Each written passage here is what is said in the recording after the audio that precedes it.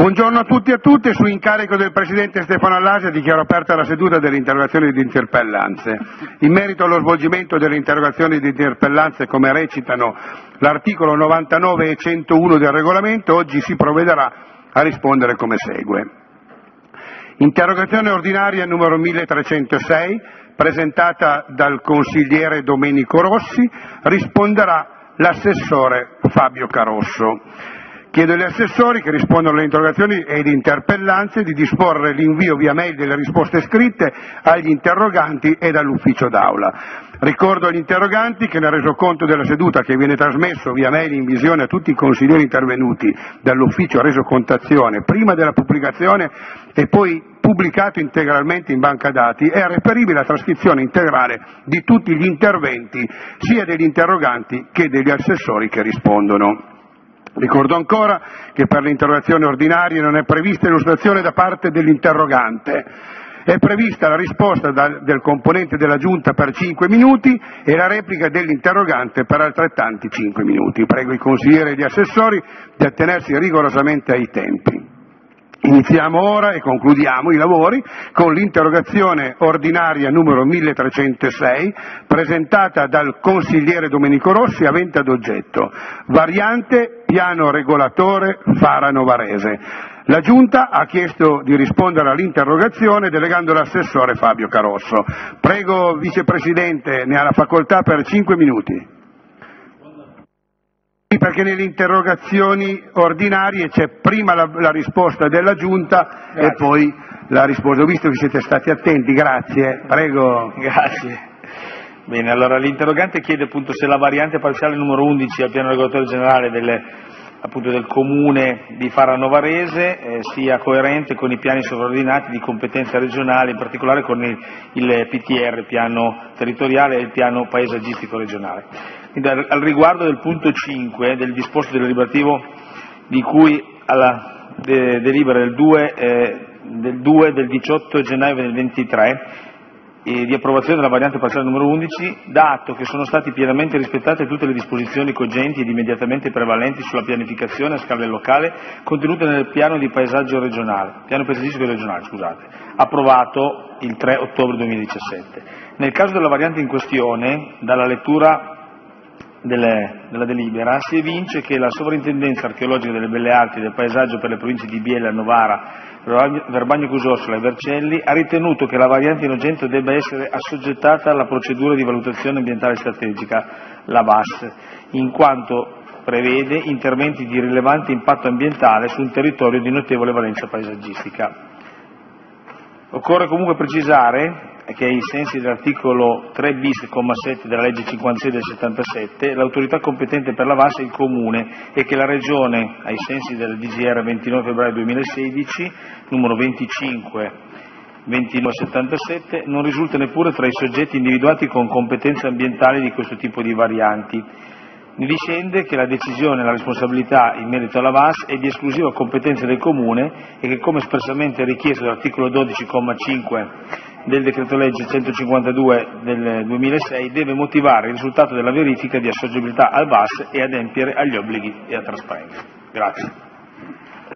Grazie, ringraziamo il Vicepresidente per la risposta e ha chiesto di replicare il consigliere Domenico Rossi. Prego, consigliere, nella facoltà per cinque minuti. Grazie Presidente, grazie anche all'assessore e vicepresidente Carosso per la risposta. Ma guardi Assessore, in realtà già nella sua risposta mh, lei richiama quelli che sono dal nostro punto di vista gli elementi di criticità che ci hanno portato a presentare questa interrogazione, cioè in particolare la decisione del Comune di non procedere con la VAS, eh, nonostante, questo noi lo, eh, diciamo, lo, vogliamo sottolineare, non soltanto la Sovrintendenza Archeologica Belle Arti e Paesaggio per le province di Biella, eh, Novara, Vicio e Vercelli eh, abbia presentato delle indicazioni in questo senso, ma noi sappiamo che anche l'ASL di Novara e, e l'ARPA hanno eh, presentato delle perplessità. L'ASL in particolare ha, ha, espresso perplessità riguardo la proposta di realizzare magazzini verticali aventi altezza fino a 30 metri ed in particolare rispetto alla loro integrazione nel contesto paesaggistico di Fara eh, Novarese. Ehm, e, e anche fra l'altro con una valutazione sul, sul traffico che questa variante porterebbe. L'ARPA ha sottolineato che l'attuazione delle varianti in questione può comportare impatti sulle matrici aria, acqua, suolo, rumore, paesaggio e inoltre ha evidenziato lacune e criticità nell'analisi ambientale eh, proposta che suggerirebbe la necessità di una VAS. No? Quindi diciamo così che anche ARPA come la sovrintendenza chiede una VAS e ehm, in più eh, chiaramente c'è il tema del consumo di suolo che in questi casi chiaramente interviene perché ogni, eh, qui siamo anche in un recupero di un'area industriale, quindi probabilmente dal punto di vista del consumo di suolo, adesso non conosco nel dettaglio il progetto, abbiamo un elemento meno impattante, ma sicuramente diciamo, c'è del consumo di suolo, c'è un recupero anche di un'area già industriale, ma dal punto di vista sia delle altezze che delle, mh, delle conseguenze dal punto di vista paesaggistico e ambientale non il sottoscritto, ma appunto ASL, ARPA e Sovrintendenza eh, chiederebbero diciamo, di fare la VAS. Dalla risposta, eh, Vicepresidente, eh, capisco che da un punto di vista tecnico ehm, dire, la scelta, da quello che ho capito e ho ascoltato, è in capo al Comune, che poi però risponde, se non ho capito male, non, non ho capito bene a chi, eh, eventualmente del fatto che la scelta di non fare la VAS ehm, in, in, dire, se ne assume la responsabilità. Noi riteniamo, come dire, ehm, poco prudente il fatto che di fronte a osservazioni come quelle di eh, ASL, ARPA e Soprintendenza eh, non si proceda alla VAS e quindi cercheremo di approfondire anche sulla base della risposta che lei ci ha fornito se ci sono elementi dire, che ci consentano poi di approfondire ulteriormente il tema della VAS per quanto riguarda questa variante di piano regolatore. Grazie. Grazie, ringraziamo il consigliere Domenico Rossi per la replica e nel ringraziare il Presidente Stefano Allasia per l'incarico dichiaro chiusa la seduta delle interrogazioni ed interpellanze e alle ore 10 il Presidente aprirà la seduta del Consiglio regionale. Grazie e buona salute a tutti e a tutte.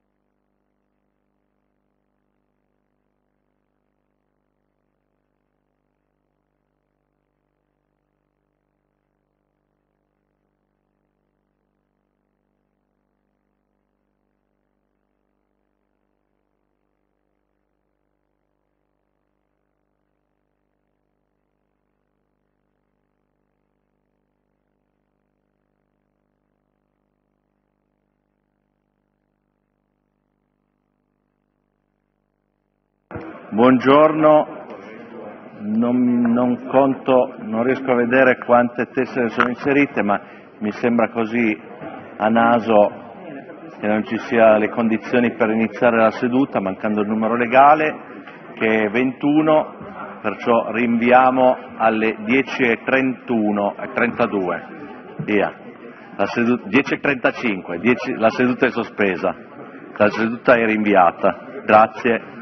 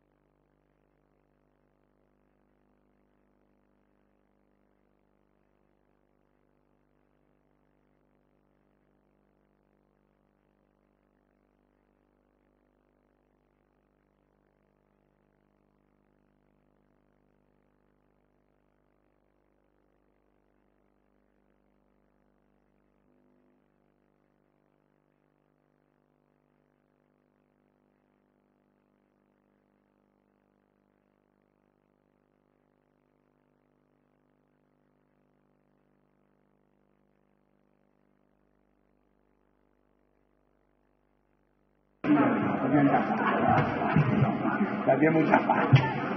Lui ha fatto le foto della La commemorazione di Parma, se non penso apra. Non penso apra, se non c'è il numero. Dalle sue qua vicino, ne manca uno. Sì, che manca? Ne manca Paolo Russo. Si chiamava Ruzzola. La biletta lì. Perché? Fatto una nottata. Ma che quello prima, ha scritto già prima. Eh. No. Sì, sì, scritto fa- Dovevi Ma, ma che- scusa, ma, ma, ma Bongiorni l'ho visto. Sapeva, sito arriva. Ma lì che avrebbe tardato. L'ho solo visto entrare in mezzo alla fa. Chi? Che? Sono l'assessore già, Sì. anche il presidente. Non vedere una trombata che... Eh sì, anche perché lui non se l'aspetta. Anche perché il, suo compe- il primo competitor che ha ha già iniziato la campagna elettorale. Il suo competitor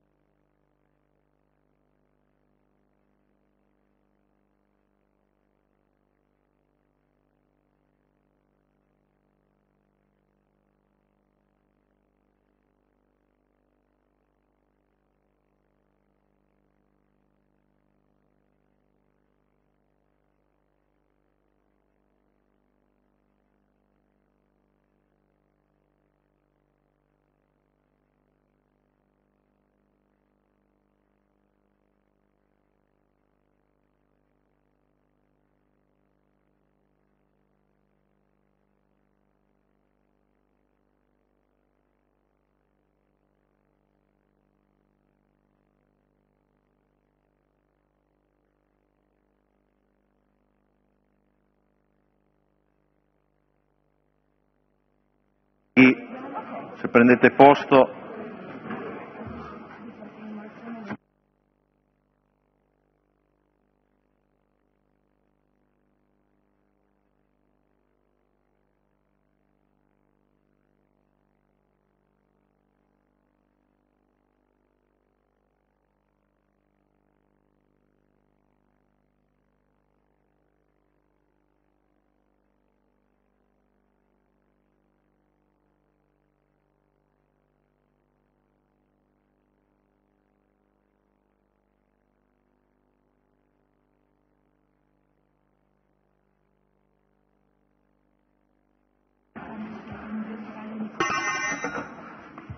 Dichiaro aperta la seduta ai sensi dell'articolo 55 del regolamento. Comunico che sono in congedo i consiglieri Biletta, Caucino, Chiorino, Cirio, Icardi, Nicocra, Protopapa, Ricca, Tronzano, Zambaia. Il numero legale è pertanto 21.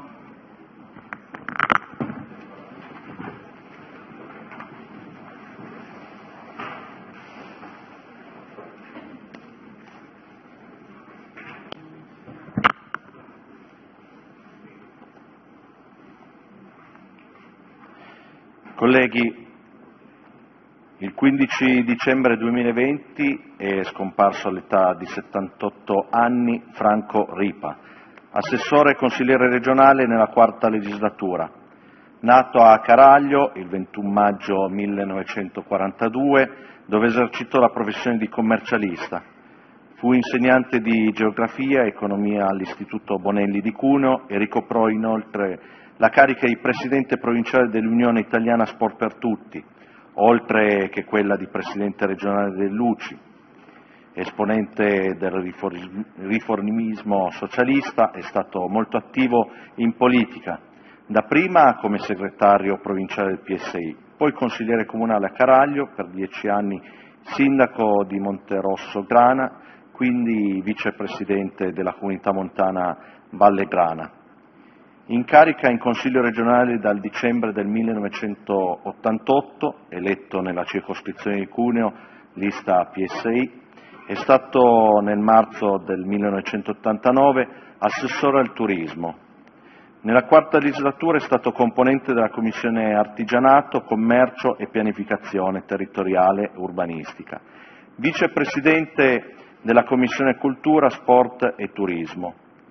Franco Ripa è stato uno dei protagonisti della vita politica e sociale cuneese e coloro che lo hanno conosciuto ne hanno apprezzato l'intelligenza e la pregevole ironia, le quali umane e politiche, in particolare condizioni l'impegno con cui ha ricoperto i suoi incarichi istituzionali nei momenti più rilevanti dell'attività consigliare della vita amministrativa della nostra Regione. Alla figlia Paola, ai nipoti e al fratello Carlo desidero rinnovare a nome dell'Assemblea regionale le più sentite condoglianze e i sensi della nostra più sincera vicinanza. Invito i presenti a osservare un minuto di silenzio in memoria del già assessore consigliere regionale Franco Ripa.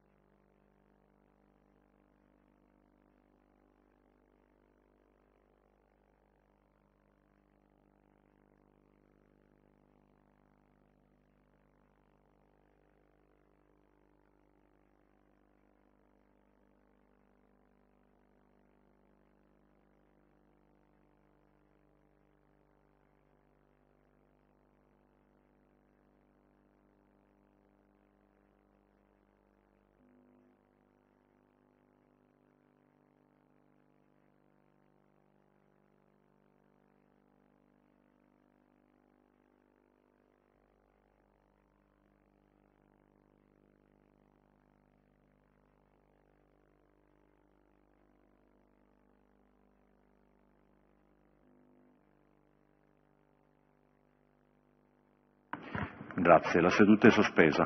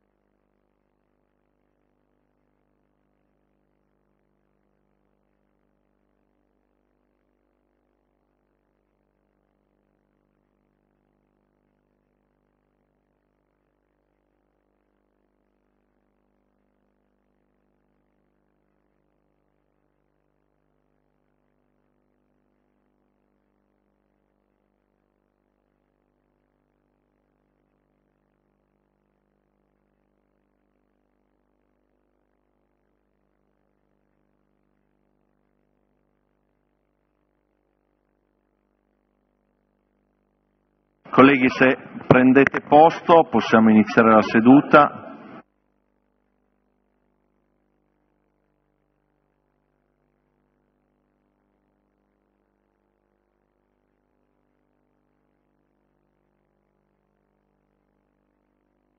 La seduta riprende. E do atto che l'ordine del giorno è stato comunicato con la convocazione. Chiedo se vi siano proposte di modifica.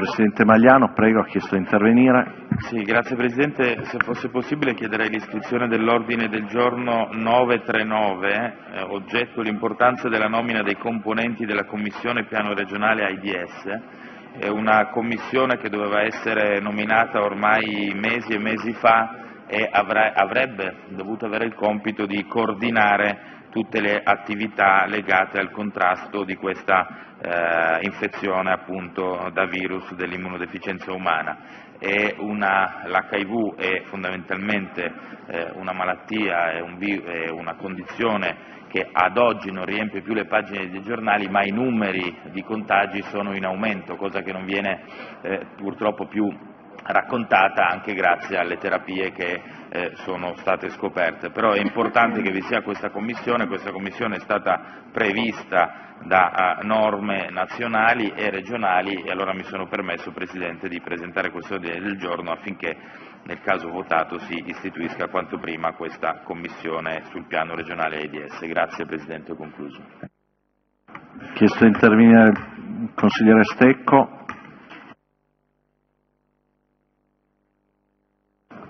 Sì, Presidente, volevamo inserire eh, nell'ordine del giorno e possibilmente chiedere all'Aula di trattarla oggi, vista la circostanza della, della settimana e, del, e, della, e della, della, scadenza, l'ordine del giorno 937 inerente alla lotta eh, internazionale, quindi anche italiana e anche del Piemonte, al papillomavirus e a, quindi al cancro della cervice e altri cancri virus correlati.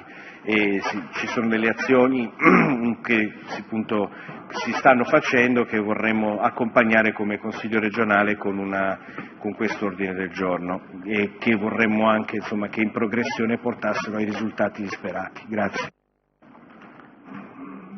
Grazie. Le chiedo, se è possibile, lo chiedo, trattarlo dopo le, le leggi. Chiesto di intervenire la Presidente Frediani, prego.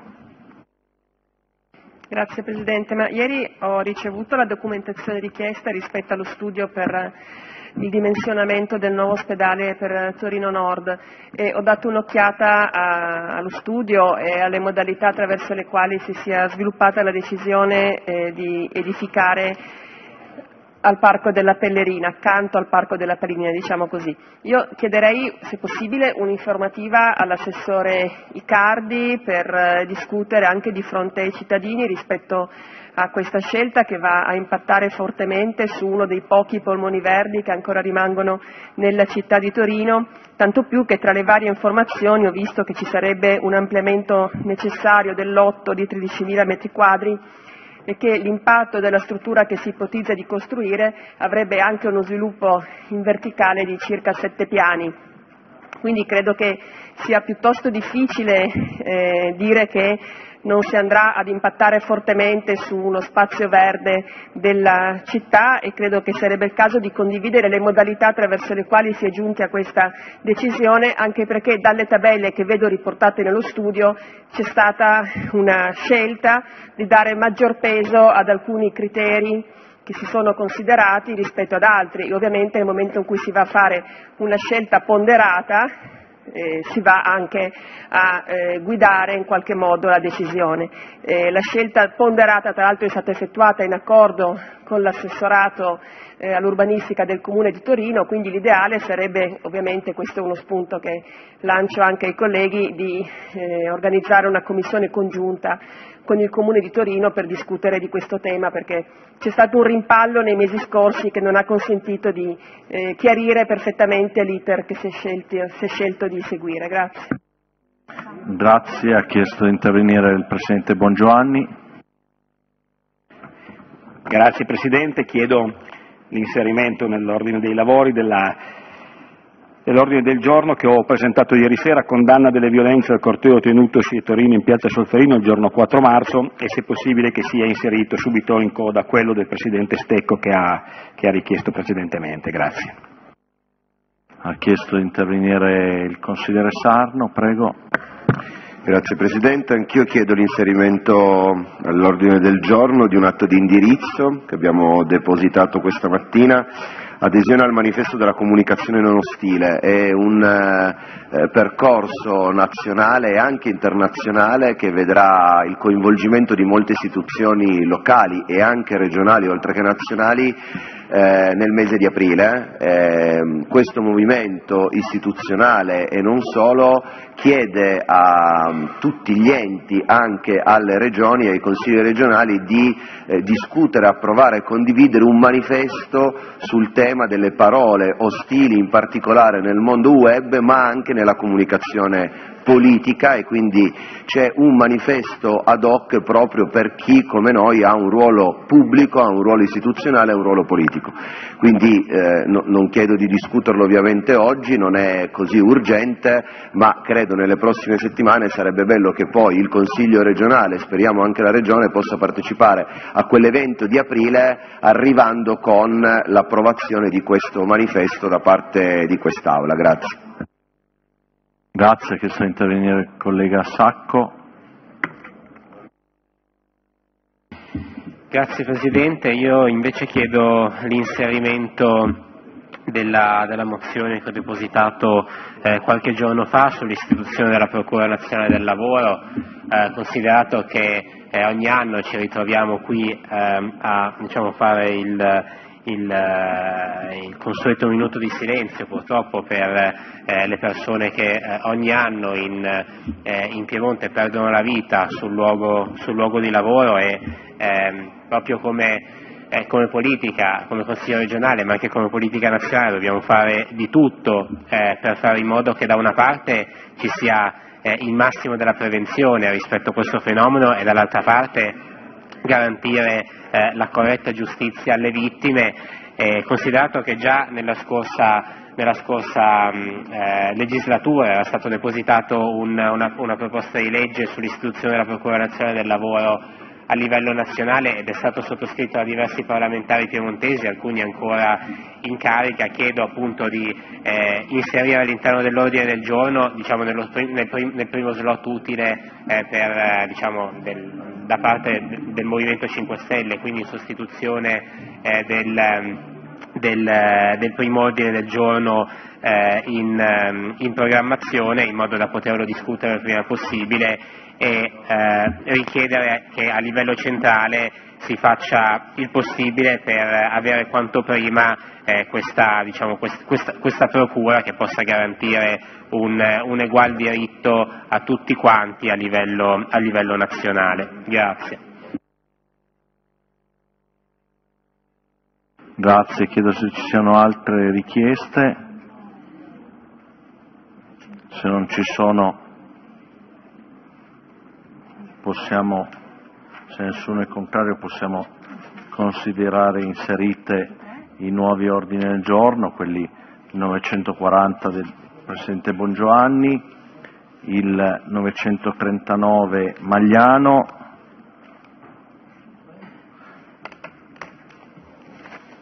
e 937 del Stecco eh, con la richiesta del Presidente Stecco e del Presidente Bongiovanni di trattarli nella seduta odierna, poi c'è una richiesta di, eh, di sacco dell'inserimento della mozione 934 e poi Sarno 941 con anche la, la richiesta informativa della Presidente Frediani.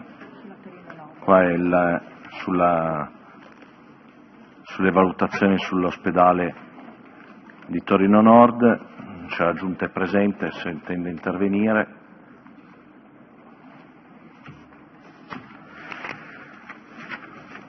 Se non ci sono contrari possiamo proseguire. L'ordine del giorno è approvato ai sensi dell'articolo 58 del regolamento.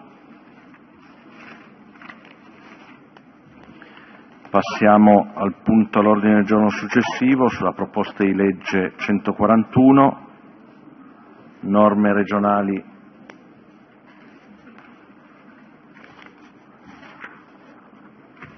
In materia di espropriazione per pubbliche utilità eh, del consigliere Marin, relatore di minoranza, eh, cui sono relatori di maggioranza Marin e Ruzzola relatori di minoranza Marello, il provvedimento è stato licenziato a maggioranza dalla seconda commissione. Do la parola al relatore di maggioranza, al consigliere Marin. Prego. Grazie Presidente. Eh, questa proposta di legge che io ho presentato il 22 aprile del 2021 è una proposta che mi è stata ispirata da un'esperienza che ho avuto come, come sindaco di una piccola realtà di comuni sotto i mille abitanti. Eh, decidiamo come Consiglio Comunale di realizzare un sentiero pedonale da utilizzare con le racchette da neve durante la stagione invernale della larghezza di 1,50 m e a fronte di 11.000 euro di lavori sostanzialmente abbiamo speso 6.000 euro di procedure che non erano fra l'altro espropriative di particelle catastali, ma di asservimento sostanzialmente a, a, a pubblica utilità di questo tracciato. Allora a questo punto dico, ma se il 60% eh, di quello che sono eventualmente l'investimento si deve eh, spendere in procedure ed è denaro pubblico, c'è qualcosa che secondo me non funziona. Allora, a, a fronte di questo, il, eh, il, motivo per cui ho ritenuto di, di procedere è perché questo disegno di legge intende disciplinare la materia dell'espropriazione di pubblica utilità, ma anche chiaramente quello che è l'asservimento, in tutte le fasi del procedimento, sulla base di principi di quello che è il DPR 327-2001, cosiddetto il testo unico degli espropri. L'istituto dell'esproprio è regolamentato dalle disposizioni sopra citate, eh, essendo stato emanato prima della riforma del titolo V della Costituzione. Ha comportato nelle iniziali fasi applicative numerosi dubbi interpretativi in ordine ai margini entro cui la legislazione regionale poteva eventualmente muoversi ed espandersi. L'impatto della riforma costituzionale sulle competenze legislative in punto di espropriazione può essere meglio apprezzato inquadrando la situazione precedente e analizzando come il testo unico, senza alcuna apparente consapevolezza dell'imminente revisione, ha preso via. A tal fine occorre considerare che l'espropriazione è definita come materia, cioè come categoria di interessi oggettivamente individuata, solo negli ultimi statuti speciali delle regioni, mentre non compare nell'elenco originario nell'articolo 117 della Costituzione.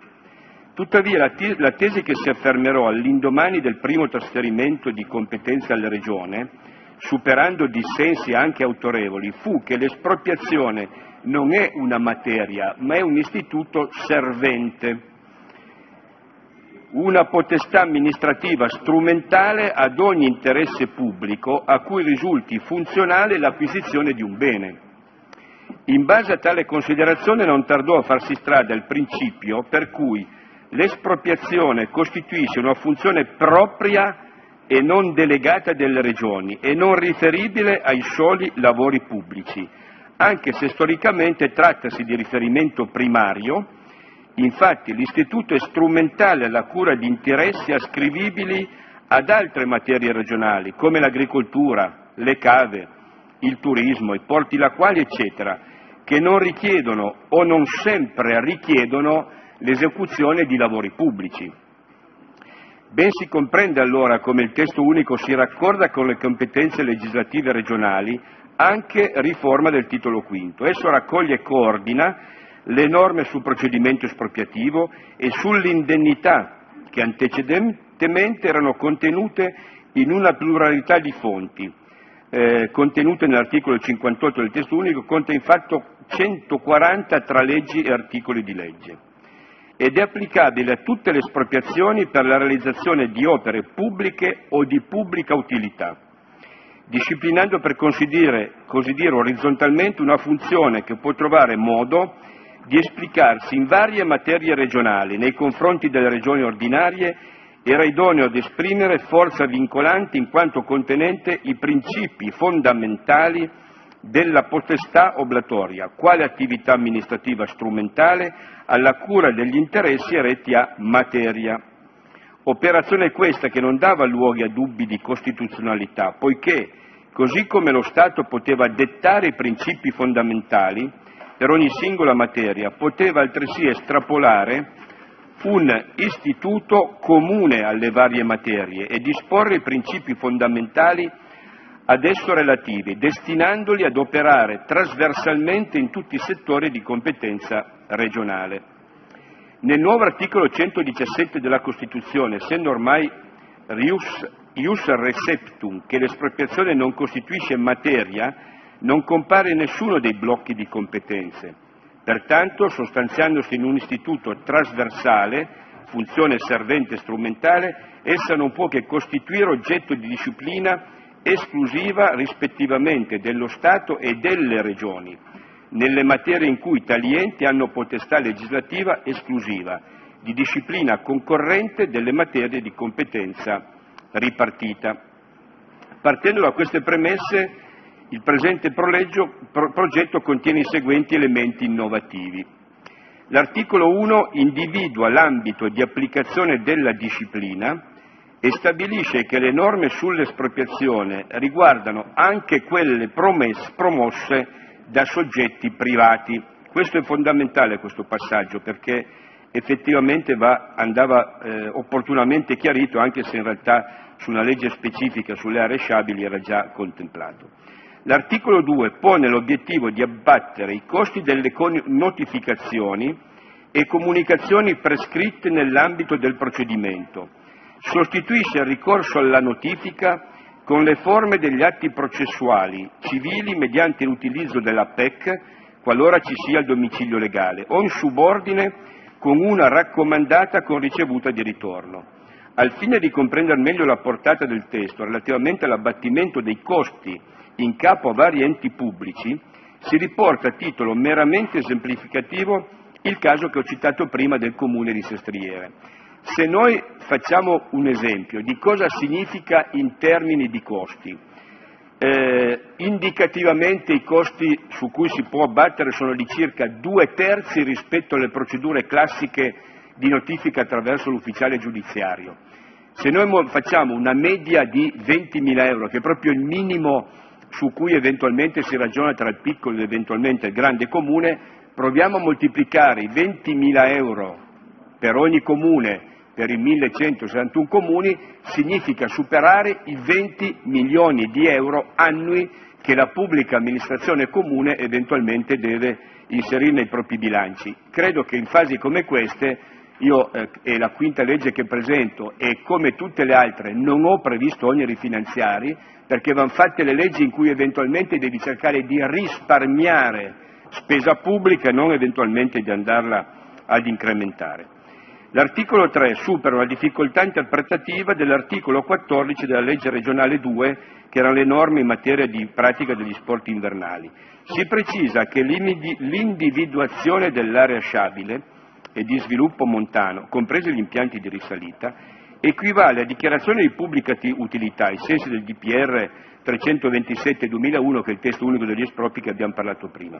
Il soggetto competente alla dichiarazione di pubblica utilità è il soggetto espropriante. Pertanto l'articolo 3 precisa che qualora la Costituzione, la richiesta di istituzione coattiva di servitù di area sciabile, di sviluppo montano, sia avanzata da un soggetto pubblico o privato, la Regione Piemonte, titolata alla gestione del procedimento in quanto autorità espropriante, qualora trovi un accordo con l'ente territorialmente competente, comuni o unioni montane, può delegare a quest'ultimo la gestione dell'*iter* previsto dal testo unico espropri per addivenire all'imposizione della citata servitù.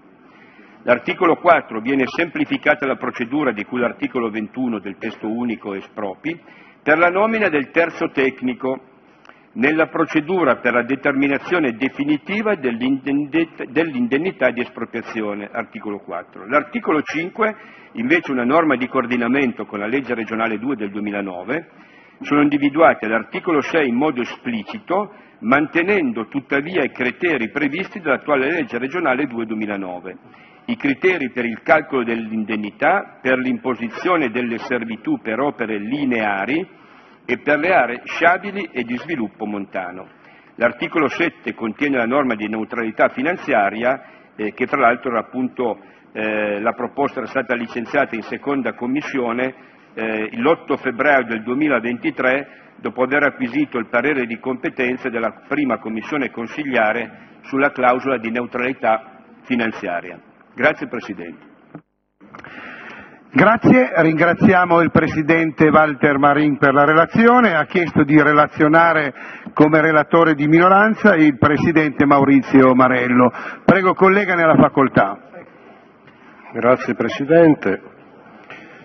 E intanto ringrazio il collega Marin per la pregevole lezione di diritto costituzionale sull'articolo 117 che ci ha dato, ma lo dico seriamente, eh, non, non, forse memore memore dell'impugnazione che, che il Governo ha fatto alla sua legge di semplificazione in materia edilizia e urbanistica dove su alcune norme appunto il Governo ha eh, rilevato il fatto che di, la materia era di competenza statale e non di competenza regionale. Sicuramente è un nodo molto problematico quello, quindi non è facile spesso districarsi eh, in questa materia.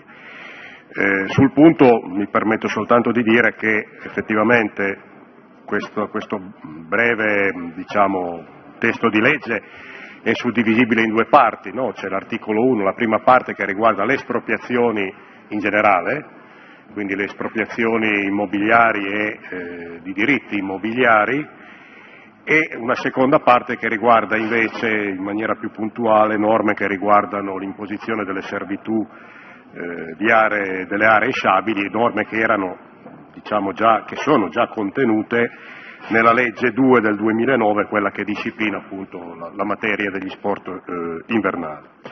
Ecco, il primo punto, dicevo, le, le norme sulle norme che riguardano in generale le espropriazioni, è un po' questo il punto su cui occorre focalizzarsi per capire se effettivamente la Regione abbia potestà o meno di incidere se quindi ritenere tale materia un'esclusiva competenza del, dello Stato oppure se ritene, essendo materia strumentale e trasversale eh, è possibile incidere come, diciamo, come, eh, come Regione. Indubbiamente la proposta che viene fatta, se sarà accettata dal punto di vista delle competenze, quindi se non verrà impugnata, è una proposta interessante perché va a snellire la procedura soprattutto per quanto riguarda le notifiche, inserendo la notifica a mezzo PEC, quindi uscendo un po' dall'esclusiva eh, per quanto riguarda le notifiche ufficiali giudiziarie, quindi andando verso una semplificazione, snellimento e velocizzazione della procedura e anche ad una sua economicità. Tutto mh, mm, eh, si tratterà di vedere se questo la Regione lo può fare, ecco, su questo il collega Marin ha evidenziato, eh, anche citando fonti, che questo è possibile, io su questo mi eh, insomma, rimetto, ci rimettiamo poi a quelle che saranno le valutazioni che, ehm, di legittimità costituzionale che il Governo farà nel momento in cui riceverà questa legge. C'è poi una seconda parte che riguarda appunto l'imposizione delle servitù su aree sciabili, Qui dicevo la, la, norma di riferimento è la legge 2 del 2009, legge regionale, eh, in particolare l'articolo 14 e qui il collega Marini ha già evidenziato diciamo, alcune modifiche di questa norma per quanto riguarda il tema diciamo, delle indennità e per quanto riguarda il tema del, della, del, modo, del, modo, di procedere, qui credo che la novità sia proprio costituita dal fatto che la Giunta dovrà disciplinare con una sua convenzione questo modus procedendi eh, rispetto al quale eh, demanda come autorità, diciamo l'ente locale, come autorità che guida questa procedura, che può essere attivata sia dal, dal pubblico che, che, dal privato. Ecco, quindi questi sono, mi sembra in sintesi un po' le, i contenuti principali di questa norma, rispetto alla quale si può valutare ecco, positivamente il tentativo di una semplificazione e dall'altro però occorre poi valutare con attenzione, soprattutto per quanto riguarda gli articoli 1 e 2, la loro legittimità costituzionale, ma su questo credo che, come dicevo prima, sicuramente il Governo eh, farà un, un attento esame. Grazie, ringraziamo il Presidente Maurizio Marello per la relazione. Eh, chiedo al capigruppi se comunque eh, do ora la, la, parola al relatore di maggioranza, Presidente Ruzzola. Prego Presidente nella facoltà. Grazie Presidente, ma direi che i miei due colleghi che mi hanno preceduto, tanto il collega Marin quanto Marello, sono stati pienamente esaustivi, quindi la do per illustrata. Grazie. Grazie, ringraziamo il Presidente Paolo Ruzzola. Mm, non vedo mani alzate, ma mi sembra che il Presidente Preoni abbia chiesto in qualche modo la, la parola. Do la parola al Presidente Preioni, prego Presidente. Grazie Presidente. No, volevamo un confronto di 5 minuti perché dovevamo analizzare due emendamenti. Grazie mille. Se ci dà un 5 minuti di sospensiva. Vedo che c'è accordo, quindi sospendiamo la seduta per 5 minuti, riprenderà la seduta alle 11.30. Grazie.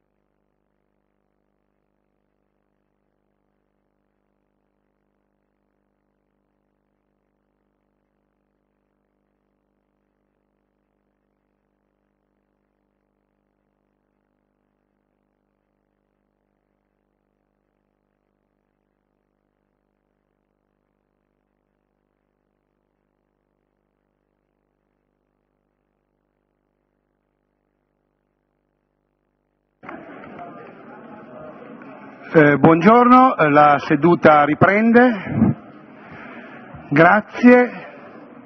Chiedo ai consiglieri di prendere posto.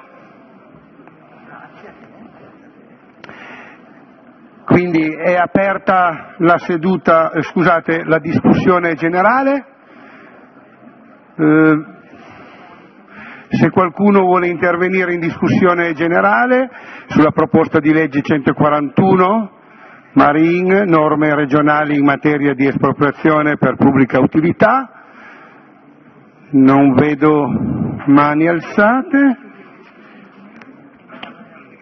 Chiudo la discussione generale e entriamo nell'articolato. Articolo 1, non ci sono emendamenti, chiedo se ci sono qualche dichiarazione di voto. Vedo, scusatemi, vedo che sono entrati in aula i colleghi, volevate intervenire sulle bombe, va bene, quindi non vedo né dichiarazione di voto sull'articolo numero 1. Metto in votazione l'articolo 1.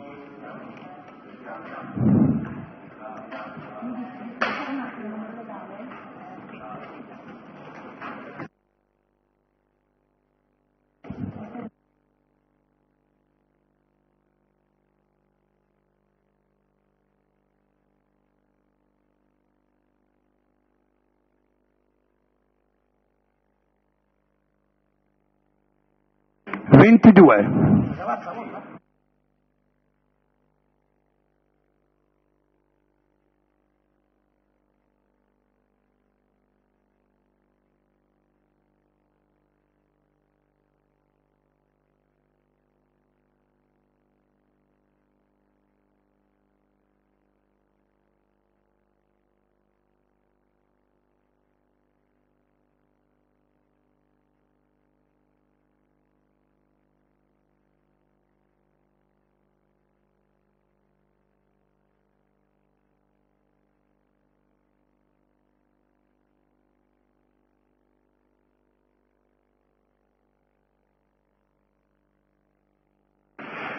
Chiudo la votazione, articolo numero 1 approvato, metto ora in votazione l'articolo 2 se non ci, non ci sono emendamenti, chiedo se c'è qualcuno che vuole intervenire per la dichiarazione di voto, non vedo mani alzate, metto in votazione l'articolo 2.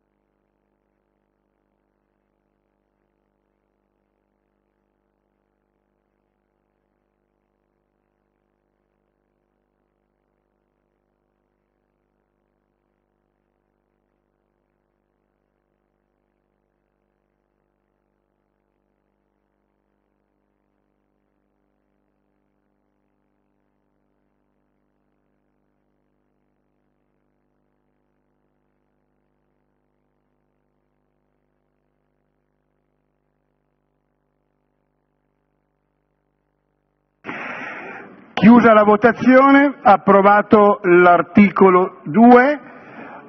Eh, Passiamo ora all'articolo 3, non ci sono emendamenti.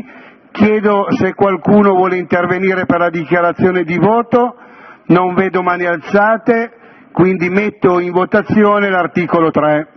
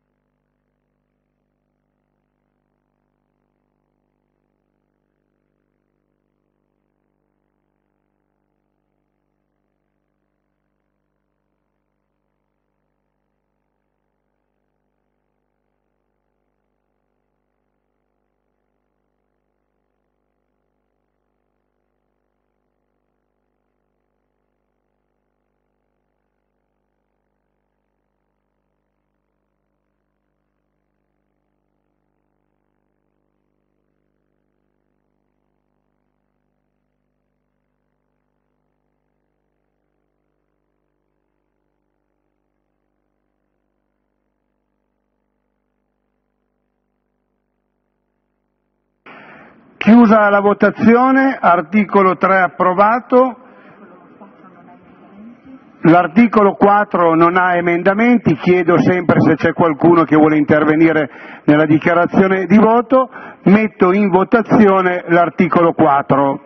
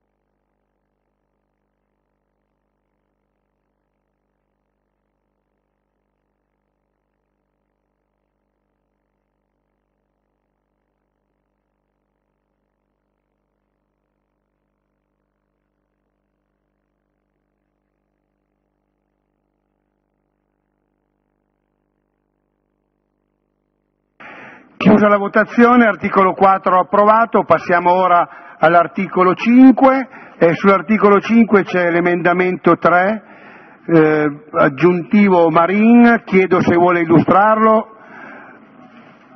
Lo do per illustrato, grazie. Grazie Presidente, lo dà per illustrato, quindi mettiamo in votazione l'emendamento 3 aggiuntivo Marin, metto in votazione.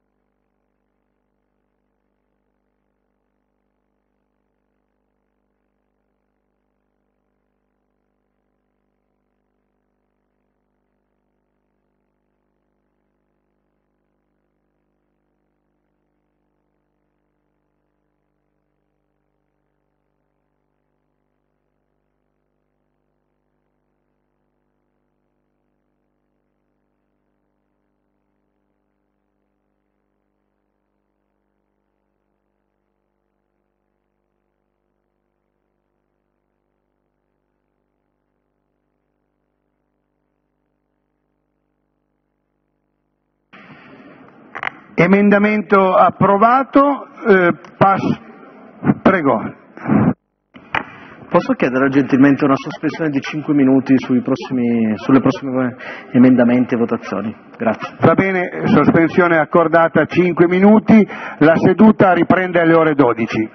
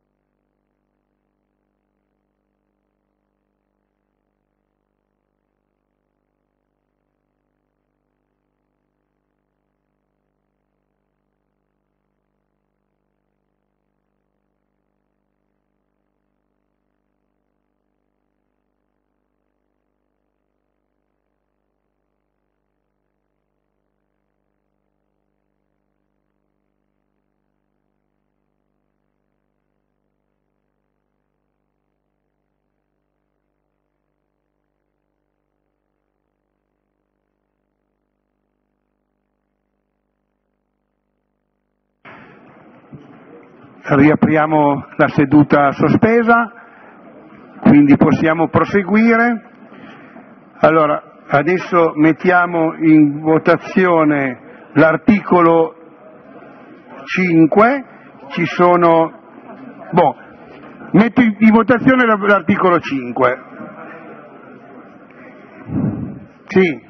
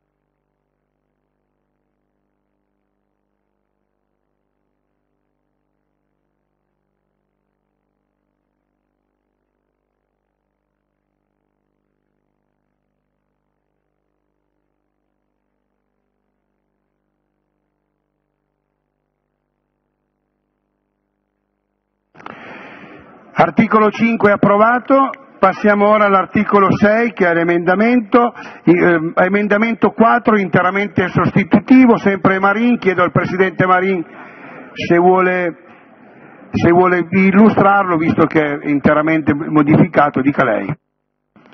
Lo do per illustrato anche con i cambiamenti, correzioni fatte questa mattina su quei due punti del, eh, del- del valore agricolo medio e riferimento al comma 1. Grazie. Bene, metto in votazione l'emendamento 4 interamente modificato. Sì. Scusi, ma il 4 bis eh, non sostituisce il 4? No, il, no, il- il mode- il- le- l'emendamento 4 è, è riferito all'articolo 6 modificato interamente sostitutivo del 6. Sì, però poi è stato presentato un... Ah, solo per le due parole, ho capito, sì, sì, sì. Adesso, procediamo, quindi mettiamo in votazione l'emendamento 4 modificato interamente sostitutivo sull'articolo 6, metto in votazione.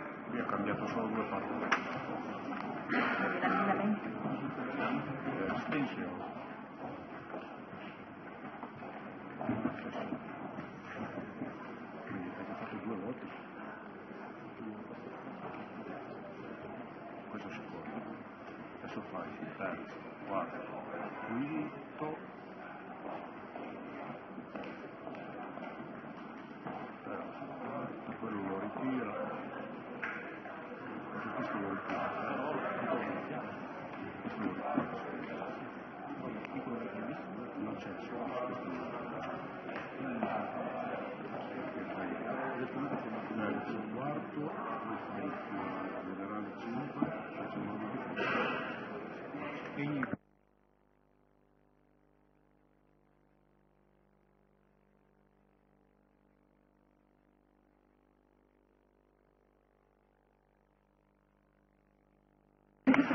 Emendamento 4 approvato, chiaramente con l'articolo 6. Mettiamo voto presenza per il collega Martinetti. Adesso abbiamo l'emendamento 1 ritirato sull'articolo 6 bis e passiamo ora alla votazione dell'articolo 7 che non ha emendamenti. Chiedo sempre se qualcuno vuole intervenire sulla dichiarazione di voto, nessuno vuole intervenire. Metto in votazione l'articolo 7.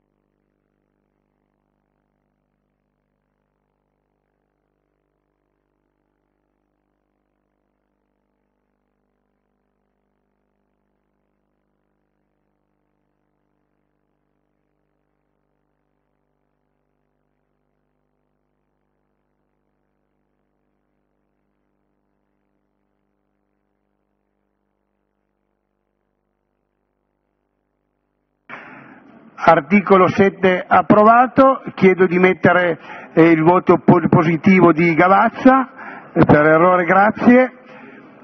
Il, passiamo, ecco, essendo terminato l'esame dell'articolato, chiedo se ci sono interventi o dichiarazioni di voto sull'intero testo. Non vedo dichiarazioni di voto, niente, grazie, continuiamo. Quindi metto, in votazione per appello nominale l'intero testo.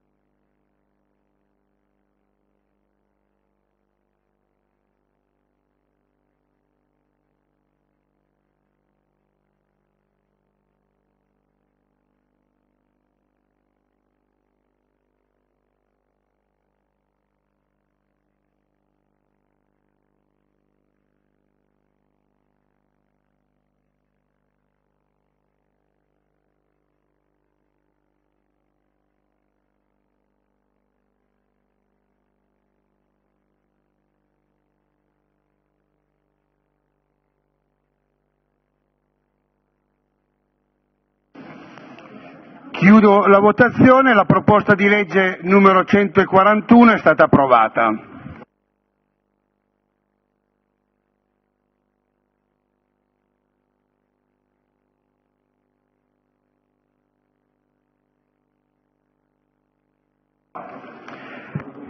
Passiamo ora al punto 3, proposta di deliberazione numero 264, modifiche allo statuto ed Fondazione Centro per lo studio e documentazione delle società di mutuo e soccorso ONLUS.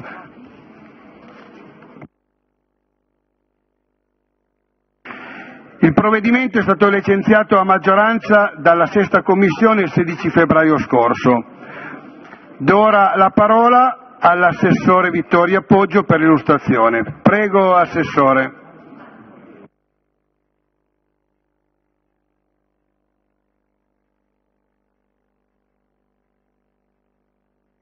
Presidente, chiedo un attimo, se me lo consentite, e anche all'Aula un momento di sospensione. Bene, accordata la, la sospensione, 5 minuti. Iniziamo alle, riniziamo alle 12.05.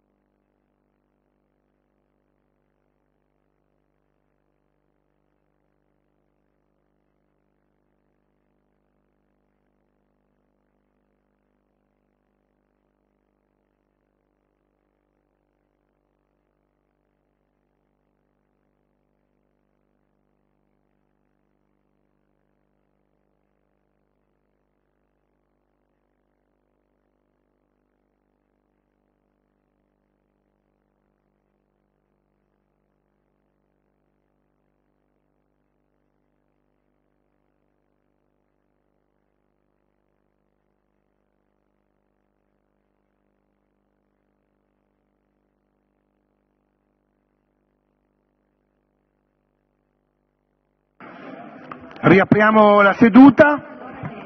Do la parola all'assessore Vittorio Poggio per l'illustrazione. Grazie, della... pres- grazie Presidente. Prego.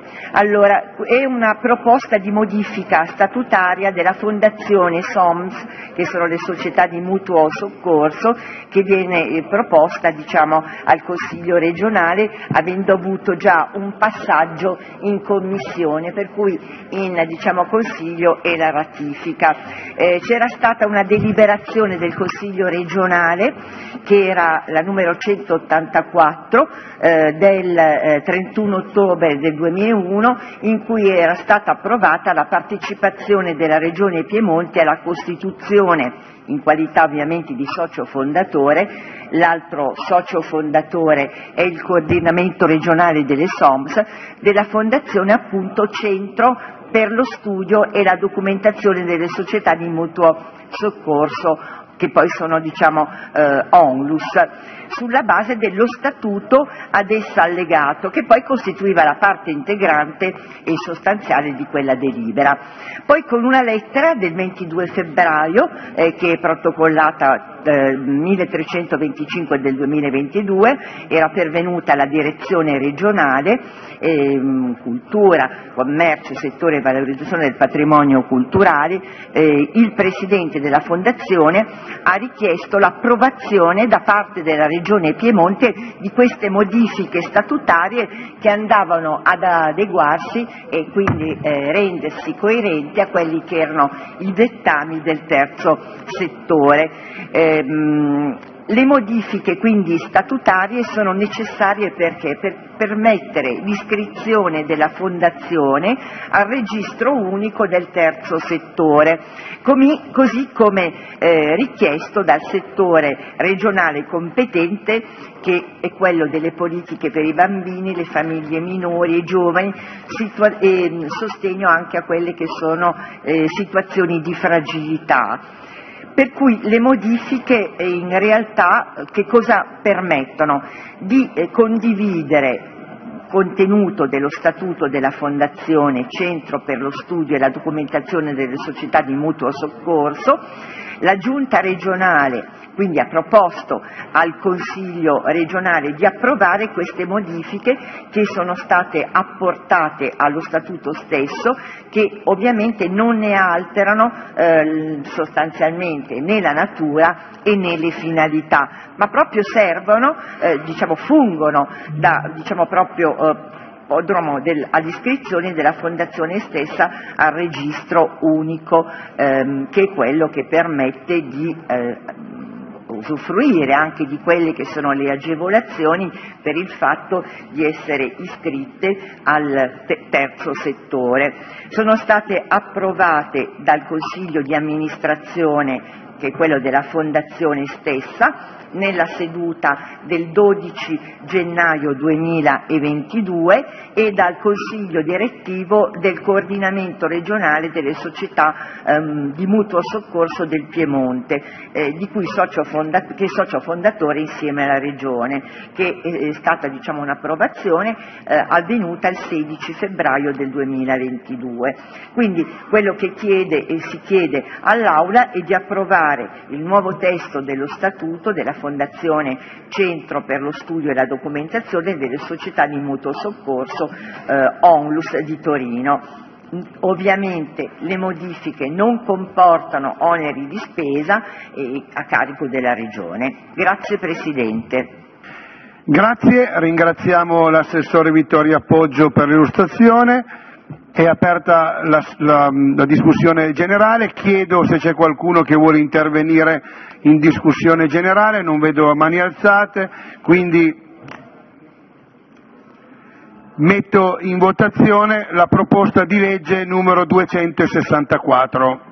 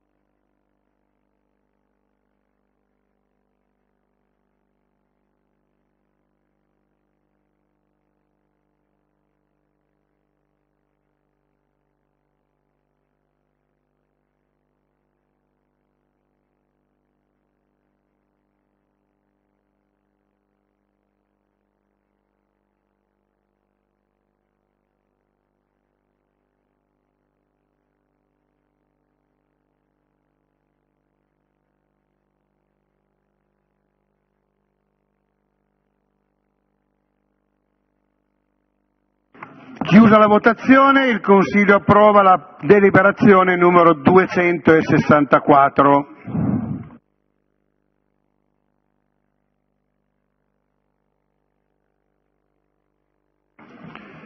Passiamo ora al punto 4, proposta di legge numero 113, modifiche alla legge regionale 29 giugno 2009, numero 19, testo unico sulla tutela delle aree naturali e della biodiversità.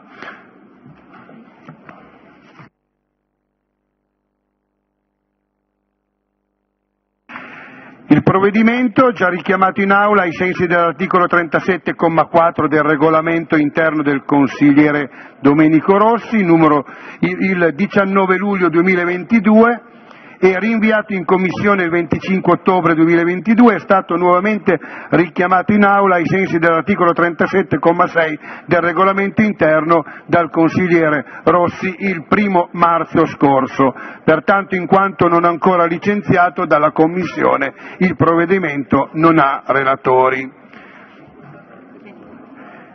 Chiedo al collega Rossi se vuole illustrarlo. Sì, le do la parola. Prego, collega, per l'illustrazione. Grazie, grazie Presidente. Guardi, comincerei dal numero di questa PDL. La PDL 113, Presidente, quando in questo momento, se non sbaglio, guardi, vado su Arianna per non sbagliarmi, siamo a quasi a tre, al numero 300, sì, siamo al 247. Qui stiamo discutendo oggi, Presidente, una PDL, la numero 113, presentata in data 23 settembre 2020. Oggi siamo al 7 marzo, se non sbaglio, 2023, stiamo parlando di due anni e mezzo abbondanti, in cui un testo, lo voglio specificare, eh, Presidente, perché forse non tutti i colleghi lo ricordano, un testo che si occupa della modifica al testo unico sulla tutela delle aree naturali e della biodiversità, simile nei contenuti a una proposta di legge di iniziativa popolare presentata da diversi comuni della provincia di Novara che chiede, quella proposta di legge, le stesse cose che il sottoscritto chiedeva con questa proposta di legge. Allora come mai noi qui oggi stiamo discutendo, Presidente, una proposta di legge, poi entrerò nel merito, a distanza di quasi tre anni? Perché legge, su questa proposta di legge sia il sottoscritto insieme alle altre forze di minoranza, sia i territori, abbiamo udito anche in quest'Aula i sindaci, una rappresentanza dei sindaci, che lo voglio sottolineare Presidente, non sindaci di una parte politica, oltre al fatto che i sindaci sono sempre rappresentanti istituzionali, ma ci tengo a sottolinearlo, sindaci espressioni anche della maggioranza di quest'Aula, hm? hanno sottoscritto una proposta di legge simile a questa negli stessi contenuti. Ebbene, siamo qui a discutere dopo tre anni perché c'è stata da parte nostra la massima disponibilità a discutere di, e a trovare una mediazione sulle modifiche richieste, sulle quali, fra l'altro, ogni volta che c'è stato un confronto con la maggioranza, Presidente, il riscontro, il feedback è stato sempre quello di massima disponibilità e anche di condivisione di alcuni aspetti, poi spiegherò quali sono. Questo testo è stato discusso in Commissione, poi, visto che nonostante le varie interlocuzioni non si riusciva ad arrivare a una sintesi, è stato richiamato in aula una prima volta. Arrivato in aula io ho accettato di farlo tornare in commissione, Presidente, perché c'è stata un'ennesima promessa di ragionamento condiviso e comune sulle proposte di legge. Ma dopo diversi mesi in cui in commissione il testo non è mai stato messo all'ordine del giorno, posso dire, usando un termine forse non adatto all'Aula, Presidente, stufo di essere preso in giro, ho deciso di richiamarlo nuovamente in Aula perché credo che a un certo punto, dopo circa tre anni, credo sia opportuno che il nodo qualcuno lo sciolga. Allora io credo che noi come forze di opposizione, come firmatari di questa proposta di legge abbiamo dimostrato in questi quasi tre anni forse anche un eccesso come dire, di disponibilità al dialogo e allora a questo punto noi vogliamo sapere che cosa ne pensa la maggioranza di quest'Aula, che cosa ne pensa la Giunta su un testo che chiede due cose, Presidente.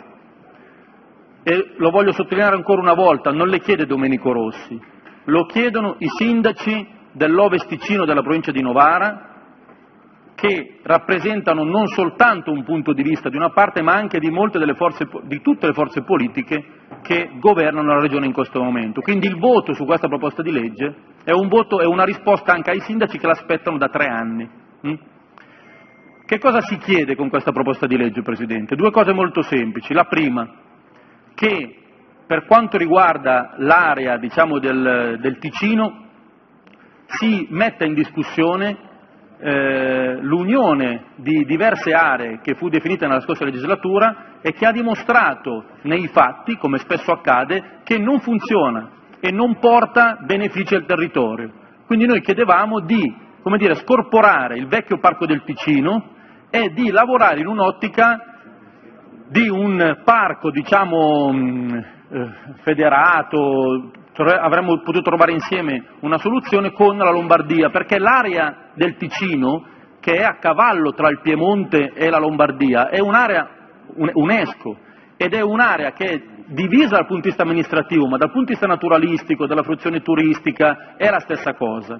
Allora noi riteniamo, noi, quando dico noi dico Domenico Rossi e i sindaci di quell'area, compresi quelli di centrodestra, che sia meglio per il territorio e per i cittadini che il Parco del Ticino venga, torni a essere autonomo e che si attivi un percorso che preveda una federazione con l'area amministrativa gestita dalla Lombardia, così da avere una fruizione unica e una gestione unica eh, di quell'area. La seconda cosa che chiede questa legge è una revisione, Presidente, delle modalità di elezione degli organismi del parco. Perché questa legge chiede questo? Per un motivo semplice: in questo momento la legge prevede diciamo, una testa un voto al di là dell'estensione territoriale dell'ente rappresentato e della popolazione dell'ente rappresentato. Quindi che cosa è successo in passato, Presidente? Che magari alcuni comuni piccoli dal punto di vista della rappresentanza della popolazione e che nel parco magari avevano anche un'estensione poco significativa, mettendosi insieme hanno escluso magari comuni o enti che in quell'area erano più rappresentativi per territorio e per popolazione. Quindi noi con questa proposta di legge, di buon senso Presidente, chiedevamo, abbiamo anche detto più volte alla Giunta e alla maggioranza, diteci voi, noi qua proponiamo un meccanismo, non vi piace il meccanismo che eh, proponiamo noi, fateci una controproposta, l'importante è arrivare a un punto di equilibrio, di mediazione, per cui chi eh, come dire, rappresenta una popolazione più ampia, ma soprattutto un territorio, un'estensione più ampia nel parco, non possa finire diciamo, in minoranza eh, perché o per insipienza dell'amministratore del momento che non si presenta alla riunione o perché eh, qualcun altro si mette d'accordo. No? Sappiamo benissimo, Presidente, vado verso la conclusione, noi sappiamo benissimo che mentre la prima richiesta, cioè quella di ridefinire i confini del parco, è una richiesta politicamente significativa e importante e quindi avremmo anche potuto comprendere che su questo aspetto ci fossero delle resistenze da parte della maggioranza, francamente, Presidente, non capiamo invece una, un irrigidimento o comunque vedremo adesso il comportamento della maggioranza sul secondo aspetto, cioè che è quello della modalità di elezione degli organismi, perché su questo io non vedo alcuna difficoltà di ordine politico, Presidente, eh, tecnico, chiedo scusa, ma soltanto una mancanza di volontà politica a risolvere un problema che il territorio pone con forza e in maniera trasversale. Quindi io credo che dopo tre anni eh, in cui il sottoscritto e il territorio aspettano una risposta, oggi questa risposta in un modo o nell'altro deve arrivare. Se sarà negativa, chiaramente sarà responsabilità della maggioranza che governa la Regione spiegare al territorio e ai sindaci che dopo tre anni non siamo stati in grado di trovare non dico la, la, forza di staccare il Parco del Ticino dall'area più vasta, ma neanche di modificare le, moda, le modalità di elezione e salvaguardare, lo dico soprattutto per i novaresi, Presidente, soprattutto le aree novaresi, perché sono quelle che rispetto al meccanismo attuale sono maggiormente penalizzate. Grazie. Grazie, ringraziamo il Presidente Domenico Rossi per l'illustrazione, dichiaro aperta la discussione generale, non vedo nessuna mano alzata eh, per la discussione generale, quindi chiedo alla Giunta se intende intervenire.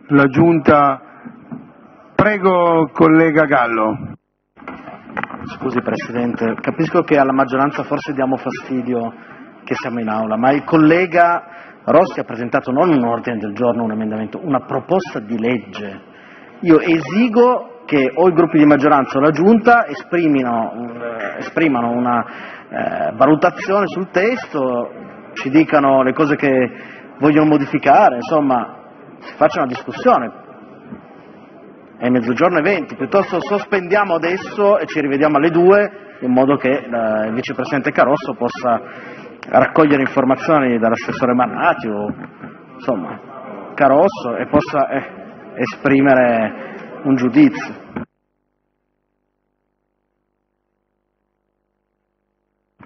Grazie, eh, ringrazio il collega Gallo per l'intervento, ha chiesto di intervenire l'assessore Carosso. Prego collega.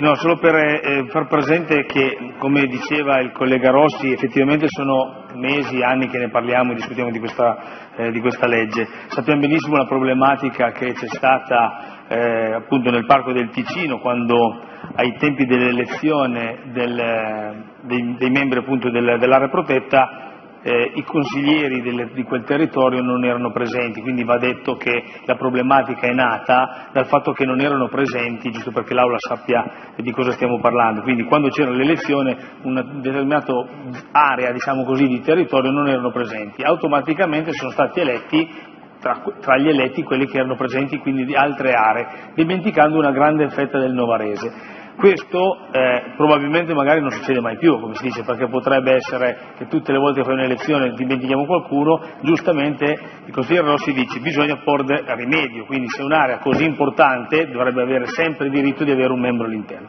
Bene, non è stato inascoltato questo, tant'è che noi stiamo lavorando sia alla modifica di questa, eh, di questa legge, sia alla modifica dei parchi, inteso per allargamento e anche riduzione, piccole modifiche, io lo definite tali, e tutti i presidenti dei parchi piemontesi sono al corrente di questa eh, situazione ormai da settembre. Stiamo raccogliendo le ultime istanze proprio perché puntualmente bisogna andare a fare modifiche. Parlo di piccole modifiche vuol dire che magari c'è un'area contigua che non confinava con una strada, qualcun altro che invece vuole allargare il parco che comuni con l'inserire e nello stesso tempo dobbiamo regolamentare questa situazione eh, mi trovo d'accordo su questo territorio. Giustamente ho fatto presente non è una questione di forze politiche perché i sindaci del territorio sono di eh, diverse aree, ma è una questione di rappresentatività all'interno dell'ente. Nello stesso tempo so che eh, abbiamo eh, visto, c'è un'altra eh, PDL del collega Gagliasso che è primo firmatario che va ad operare più o meno nella stessa direzione, poi c'è anche l'altra proposta dei sindaci, noi vorremmo fare sintesi per poter radunare e fare tutto questo. Eh, credo che ci vorrà ancora qualche settimana, ma non molto perché alcune aree protette stanno ancora definendo alcune situazioni, per cui io avrei voluto chiudere la legge entro fine anno, ma giustamente i territori mi hanno chiesto qualche tempo in più per definire alcune situazioni. Per cui per, eh, questo era quello che avevo piacere di raccontare, dire che non è che abbiamo, siamo stati troppo fermi. Effettivamente io ho spinto sui territori, ne abbiamo parlato più di una volta, credo che sia assolutamente giusto e corretto dare la rappresentatività territoriale e eh, credo che insomma, ci siano anche però da mettere a punto alcune situazioni che non sono solo quelle del confine o della rappresentanza, ma di tutta un'area, eh, diciamo così, eh, di tutto tutto quello che sono le aree nostre, le aree parco e quello che sono interessati come territori. Per cui eh, faremo una sintesi per fare una legge unica. Eh, vediamo un attimino cosa dicono i colleghi, eh, credo che i capigruppo adesso vorranno fare qualche intervento. Per noi ecco, questa era la ragione di dare una spiegazione a quanto detto. Grazie. Grazie, ringraziamo l'assessore Carosso per l'intervento, dichiaro chiusa la discussione generale. Passiamo ora all'esame dell'articolato. Articolo 1, non ci sono emendamenti. Chiedo se qualcuno vuole intervenire. Sì, ha chiesto di intervenire il collega Rossi. Prego, collega, nella facoltà. Grazie Presidente. No, solo per dire che quando arriverà alle votazioni, a mettere in votazione l'articolo 1, chiedo la votazione per appello nominale. Grazie. Grazie collega, non ci sono altri, altre richieste ad intervenire, quindi metto in votazione l'articolo 1 ad appello nominale.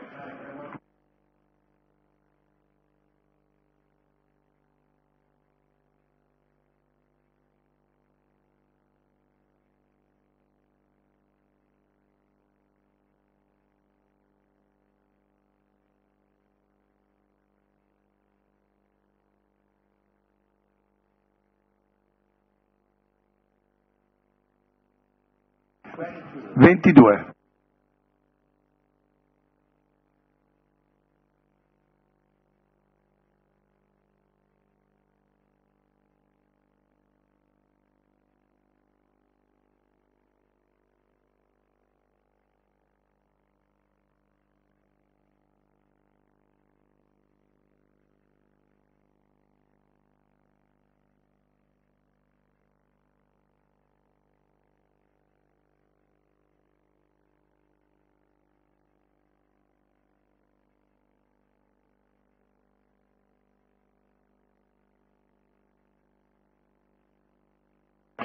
Dichiaro chiusa la votazione, l'articolo 1 è respinto, passiamo ora all'articolo 2, non ci sono emendamenti, chiedo se ci siano interventi in dichiarazione di voto, non ce ne sono, metto in votazione l'articolo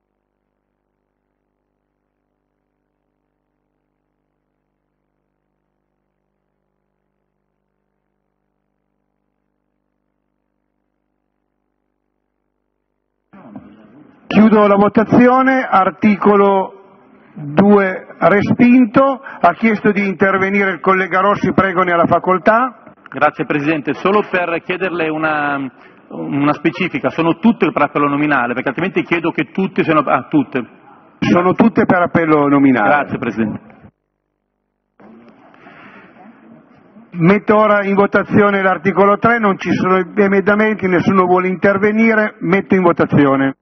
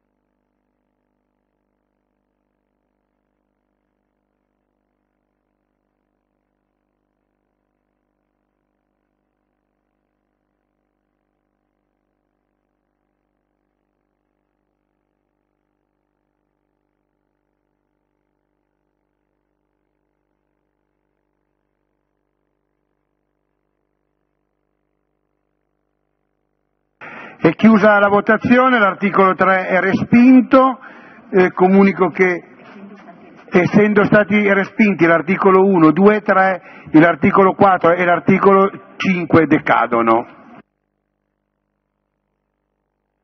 Quindi la proposta di legge regionale 23 settembre 2020 numero 113 è respinta dall'Aula.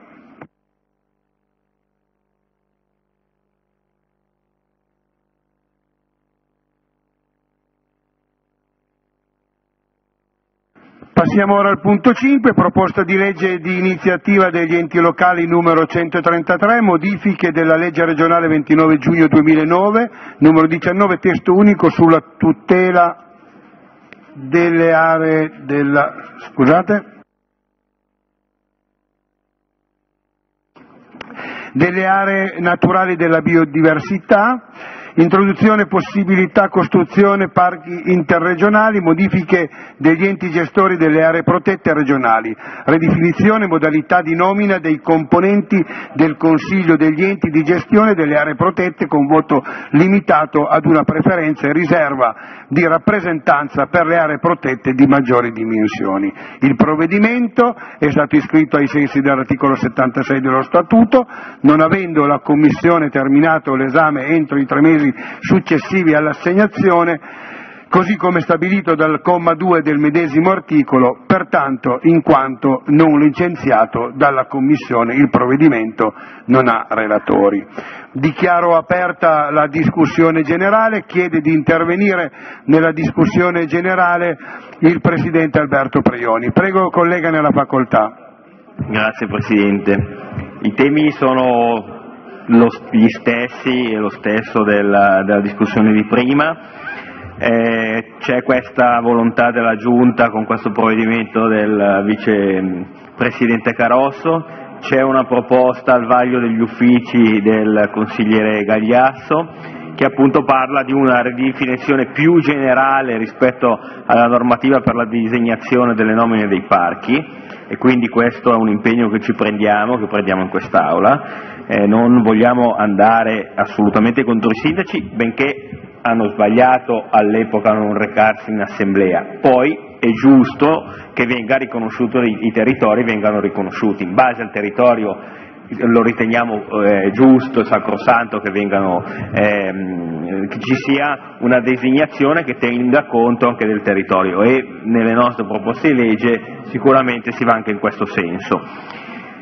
Eh, penso che dopo, anticipo, dopo la discussione generale eh, vi anticipo che abbiamo presentato un ordine del giorno che va di fatto a passare questa votazione di questa proposta di legge perché a seguito eh, del regolamento richiederemo quindi la votazione del, or, dell'ordine del giorno che bypassa eh, la votazione dell'articolato della, del, del, punto in corso eh, perché appunto è già stata bocciata la proposta Rossi. Grazie. Grazie, ringraziamo per l'intervento il Presidente Prioni, ha chiesto di intervenire in discussione generale il collega Rossi. Prego collega nella facoltà. Grazie Presidente. Mm, colgo l'occasione solo per un, un, commento anche rispetto alle parole del, dell'assessore Carosso. Ma guardi, mm, prendiamo atto che c'è l'ennesimo impegno che io ascolto da tre anni oramai a intervenire non fra l'altro sulla questione che avrebbe richiesto effettivamente un lungo lavoro, cioè la ridefinizione dei confini del parco, perché quello capisco che sia dal punto di vista politico sia dal punto di vista delle conseguenze di, di tipo economico-amministrativo si sarebbe come dire, configurato come un intervento importante. Cioè, prendiamo atto del fatto che dopo tre anni c'è un impegno a lavorare sull'aspetto, diciamo quello che non voglio dire che in sei mesi avremmo potuto chiudere, possiamo dire in un anno, cioè l'aspetto del meccanismo elettorale. Hm? E con qualche aggiustamento invece sulle aree solo di natura limitrofa. Quindi per quanto riguarda la richiesta del territorio che il Parco del Ticino torni a essere autonomo e guardi alla collaborazione con la Lombardia per una gestione condivisa, questa risposta oggi è già arrivata, cioè questo non ci sarà e non è intenzione di questa Giunta e di questa maggioranza lavorare in questa direzione. Quindi prendiamo atto che dopo tre anni c'è un'apertura a ridefinire la questione elettorale sperando che effettivamente in tutta una legislatura sia sufficiente a metterci nella condizione di tutelare le aree maggiormente rappresentative. È chiaro che questo voto è un voto che, ripeto, non tiene conto di una volontà condivisa, politica, trasversale di un territorio importante. No? e dal mio punto di vista, mi permetto di aggiungere, non è stato affrontato, Presidente, con eh, dire, la, do, la, dovuta profondità che il tema avrebbe eh, meritato e quindi oggi siamo a questo punto perché dire, non è stata messa tra le priorità questo mi sento di dirlo e mi, mi dispiace fra l'altro di questo perché l'esito avrebbe potuto essere anche lo stesso, ma credo che l'approccio e eh, dire, anche la serietà con cui prendere in considerazione la richiesta poteva essere eh, diverso. Questo è un mio punto di vista personale che mi sento di dire nella maniera più educata possibile, però è un tema serio, importante, che, che per quella fascia di territorio significa possibilità di sviluppo, eh, possibilità di fruizione del parco da parte dei cittadini, ma anche sviluppo turistico, economico. In questo momento le difficoltà non mancano eh, e una rivisitazione avrebbe certamente aiutato il territorio. Prendiamo atto che questa è la risposta e ognuno risponderà dire, sui territori delle scelte politiche. Grazie. Grazie, ringraziamo il collega Rossi per l'intervento. Passiamo ora all'ordine del giorno in oggetto, cioè, chiudo la, la, discussione generale e passiamo ora all'ordine del giorno. Interven- vuole intervenire collega Perugini? Prego, or- nell'ordine del giorno, prego, ne, scusi, in discussione generale. Sì, grazie Presidente. Un breve intervento, ma credo doveroso perché Posso confermare che dal punto di vista del territorio i rappresentanti del territorio novarese non sono distratti. Abbiamo anche noi ascoltato e letto con attenzione ascoltato i sindaci, abbiamo anche audito le parti in commissione e la proposta di legge che arriva dai comuni attraverso una serie di ordini del giorno che sono stati approvati sì da, dai consigli comunali di territorio e peraltro in modo trasversale è, eh, come sappiamo, anche all'ordine del giorno di oggi. Ma proprio sulla scorta eh, dell'impegno della Giunta e del percorso che sta, si sta avviando al traguardo, è forse necessario, e lo ha detto poco fa il Presidente Preioni, che anche quella proposta di legge venga considerata per avere poi un testo che davvero tenga conto di tutte le necessità e le esigenze, che saranno innanzitutto quelle della rappresentanza che è venuta meno, ma non dimentichiamo che in questo momento eh, l'organo amministrativo ente Parco del Ticino è in esercizio, in funzione ed è rappresentato e peraltro come eh, credo il vicepresidente Carosso possa confermare è poi l'assemblea dei sindaci che ha validato la rappresentanza eh, dell'organo amministrativo in funzione e quindi c'è di fatto un sigillo di territorio.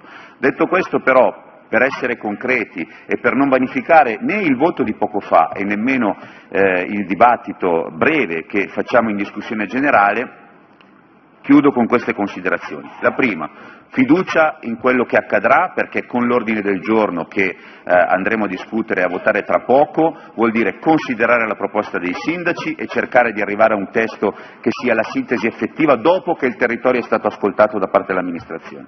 B. Con la proposta di legge che questa maggioranza, prima firma del collega Gagliasso, eh, sta presentando, anche questa diventi parte di quella sintesi che è necessaria per rispondere alla rappresentanza e perché no, aggiungo a quella visione che non è vero che è stata esclusa eh, di immaginare eh, magari collaborazioni tra i parchi perché non stanno in un confine amministrativo ma stanno in un confine naturale, però è anche altrettanto vero e questa è l'occasione per dirlo visto che qualche giorno fa in Commissione Autonomia abbiamo eh, avuto una serie di maggiori informazioni rispetto al percorso eh, dell'appunto autonomia da parte del Ministro Calderoli, io mi permetto di dire forse se anche anche le minoranze, anche al governo centrale daranno una mano perché questa autonomia traguardi in fretta, immaginate quanto sarà più concreto il dialogo tra Piemonte e Lombardia per mettere al centro il territorio dell'ente Parco del Ticino, da una sponda all'altra del Ticino e, qua, e quanto sarà più concreta la sintesi in quel momento. Quindi diamo una mano perché eh, cambi il paradigma, diamo una mano perché diventi più moderno il sistema Paese e forse anche un dibattito come questo, una giornata di riunione come questa diventa davvero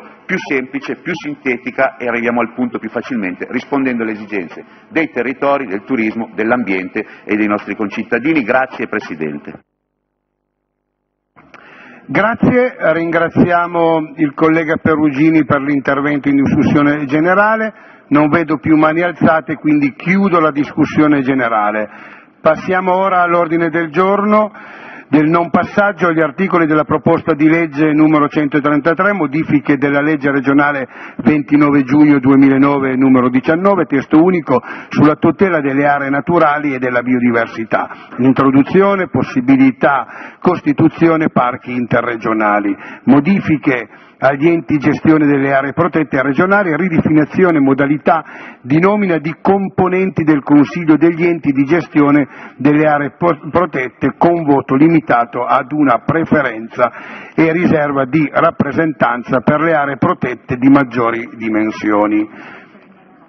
Ha chiesto di intervenire il collega Rossi, prego collega. Chiedo scusa Presidente, lei lo ha letto perché non è stato caricato l'ordine del giorno? Lo stanno caricando, io tanto lo, gliel'ho letto così almeno. Ho letto l'oggetto e chiaramente c'è la pagina, un attimo e lo carico. Quindi aspettiamo di poterlo vedere No, guarda, adesso lo, lo mettiamo in, se vuole posso anche... Eh, credo che i colleghi debbano poterlo visionare prima di votare, Presidente, credo, credo sia doveroso. Va bene, sospendo 5 minuti, ci prendiamo 5 minuti alla alle 12.50 riprendiamo.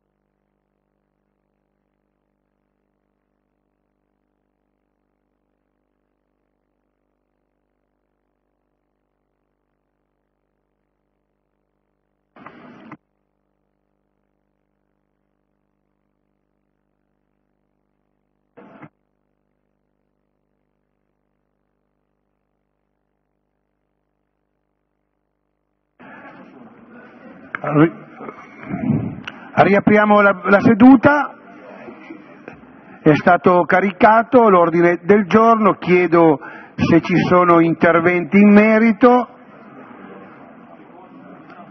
Ha chiesto di intervenire, tranquillo collega, io inizio ad anticipare il suo intervento, quindi ha chiesto di intervenire sull'ordine del giorno il collega Rossi. Prego collega, ne ha la facoltà.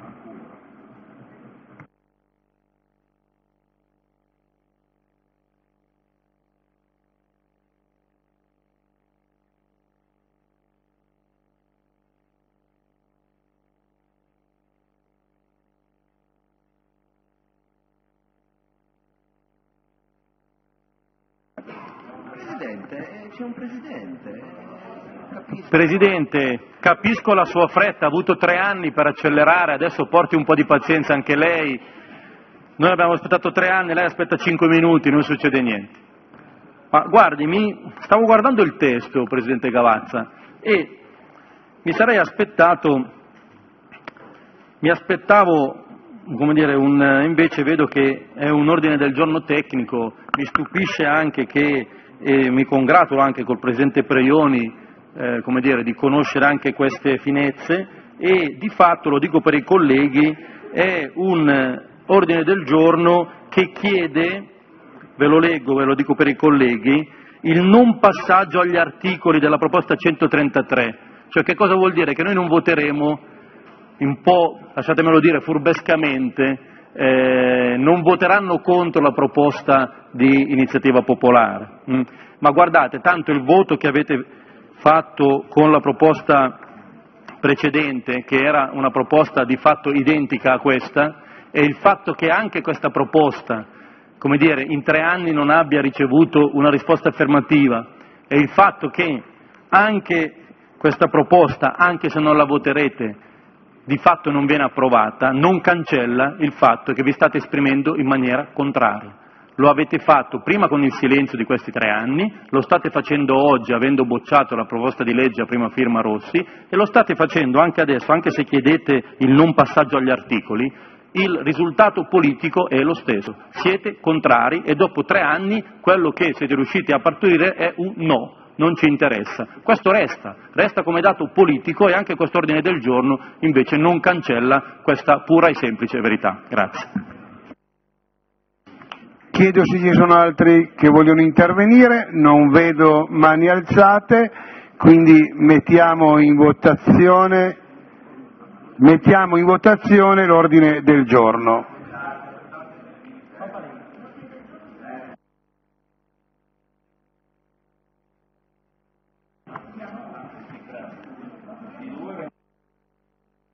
Ventidue.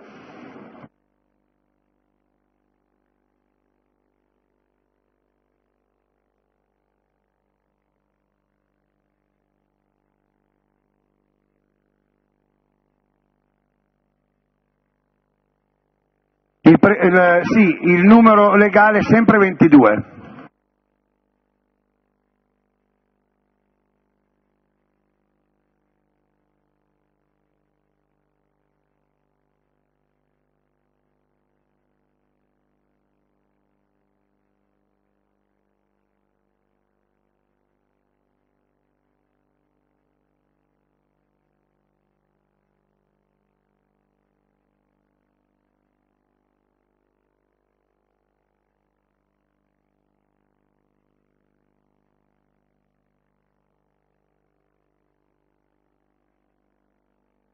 Dichiaro chiusa la votazione, l'ordine del giorno è stato approvato, pertanto non si entra nell'articolato.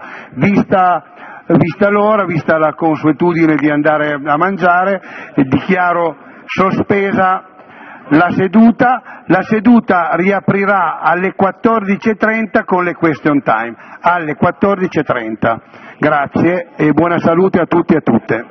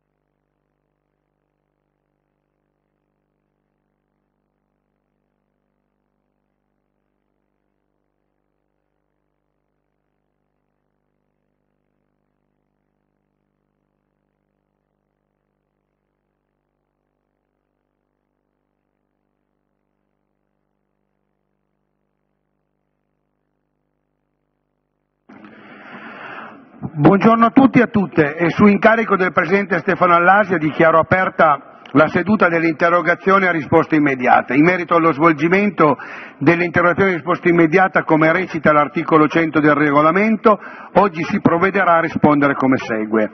Alle interrogazioni a risposta immediata numero 1323 presentata dalla Presidente Francesca Frediani, 1324 presentata dalla Presidente Sara Di Sabato, 1325 presentata dal Presidente Raffaele Gallo e 1326 presentata dal consigliere Maurizio Marello risponderà l'assessore Maurizio Marrone.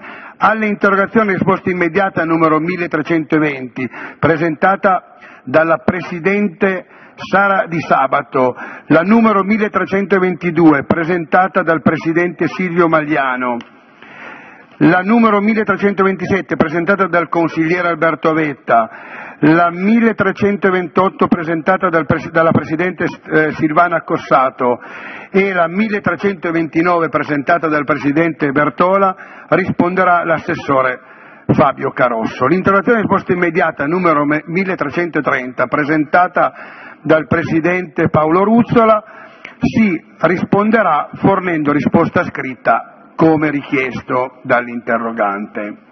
Ricordo agli assessori che rispondono alle interrogazioni disporre eh, l'invio via mail delle risposte scritte agli interroganti e all'ufficio d'aula. Ricordo agli interroganti che nel resoconto della seduta, che viene trasmesso via mail in visione a tutti i consiglieri intervenuti dall'ufficio reso contazione prima della pubblicazione e poi pubblicato integralmente in banca dati, è reperibile la trascrizione integrale di tutti gli interventi sia degli interroganti che degli assessori che rispondono.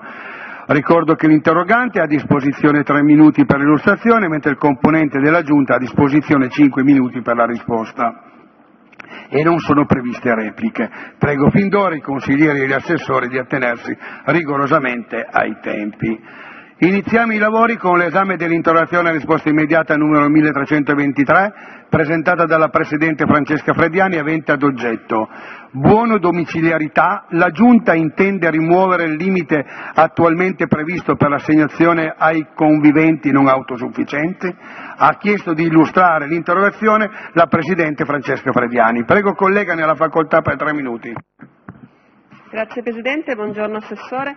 Non sto ovviamente ad illustrarle la misura di cui immagino sia promotore, eh, denominata per l'appunto buono domiciliarità, rafforzamento del supporto alla persona non autosufficiente correlato all'acquisto di servizi di cura e di assistenza domiciliari, che consiste per l'appunto in un contributo a beneficio di persone non autosufficienti residenti in Piemonte. Parliamo di un contributo mensile del valore di 600 euro. Eh, abbiamo ricevuto alcune segnalazioni perché probabilmente non era così chiaro nei cittadini che volevano accedere a questa misura segnalazioni rispetto alla possibilità di accedere a questa misura da parte di due persone non autosufficienti che eh, vivono nello stesso nucleo familiare. Cioè pare che, cioè pare, in realtà l'ho letto, nell'avviso di attuazione della misura si definisce che è ammissibile la presentazione di un unico contratto in carico correlato a più persone non autosufficienti purché conviventi e in questo caso è prevista l'assegnazione di un unico buono. Quindi si tratta ovviamente di un aiuto per, eh, per le famiglie che consente di eh, sostenere delle spese che altrimenti sarebbero difficilmente sostenibili perché sappiamo che il costo di una persona che presta assistenza domiciliare è un costo piuttosto elevato Immaginiamo poi, eh, qualora fossero due le persone ad aver bisogno di assistenza domiciliare, il peso diventerebbe, diventa anzi decisamente insostenibile per le famiglie. Sappiamo che ci sono altri sussidi, altri buoni, bonus, chiamiamoli così, non so come definirli, eh, comunque altre forme di sostegno per le famiglie, però eh, ci chiedevamo e chiediamo attraverso questa interrogazione se si intenda in futuro potenziare questa misura per far sì che due persone non autosufficienti che eh, si ritrovano ad essere conviventi e quindi trovano nello stesso nucleo familiare possano entrambe aver diritto all'erogazione dei bonus, cioè in pratica si tratta di una limitazione che è dovuta alla eh, carenza o mancanza o insufficienza di risorse e se si desideri in questo caso colmarla in futuro oppure se ci sia qualche motivazione che ha portato a prendere questa decisione proprio perché magari ci sono altre misure che, di cui si può usufruire. Grazie. Grazie, ringraziamo la Presidente Francesca Frediani per l'istruzione e la Giunta ha chiesto di rispondere all'interrogazione delegando l'assessore Maurizio Marrone. Prego Assessore nella facoltà per cinque minuti.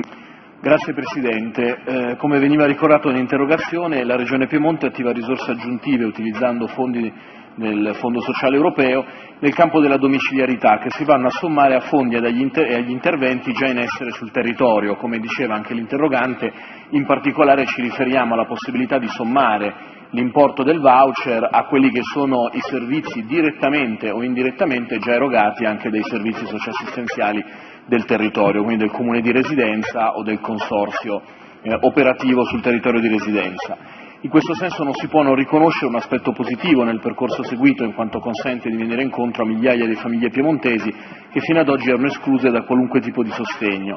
È evidente che il contributo regionale non possa coprire interamente i costi sostenuti da ciascuna famiglia, ma si tratta comunque di un importo mensile significativo e soprattutto prolungato nel tempo, in grado di offrire un certo respiro nel medio periodo. Per venire alla questione di dettaglio segnalata dall'interrogante, il vincolo posto prevede l'erogazione di un singolo buono nel caso vi sia un unico contratto di lavoro con un assistente familiare, seppure ci si trovi in presenza di più soggetti non autosufficienti conviventi, vincolo che non si applica nel caso in cui non sussista la convivenza. Si tratta di una situazione particolare che riguarda un numero molto ridotto di situazioni, come stiamo verificando dall'analisi attraverso CSI delle domande pervenute finora. Questo vincolo sottolineo però, non sussiste qualora eh, nel caso di situazioni molto gravi di due persone non autosufficienti conviventi, che è il caso che poneva anche lei nell'interrogazione, ci si trovi però in presenza di due contratti di lavoro aventi le caratteristiche richieste, quindi almeno 16 ore settimanali di lavoro cada uno. Questo per dire che cosa? Che il problema non è tanto che si possa usufruire di un unico buono per due utenti, per due persone assistite, ma per un unico buono per un unico contratto con quel monte ore, perché è lo standard che la Commissione europea ci ha messo rispetto a quello che viene considerato il monte ore minimo di fabbisogno di una persona non autosufficiente. Questo per dire che cosa? Che questo vincolo non sussiste qualora nel caso di situazioni molto, ah beh, questo l'ho già detto, molto gravi, due persone, ci si trova in presenza di due contratti, quindi vuol dire che se si attivano due contratti e quindi si va su 16 ore più 16 ore, allora si può fare domanda per due bonus a nome di ciascuna persona. In realtà questo poi ehm, è legato al fatto della rendicontazione, nel senso che in caso contrario eh, emergerebbe sostanzialmente un doppio voucher su un monte ore di 16 ore pari a chi ne prende solo uno. Quindi questo è il tema. Sulle risorse, questo per spiegare che non è un tema di risorse, ne approfitto per fare anche questa precisazione, sicuramente noi andremo a rifinanziare la misura perché abbiamo prevista di due anni proprio rispetto al fatto di, eh, abbiamo precisato, rinnovabili, di andarla a rifinanziare sulla continuità, pensiamo soprattutto ai casi di domiciliarità, visto che sappiamo che ai noi nella residenzialità la durata della vita, soprattutto in caso geriatrico, è purtroppo più bassa, però eh, quella di garantire la continuità assistenziale del godimento della misura anche oltre i 24 mesi per chi mantiene gli stessi requisiti e poi anche per chiaramente provare ad ampliarlo anche ad altre fattispecie mh, no, non solo legate come attualmente a quello della contrattualizzazione eh, del, della figura professionale, perché in un passaggio che ho visto anche nella interrogazione, purtroppo l'Europa ci ha messo dei vincoli rispetto ai caregiver familiari, che però sappiamo essere, soprattutto in un periodo di crisi come questa, un, una leva importante in termini anche proprio statistici, quantitativi dell'assistenza domiciliare del nostro territorio, su cui quindi ci sforziamo per cercare di ampliare il ventaglio dell'utilizzo del voucher stesso. Grazie, ringraziamo l'assessore Maurizio Marrone per la risposta e proseguiamo i lavori con l'esame dell'interrogazione di risposta immediata numero 1324 presentato dalla Presidente Sara Di Sabato, avente ad oggetto quale futuro per il centro di produzione RAI di Torino e per i e le dipendenti che lavorano nel suo interno? Ha chiesto di illustrare l'interrogazione la Presidente Sara Di Sabato. Prego collega nella facoltà per tre minuti. Grazie Presidente. Le radici della tradizione radiotelevisiva e della ricerca tecnologica, questa associata, trovano sede naturale nella città di Torino e nel Piemonte. Infatti il capoluogo piemontese ne è protagonista dal 1896 grazie ad una filiera altamente specializzata. Tra l'altro il centro produzione Rai di Torino è uno dei quattro centri di produzione televisiva e radiofonica della Rai, insieme a quelli di Roma, Milano e Napoli. Questo centro occupa lavoratori e lavoratrici di alta professionalità per tutti quei settori necessari a sviluppare e supportare la produzione di prodotti televisivi e diverse altre migliaia in un indotto che risiede ed opera in tutto il territorio regionale. Eh, come ben noto non vi è un piano industriale dell'azienda e non si conosce eh, come il centro produzione Rai di Torino sia coinvolto all'interno di eh, di questo piano. si rileva infatti eh, la necessità e l'urgenza di una prospettiva che coinvolga questo centro dal punto di vista immobiliare, degli investimenti sull'innovazione tecnologica, dalla produzione eh, al personale. Il centro infatti dispone di spazi sottoutilizzati e tecnologie all'avanguardia necessarie alla produzione televisiva o a possibili specializzazioni. Eh, quello che succede oggi ad un inter... ovviamente ne, siamo venuti a conoscenza con un'interlocuzione eh, attraverso chi opera in questo centro, sono diverse criticità che ci portano a pensare che durante gli anni il centro sia stato sottodimensionato in termini di risorse e ovviamente anche di personale. Infatti vi sarebbe necessario avere la garanzia eh, in termini di pieno utilizzo degli studi di Via Verdi attualmente inutilizzati. Eh, nel 2022 tra l'altro i lavoratori del centro di produzione televisiva di Torino hanno dovuto recarsi in trasferta a Milano e a Roma per lunghi periodi per realizzare programmi in appalto e questo ovviamente ci verrebbe da chiedere a quali costi per ovviamente il, eh, il servizio, eh, visto che è considerato che sono dei programmi che potrebbero vedere luogo sul territorio torinese o piemontese ci chiediamo perché i dipendenti presenti nel centro di produzione Torino vengano mandati in altre regioni per poter appunto portare eh, diciamo, a compimento l'esecuzione e ovviamente la ripresa di questi programmi. L'attuale organico RAI a Torino si aggira nel complesso intorno alle mille unità a cui ci sono da aggiungere 200 dipendenti di RAI Pubblicità e il personale di RAI Way, quindi sono circa 1200.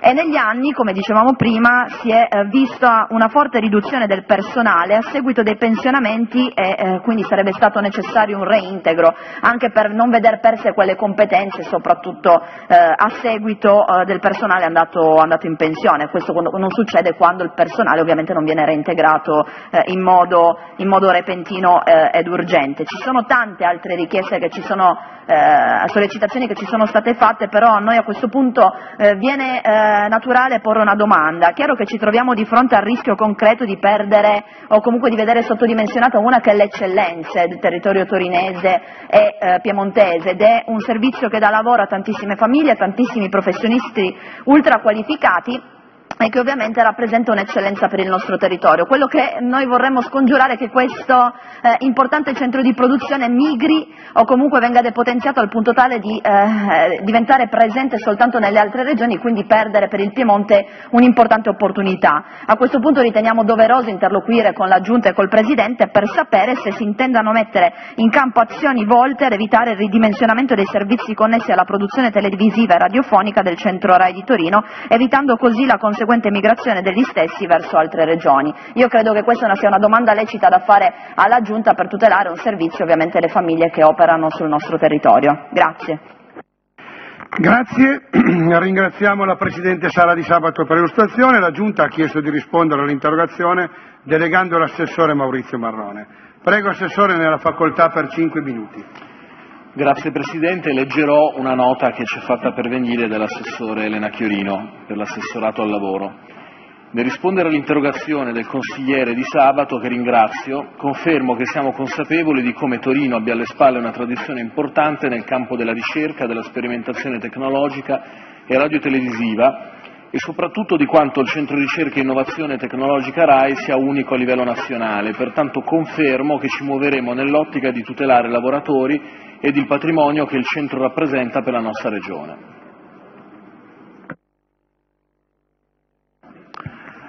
Ringraziamo l'assessore Maurizio Marrone per la risposta e proseguiamo i lavori con l'esame dell'interrogazione risposta immediata numero 1326 presentata dal consigliere Maurizio Marello avente ad oggetto crisi del gruppo Egea di Alba, la regione vigili, c'è un territorio da tutelare.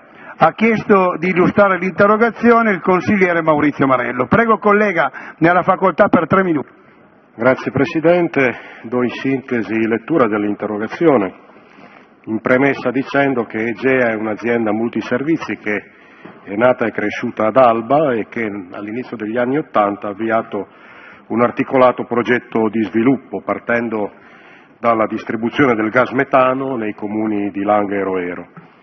Nel 1986 inaugura il suo primo impianto di teleriscaldamento al servizio della città di Alba e inizia ad occuparsi anche di raccolta di rifiuti e gestione del ciclo idrico integrato. Nel 1997 diventa una multi-utility a capitale misto pubblico-privato grazie all'ingresso nella propria compagine societaria di numerosi comuni del territorio.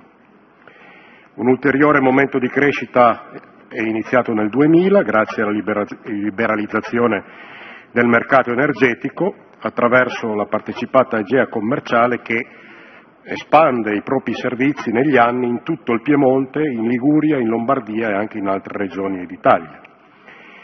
Successivamente, negli anni, il gruppo ha investito nella, nell'ambito della sostenibilità, realizzando impianti a biogas, idroelettrici, fotovoltaici, eccetera.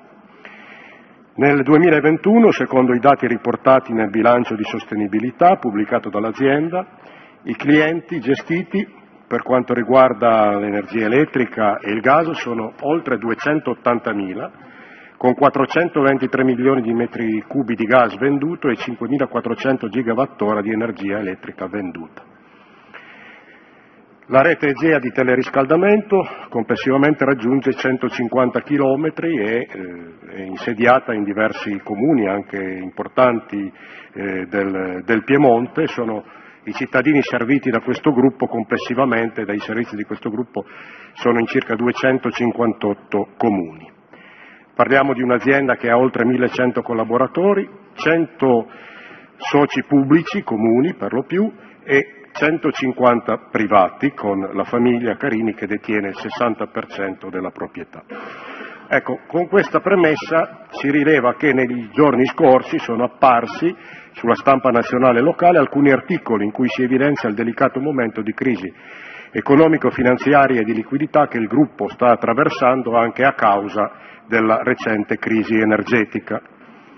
Secondo quanto riportato appunto dagli organi di stampa, in base ai dati ufficiali, al 31-12-2022 il debito verso i fornitori ammonterebbe a poco più di 101 milioni di euro, a cui vanno aggiunti debiti tributari per circa 107 milioni di euro e poi ci sono crediti nei confronti dei fornitori per circa 330 milioni di euro.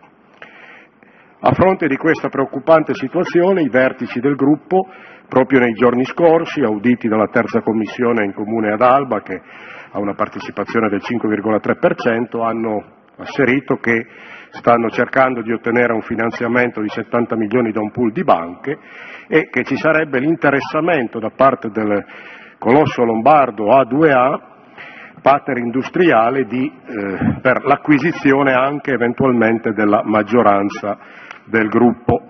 Successivamente, proprio qualche giorno fa, la stessa IREN, partecipata dal Comune di Torino, ha manifestato anche pubblicamente l'interesse in questa direzione. Ora, ecco le ragioni dell'interrogazione, che stanno in questo, questo quadro molto delicato, un'azienda radicata sul territorio piemontese che da lavoro, dicevo, quasi 1300 dipendenti, che gestisce servizi di rilevanza pubblica, soprattutto nel sud della nostra regione, che mm, implica un di più di trasparenza, a mio parere, proprio perché, mm, ferme restando le regole di riservatezza legate alle quotazioni in borsa di A2A e di IREN, ci sono in ballo 103 comuni, tante comunità, tanti utenti, cittadini e imprenditori locali che hanno investito in questa azienda. Quindi con l'interrogazione, rivolgendomi al Presidente della Giunta regionale, chiedo alla Regione appunto di vigilare al fine che in tutto questo processo siano, sia siano garantiti i livelli occupazionali e sia, siano preservati gli investimenti e i servizi che eh, Egea rende appunto ai cittadini e alle imprese del Piemonte. Grazie. Grazie, ringraziamo il consigliere Marello per l'illustrazione. La Giunta ha chiesto di rispondere all'interrogazione delegando l'assessore Maurizio Marrone. Prego collega, ne ha la facoltà per cinque minuti. Anche qui leggo una nota che è pervenuta dall'assessore Chiorino che risponde in merito al question time in oggetto l'assessorato monitora la situazione, ad oggi non vi sono in corso né procedure di licenziamento né di cassa integrazione e soprattutto non risultano pervenute note segnalazioni da parte dei sindacati. Questa fase, sempre ad oggi, si declina in un contesto di programmazione industriale, pertanto qualora il mio assessorato sarà coinvolto sul piano occupazionale, confermo fin d'ora la massima attenzione per quanto riguarda il mantenimento dell'occupazione. Grazie, ringraziamo l'assessore Maurizio Marrone per la risposta e proseguiamo i lavori e proseguiamo i lavori eh, con eh, l'esame di dichiarazione e risposta immediata numero 1320 presentata dalla Presidente Sara Di Sabato. Scusate, ne ho, ne ho saltata una.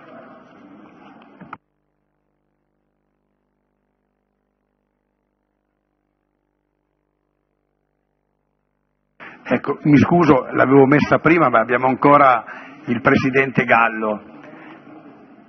Quindi continuiamo i lavori con l'esame di risposta immediata numero 1325, presentata dal Presidente Raffaele Gallo, avente ad oggetto nuove strutture ospedaliere, il mutuo per i progetti preliminari è operativo. Ha chiesto di illustrare l'interrogazione il Presidente Raffaele Gallo. Prego collega nella facoltà per tre minuti. Grazie Presidente, con questa interrogazione a risposta immediata torniamo su un tema sul quale il Consiglio regionale ha dibattuto molto nella, in sede di assestamento di bilancio, e cioè il finanziamento dei progetti preliminari o dei progetti eh, definitivi dei vari ospedali che sulla carta sono stati individuati già da qualche tempo, quasi un anno e mezzo, ma che ad oggi non vedono ancora la luce. Come sappiamo eh, il dibattito è stato ampio a novembre di, del 2022, eh, nel momento nel quale appunto si annunciavano i primi progetti degli ospedali, ricordo Savigliano, ricordo Cuneo e via via gli altri progetti, per esempio a Vercelli. Eh, recentemente, nelle ultime settimane, è stata individuata l'area anche per il Maria Vittoria di Torino. Ma tutti questi ospedali, questi eh, progetti, questi ospedali sono finanziati con eh, le risorse INAIL che, eh, alle quali si può accedere solo nel momento in cui si ha il progetto definitivo da presentare. E quindi è nato il dibattito per capire dove erano le risorse per finanziare i progetti eh, diciamo, preliminari e fino ad arrivare al definitivo e quindi accedere ai finanziamenti INAIL. E in quella sede, in quella discussione, anche su sollecitazione delle forze di opposizione tutte, è stato inserito l'articolo 18 della legge, quindi della legge di assestamento, la 18 del 2022, che autorizzava la Giunta regionale a contrarre un mutuo per l'importo non superiore a euro 30 milioni per una durata massima di 10 anni, ad uno spread non superiore a quello applicato per la medesima tipologia di contratti dalla Cassa Depositi e Prestiti SPA. Successivamente in approfondimenti eh, specifici in Commissione Sanità, anche con l'assessore Tronzano, si è mh, capito meglio però che i singoli progetti dovevano essere finanziati dalle singole ASL che eh, potevano poi accedere a questo diciamo, mutuo di, mh, di, salvataggio messo in pista dalla, dalla, Giunta solo nel caso in cui non avessero avuto le risorse proprie per finanziare i progetti. Siccome sappiamo tutti la situazione dei bilanci delle ASL conosciamo la situazione dei bilanci della sanità in generale, era un, come dire, quantomeno eh, curioso eh, rimandare ai, alle risorse delle ASL diciamo, la possibilità di finanziare i progetti. Ma comunque, verificata la finanziabilità delle ASL, qualora non avessero avuto le risorse, potevano accedere ai 30 milioni di mutuo.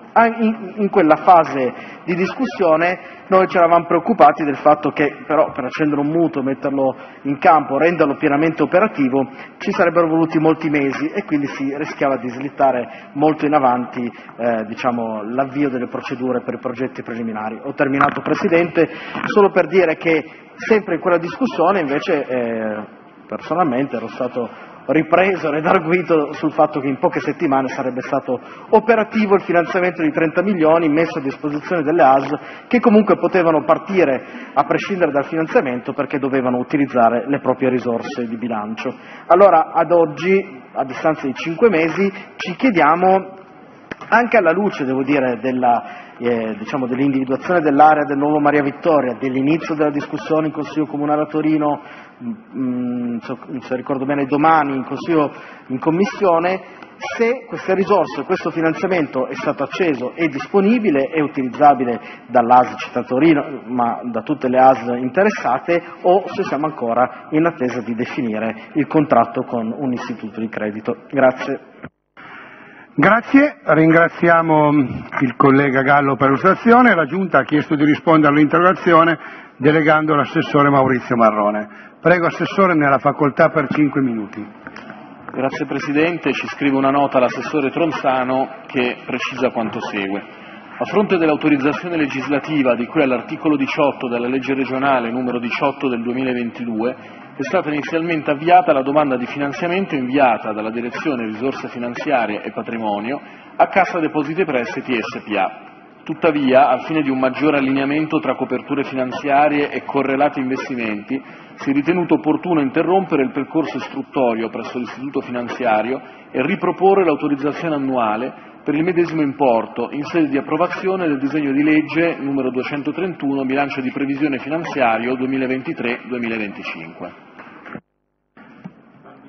Grazie, ringraziamo l'assessore Maurizio Marrone per la risposta e proseguiamo i lavori con l'esame dell'interrogazione risposta immediata numero 1320 presentata dalla Presidente Sara Di Sabato avente ad oggetto nomina direttore direttrice del Salone internazionale del libro, la politica non faccia ingerenze sui nomi da includere del comitato editoriale.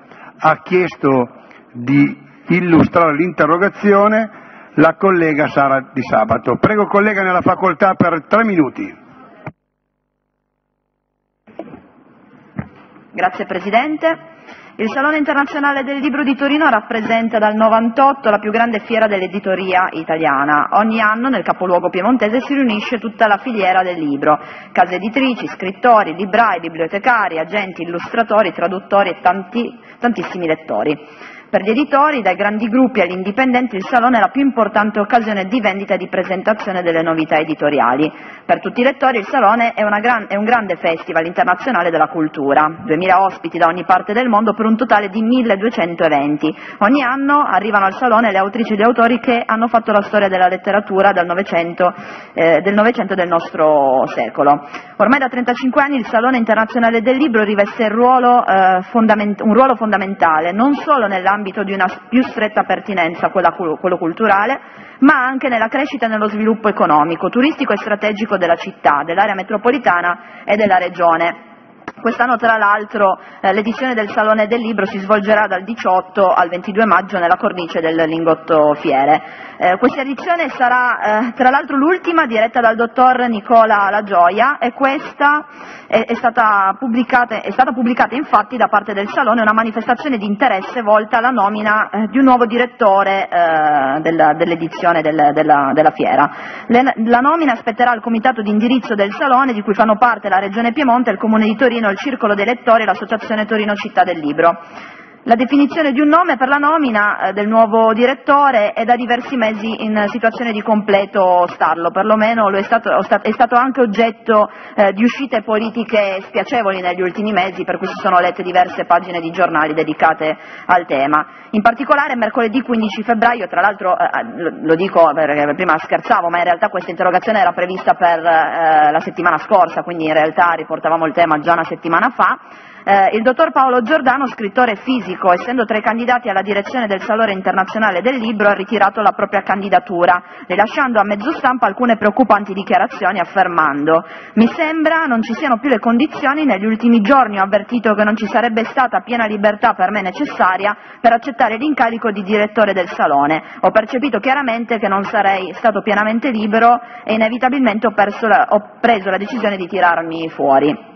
Il giornale Fanpage, tra l'altro, riporta eh, un'altra importante dichiarazione del dottor Giordano, più che eh, di pressioni politiche o partitiche parlerei di convenienze e posizionamenti, ma la cultura e il Salone del Libro non meritano in ogni caso di essere lottizzati dal partitismo. Si parla tanto di pluralismo, ma quello che mi spiace è che non c'è la fiducia nell'universalità dei libri e della cultura. L'idea di polarizzare, in particolare se si parla della cultura, non mi appartiene, direi eh, tutto questo è sacrosanto.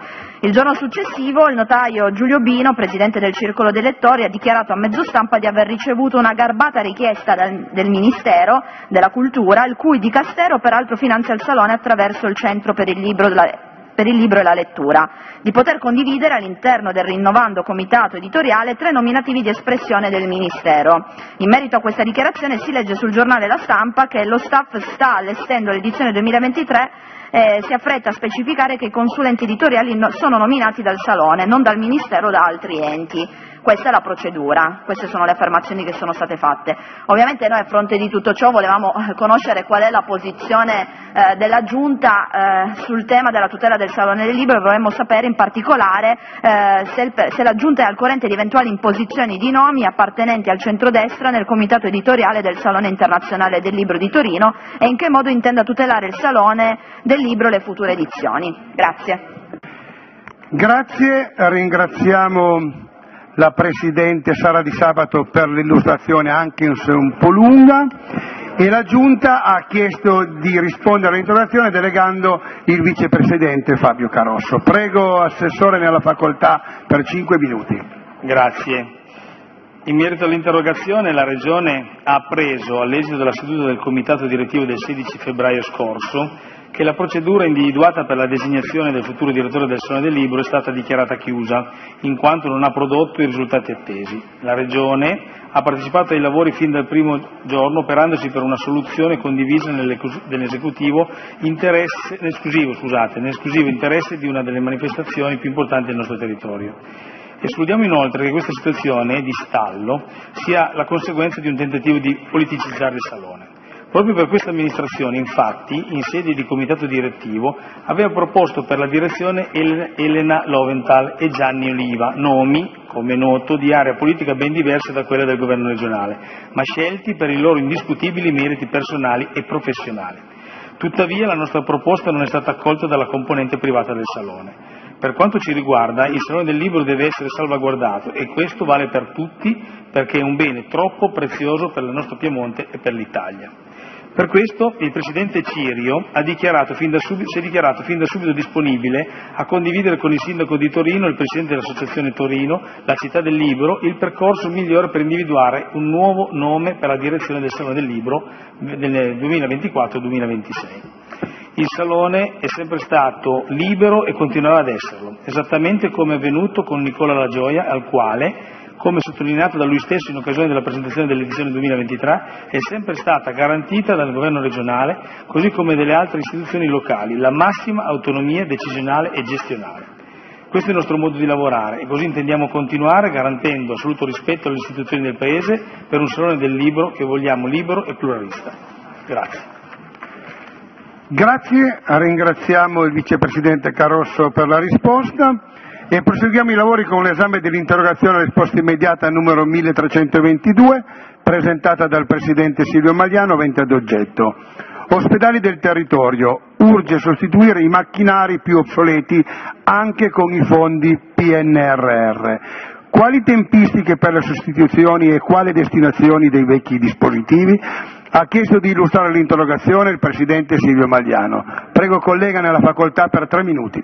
Grazie Presidente. Il 13 luglio 21 il Piano nazionale di ripresa e resilienza dell'Italia è stato definitivamente approvato con decisione di esecuzione del Consiglio europeo che ha recepito la proposta della Commissione europea. Tra le missioni del PNRR è prevista la missione 6 Salute, i cui investimenti e riforme sono finalizzati a rafforzare la prevenzione dei servizi sanitari sul territorio, modernizzare e digitalizzare il sistema sanitario, garantire equità di accesso alle cure, migliorare le dotazioni infrastrutturali e tecnologiche, promuovere la ricerca e l'innovazione e lo sviluppo di competenze tecnico-professionali, digitali e manageriali del personale sanitario. Premesso altresì che, in attuazione della DGR 255186 del 14 giugno 22, la Regione Piemonte ha provveduto a impegnare la somma di 78.999.659 euro sul capitolo 216850 a favore delle agenzie sanitarie regionali per l'ammodernamento del parco tecnologico e digitale ospedaliero grandi apparecchiature sanitarie a valere sul PNRR missione 6 componente 2 intervento 1.1.2. ulteriormente eh, la somma di euro 96.335.809,56 sul capitolo 2168702022 a favore delle aziende sanitarie regionali per l'attuazione relativa all'intervento PNRR denominato M6C2 ammodernamento del parco tecnologico e digitale ospedaliero, digitalizzazione ed EA primo e secondo livello. Rilevato che attualmente negli ospedali e nelle strutture sanitarie piemontesi sono ancora utilizzati dispositivi piuttosto vecchi, talvolta da oltre vent'anni, in particolare TAC, eh, mammografi, sistemi radiografici e altre tecnologie. Sono attualmente attive presso la città dell'Assoluto di Torino 10 dispositivi TAC con età media di 9.4 anni, 7 dispositivi per risonanze magnetiche con età di 11.5 anni, 11 mammografi con età media di 6.5 anni. Al Mauriziano di Torino è ancora attivo un sistema radiologico analogico del 2002 Presso altri ospedali dell'AS di Torino si utilizzano tuttora tomografi prossimi ai 15 anni e tecnologia per la diagnostica radiologica che sfiora in alcuni casi i 20 anni, considerato che l'innovazione è il perno su cui ruotano buona parte degli obiettivi del PNRR, accedere e, utilizzare i fondi del PNRR è di cruciale importanza per la nostra Regione, soprattutto per rinnovare e aggiornare il nostro sistema regionale. L'aggiornamento dei dispositivi e dei macchinari è uno dei fattori che costituisce, insieme alla struttura e al personale, l'efficienza generale di una struttura ospedaliera, pur in un contesto generale migliore rispetto ad altre regioni italiane, pur considerando che quasi sempre i dispositivi meno recenti sono utilizzati come appoggio o backup, esistono significativi margini di miglioramento anche presso le nostre strutture.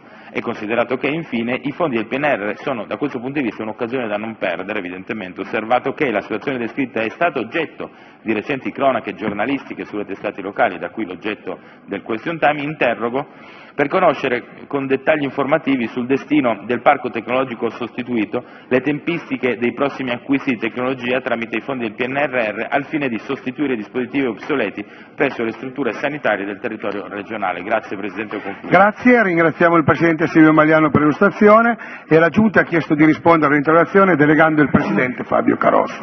Prego Presidente, nella facoltà per cinque minuti. Grazie.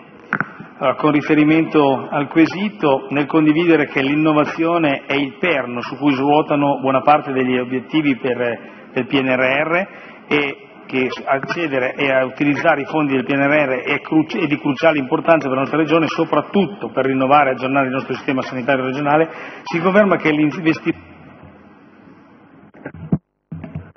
ecco,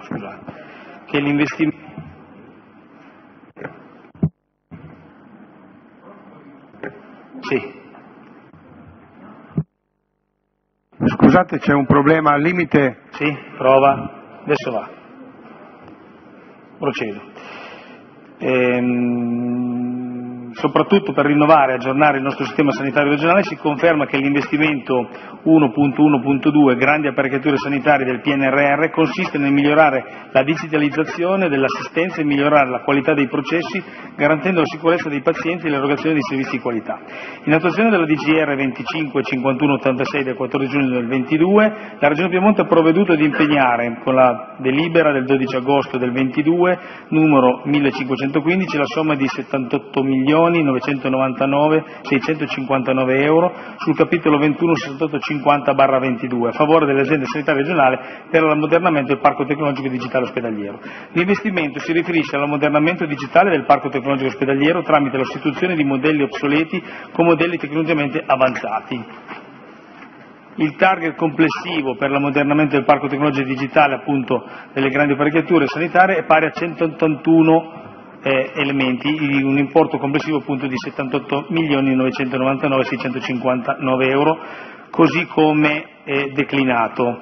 Acceleratori lineari 13 per 26 milioni rotti, angiografi per 12 per 7 milioni rotti, ecotomografi 54 per 4 milioni 430 mila, gamma camere 2 milioni e 625 numero 5, gamma camere TAC 3 per 2 milioni e 379, mammografi 17 per 4 milioni 681, PET TAC 2 di 4 milioni e 877, RNM a 1,5T6 per 5.484, sistemi radiologici fissi 55 per 13.451, TAC a 128 strati 14 per 7.521 per appunto il totale di 78.999.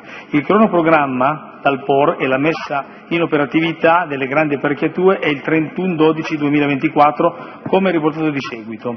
Sostituzione apparecchiature, quindi 50% della spesa finanziata prevista entro settembre del 23. In proposito si informa che gli ordini di acquisto effettuati dalle aziende sanitarie a metà febbraio sono stati pari a 110 grandi apparecchiature, quindi pari a 52,7 milioni.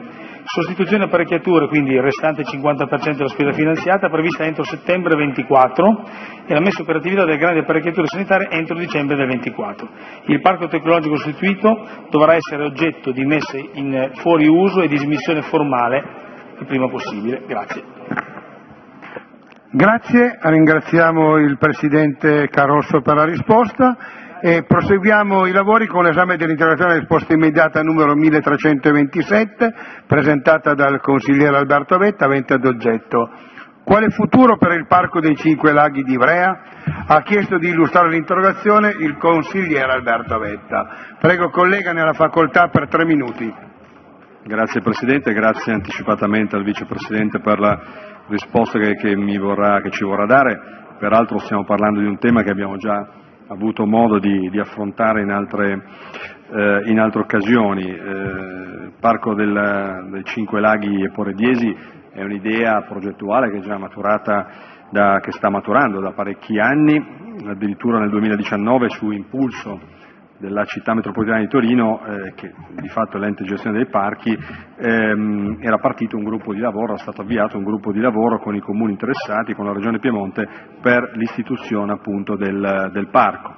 Peraltro anche la giunta regionale più volte eh, si era potuta esprimere, si era espressa eh, dichiarandosi d'accordo con l'istituzione del parco, sta di fatto che però ad oggi diciamo, eh, i promotori dell'iniziativa, quindi i comuni, i comuni interessati, eh, registrano una dilatazione de, dei tempi che ehm, riteniamo che si ritiene eh, ingiustificata e soprattutto che desta qualche preoccupazione tanto è vero che qualche settimana fa eh, la città metropolitana ha chiesto, insomma, ha scritto in, in, Regione Piemonte, ha chiesto delucidazioni sullo stato di avanzamento dei, eh, dei, lavori anche in vista della predisposizione del bilancio preventivo 2023. Allora è per questo che chiediamo al eh, Vicepresidente di aggiornarci sul, sull'iter di questo diciamo, del percorso di istituzione del, eh, del, parco e soprattutto sul modo con cui intende dare impulso ad un progetto aggiornando anche il cronoprogramma che, in modo da consentire sia ai comuni che sono interessati dalla, dalla, dalla dall'istituzione del parco e a tutte le istituzioni interessate ehm, di poter mettere in campo un'adeguata programmazione sia politica sia amministrativa. Grazie. Grazie, ringraziamo il consigliere Alberto Vetta per l'illustrazione. La Giunta ha chiesto di rispondere all'interrogazione delegando il Presidente Fabio Carosso. Prego Presidente, ne ha la possibilità per cinque minuti. Grazie. Eh, per quanto riferito nell'interrogazione, eh, in merito all'iscrizione del Parco Naturale eh, in oggetto è stato presentato il 15 settembre del 22 giunta, dalla Giunta regionale il disegno di legge numero 222, appunto l'istituzione del Parco Naturale dei Cinque Laghi di Ivrea, modifiche normative e cartografiche alla legge regionale 29 del giugno del 2009 che è il testo unico sulla tutela delle aree naturali e della biodiversità. Il DDL è stato assegnato, come sappiamo, penso sappia anche il consigliere Vetta, in tale data per l'esame in sede referente alla quinta commissione e di 19 settembre del 22 alla prima commissione in sede consultiva. Il 31 ottobre del 22 sono concluse le consultazioni pubbliche avviate dalla quinta commissione e quindi oltre a quello che è riportato appunto del fascicolo del DDL 2022 pubblicato sulla banca dati, diciamo che il settore non ha ulteriori progressi comunicati, ma le aggiungo eh, quanto eh, personalmente posso dire. Ho sentito anche i sindaci, ho sentito il territorio, come giustamente eh, anche il, il, collega Vetta, e io ho detto e dichiarato che noi abbiamo tutta la disponibilità per portare avanti e con celerità per concludere l'atto, quindi è una questione di, dire, di sentire adesso le commissioni che ci, ci, diano i documenti per poter procedere. La mia volontà è di poterlo fare nel più breve tempo possibile, penso che ci sia l'unità di tutti, per cui confido che nell'arco di qualche settimana si possa concludere l'atto. Credo che sia interesse ormai di tutto il eh, territorio e assolutamente anche nostro. Sapevo che c'era qualche perplessità di alcune associazioni agricole, come sappiamo tutti, ma eh, penso siano superate. Lì il problema è evidente che, come sappiamo tutti, nei parchi c'è una gestione della fauna soprattutto che è diversa da quella diciamo così, dei territori liberi e quindi cui Procò si basava su quello. Però le, eh, il territorio mi sembra che all'85% potrei dire è tutto d'accordo, per cui non è, è proprio una questione solo burocratica, ma per, chiuderemo il prima possibile. Grazie. Grazie, ringraziamo il Presidente Carosso per la risposta e proseguiamo i lavori con l'esame dell'interrogazione risposta immediata numero 1328 presentata dalla Presidente Silvana Cossato avente ad oggetto discriminazione nell'accesso all'alloggio a canone agevolato illegittimità del requisito della residenza protratta per cinque anni e della clausola attributiva di punteggio preferenziale in caso di residenza protratta per dieci anni. Ha chiesto di illustrare l'interrogazione la Presidente Silvana Cossato. Prego collega nella facoltà per tre minuti. Grazie Presidente. Eh, sì, eh, l'interrogazione a risposta immediata che ho presentato riguarda una ipotesi di discriminazione nell'accesso all'alloggio a canone agevolato.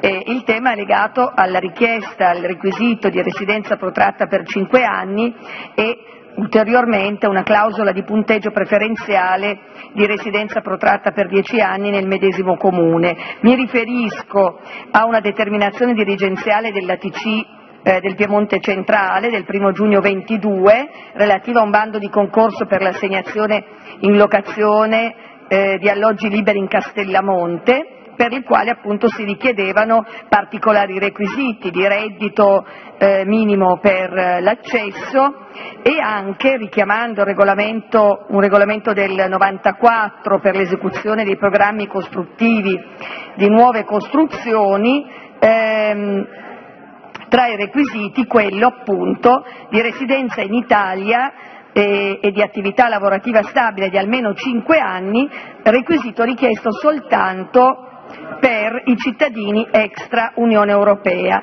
Eh, ulteriormente questo bando, tra le condizioni che danno diritto a punteggio preferenziale, poneva anche il, le condizioni di essere risedente nel comune di eh, residente nel comune di Castellamonte da almeno dieci anni e a questa condizione l'assegnazione di punti 8.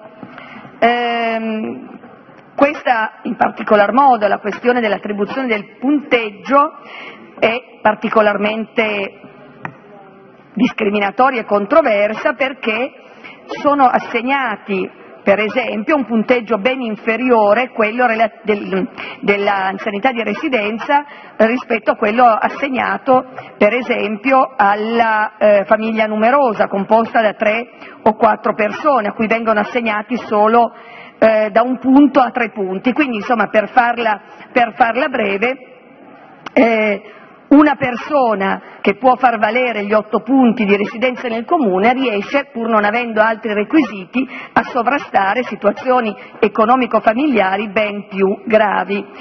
Su questa vicenda l'Associazione di Studi Giuridici sull'Immigrazione ha fatto una segnalazione all'ATC e anche alla Presidenza della Regione Piemonte che non ha avuto ad oggi riscontro e ha promosso un ricorso presso il Tribunale di Torino di cui attendiamo pronunciamento, tenendo conto che questa questione, il termine della residenza quinquennale, è già stato oggetto di sentenze da parte della Corte di Cassazione, della Corte d'Appello di Milano, di alcuni tribunali che l'hanno ritenuto appunto illegittimo.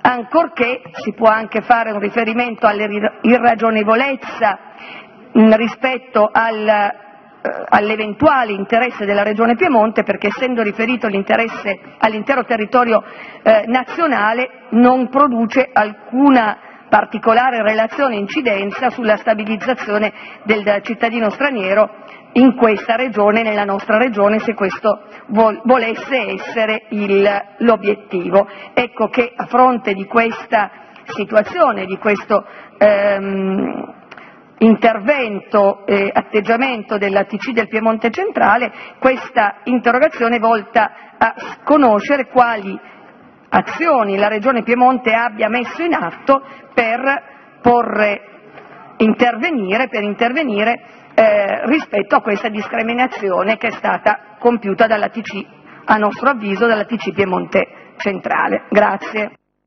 Grazie, ringraziamo la Presidente Silvana Cossato per l'illustrazione e la Giunta ha chiesto di rispondere all'interrogazione delegando il Presidente Fabio Carosso.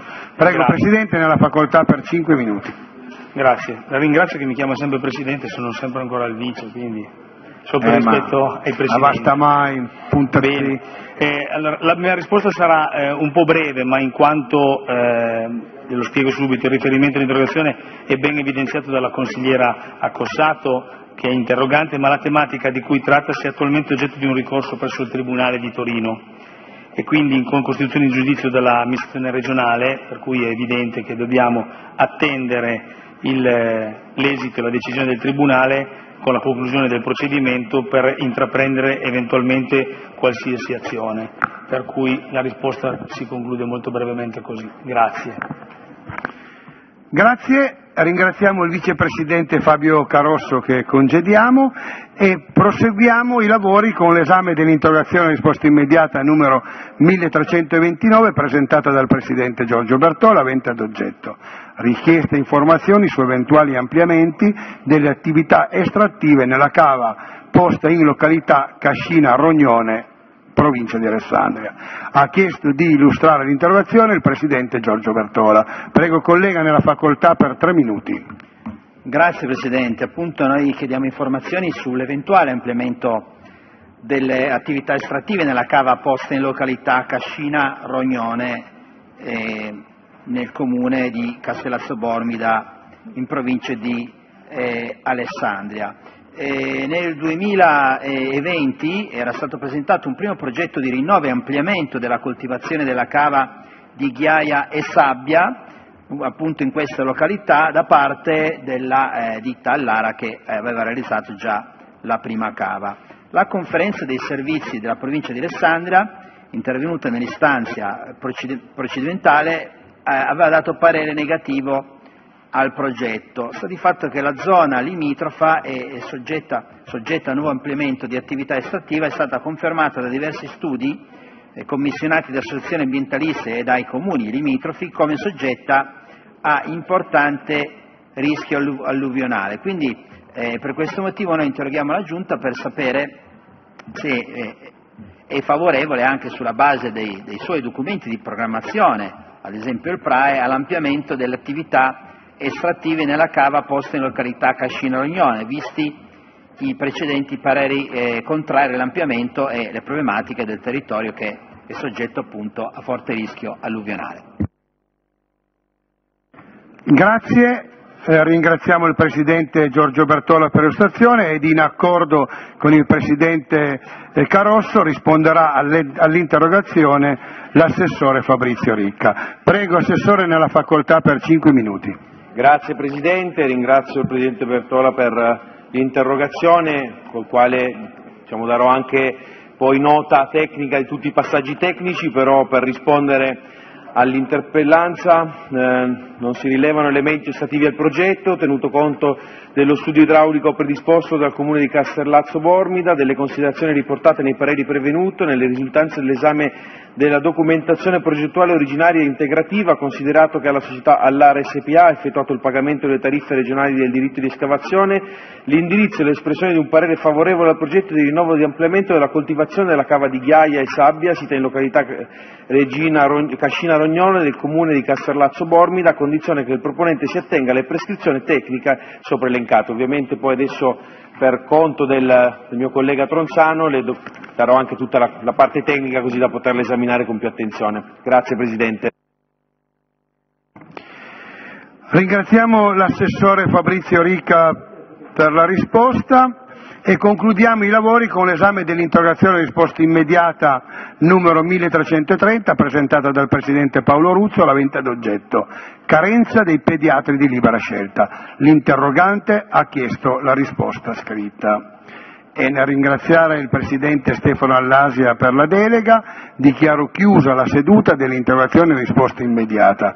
E alle ore 15.45 il Presidente aprirà la seduta del Consiglio regionale sospesa alle ore 12.45. Grazie e buona salute a tutti e a tutte.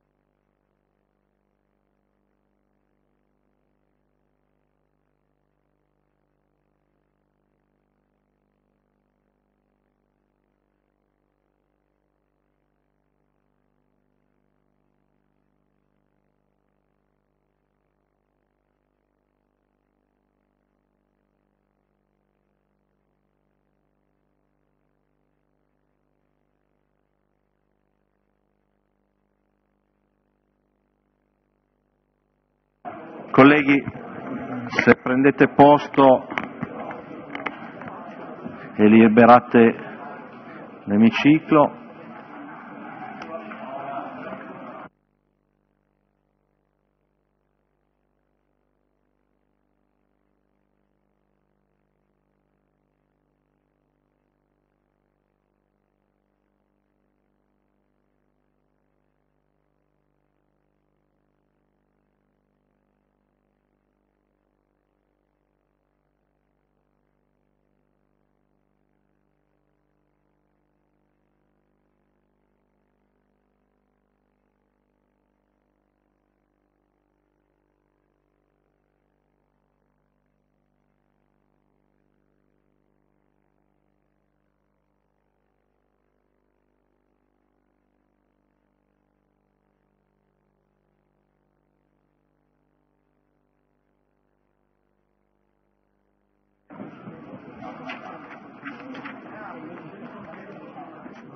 Colleghi, dichiaro aperta la seduta.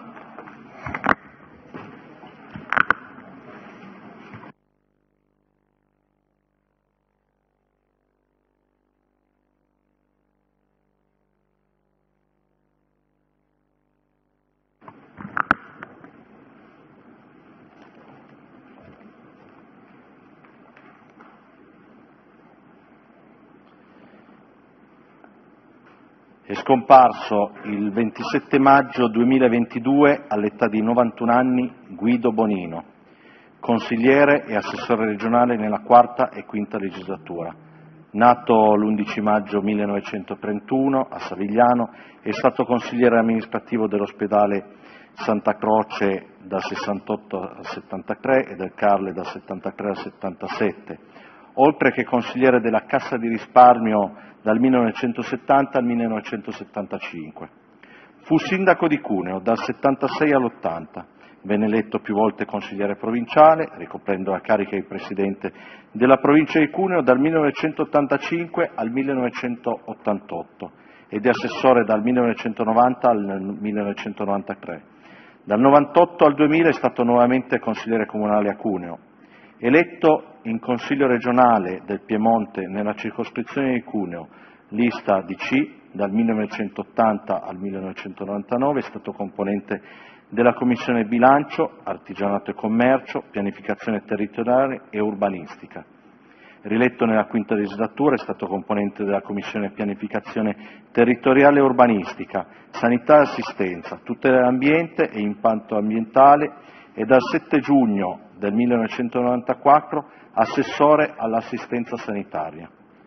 Tra gli altri incarichi consigliere in Fondazione CRT dal 2000 al 2004, Autostrada Torino-Savone dal 2004 al 2011 e Fondazione Arco sulla ricerca oncologica è stato poi presidente dell'aeroporto di Valdigi e vicepresidente di Fingranda dal 2013. Venne anche insignito del distintivo per 35 anni di appartenenza all'Accademia Italiana della Cucina, passione ereditata dalla nonna. Guido Bonino è stato inoltre lo storico starter della stracittadino Stracuni, protagonista di decenni della vita politica e amministrativa a Cuneo e in provincia e in regione poi si distingueva per la sua semplicità e giovialità, l'amore per la sua terra a cui ha dedicato l'intera vita di impegno. Con il Consiglio regionale ha sempre mantenuto uno stretto rapporto, sostenendo e partecipando attivamente alle iniziative dell'Associazione Consiglieri regionali, già facenti parte dell'Assemblea subalpina. I funerali si sono tenuti il 30 maggio scorso, presente il gonfalone della Regione Piemonte. Alla moglie Maria Pia, ai figli Alberto e Laura, desidero rinnovare, a nome dell'Assemblea regionale, le più sentite condoglianze e i sensi della nostra più, vicin- più sincera vicinanza. Invito i presenti a osservare un minuto di silenzio in memoria del già assessore e consigliere regionale Guido Bonino.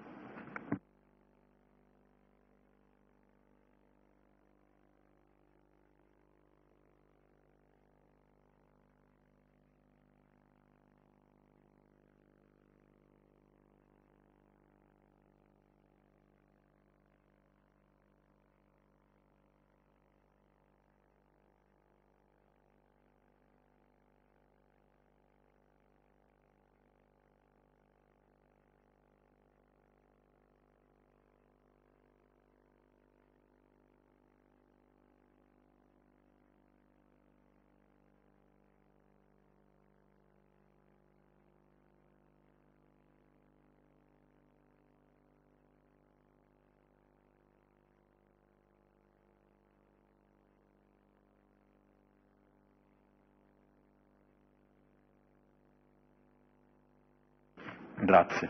La seduta è sospesa.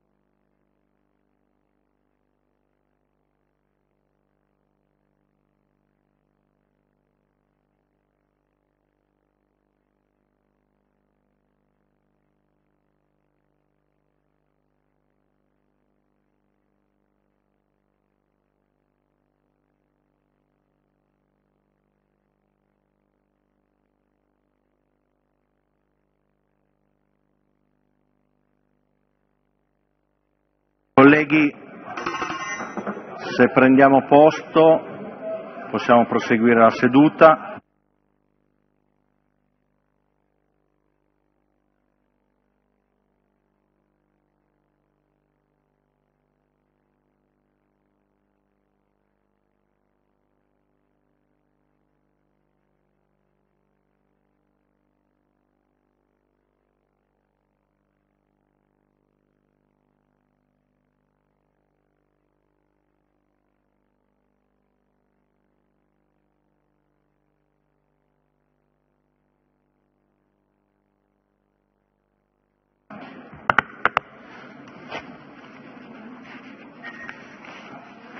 La seduta riprende, avevamo concluso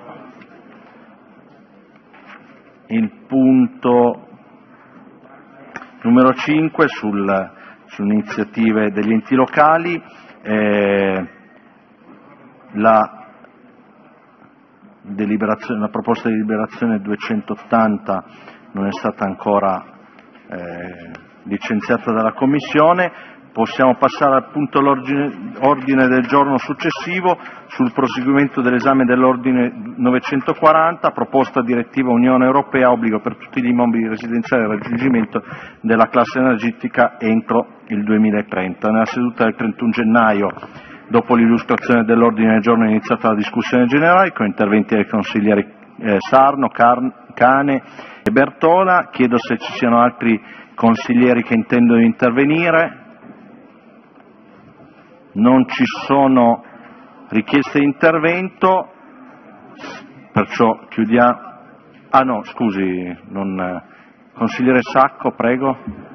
No, prendo perché insomma, forse ero, ero assente all'ultima discussione, era sul, sull'ordine del giorno relativo al super... 940 eh, direttiva Unione Europea sugli immobili residenziali di raggiungimento della classe energetica E entro il 2030.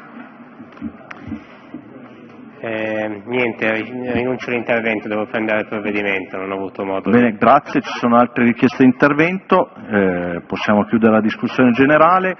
Se non ci sono dichiarazioni di voto, metto in votazione l'ordine del giorno 924 Consiglieri. L'ordine del giorno 924, numero legale 23, la votazione è aperta. Ah, scusate, il parere della Giunta, perché non, anche se è una richiesta di impegno della Giunta, però.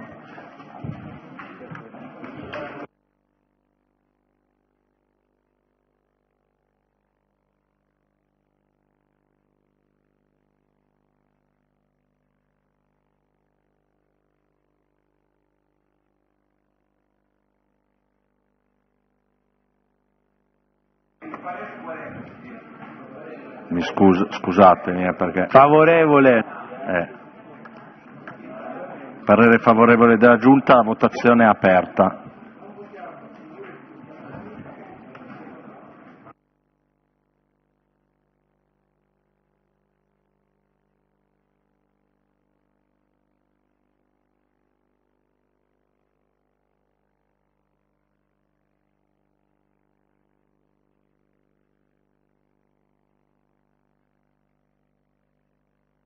Numero legale 23, consiglieri.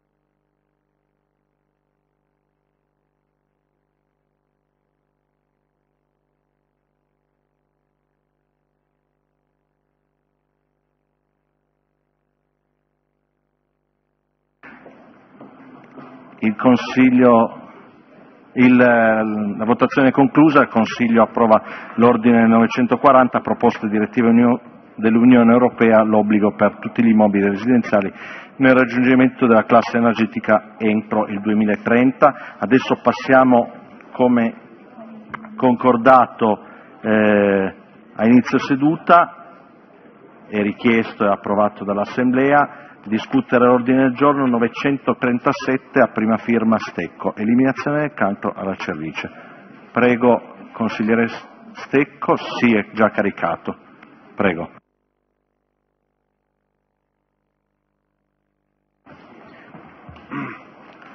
Grazie Presidente, come sapete sicuramente tutti, il 4 marzo è stata la giornata mondiale per la lotta contro il papillomavirus, che è responsabile del 99,7% di quasi tutti i casi di cancro della cervice uterina nella donna.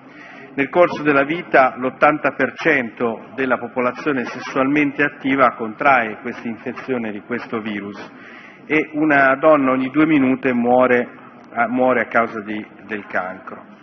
In Italia ci sono eh, 3.000 ehm, casi di questo eh, tumore e oltre 1.000 donne decedute eh, nel 2020, tra cui 45 in Piemonte, con oltre 200 casi all'anno, eh, ogni anno, di nuovi casi. Nel 2020 l'Organizzazione Mondiale della Sanità ha lanciato la strategia globale per accelerare l'eliminazione del cancro della cervice, che sappiamo appunto essere un cancro virus correlato e quindi attraverso una vaccinazione è possibile eradicare il cancro. Eh, cioè qual è la strategia? Raggiungere entro il 2025 diversi obiettivi. Il 90% delle ragazze vaccinate contro l'HPV, contro quindi il virus del papillomavirus, eh, il 90% delle donne dovrebbe ricevere l'offerta di screening cervicale, quindi il PAP test, e il 90% delle donne con diagnosi di cancro alla cervice di ricevere il corretto trattamento. Questa strategia ehm, ha visto eh, diversi paesi nel mondo e diverse regioni attivarsi. Il Piemonte si è già dimostrato virtuoso eh, da quando con una circolare del 2021 ha esteso la vaccinazione antipapillomavirus in gratuità, quindi ha esteso la gratuità alle donne con una lesione circoscritta, carcerosa, precancerosa circoscritta, cosiddetta CIN2+, e eh, ha esteso la gratuità anche ai ragazzi a partire dai nati del 2006 e per le ragazze a partire dalle nate nel 1993. Questo grazie a un'azione che è stata fatta eh, insieme all'assessorato di ampliamento quindi della platea. Non è così in tutte le regioni e in questo il Piemonte eh, mh, spicca per essere una delle più eh, virtuose. Ora è chiaro che eh, bisogna raggiungere l'obiettivo dato dall'OMS su questo tema, il Consiglio regionale, ricordo la Commissione Sanità e il Consiglio regionale ha fatto un ampio, un ampio incontro in quest'Aula insieme alle associazioni dei pazienti e alle ASL e ecco, affinché si raggiunga questo obiettivo finale, con questo ordine del giorno chiediamo di inserire nelle attività, ma nei, nelle attività, nella, nella, negli obiettivi delle ASL il miglioramento della copertura vaccinale anti-papillomavirus, cioè fare in modo che rappresenti un target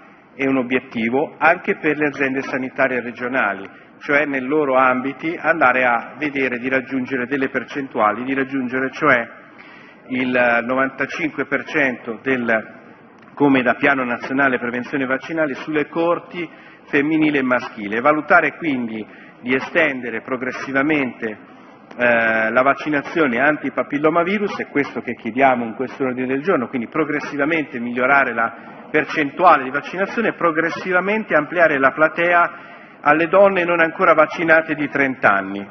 Affinché si prosegua l'attività di sensibilizzazione chiediamo quindi, con questo ordine del giorno, di ehm, fare una piccola cosa che può dare un grande significato, un grande cambiamento, inserire nella lettera di invito per lo screening cervicale, il cosiddetto PAP test, e anche l'HPV test che viene fatto, la possibilità di aderire gratuitamente, nei casi previsti dalla citata circolare, o in compartecipazione dei costi negli altri casi, alla vaccinazione anti-HPV. Questo permette di andare a prendere, a trovare una fascia ulteriore di donne che appunto non erano state precedentemente sottoposte, andare quindi a fare una prevenzione sullo sviluppo di possibili cancri della cervice, un cancro della cervice uterina in fase avanzata ha dei costi socio-economici oltre che di salute estremamente alti.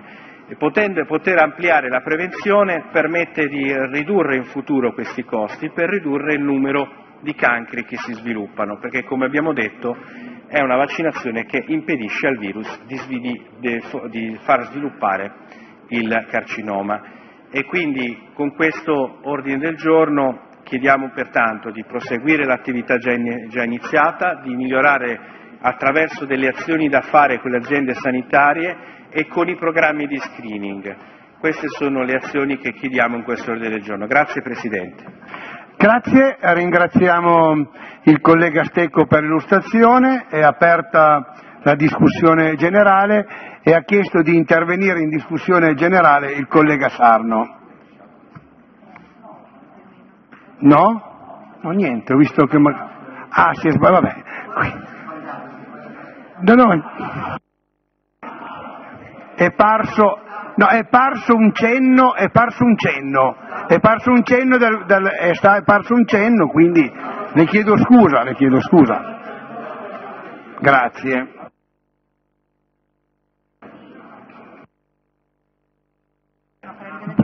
Eh, chiedo se ci sono altri interventi visto che il diniego di, di Sarno, e non vedo mani alzate, chiedo il parere della Giunta.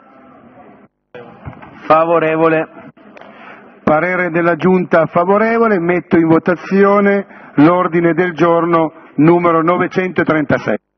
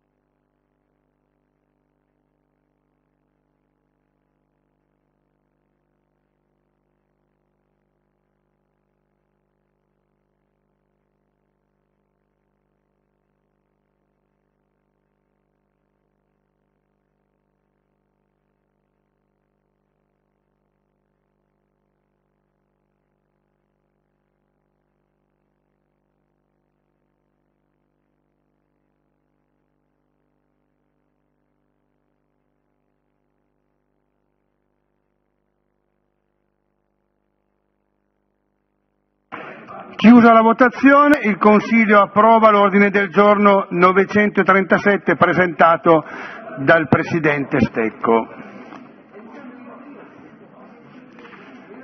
Proseguiamo ora con l'ordine del giorno 937, d'accordo tra i capigruppo, eh, presentato, presentato dal Presidente Silvio Magliano. Scusi, 939, l'importanza della nomina dei componenti della Commissione piano regionale AIDS. Prego collega nella facoltà.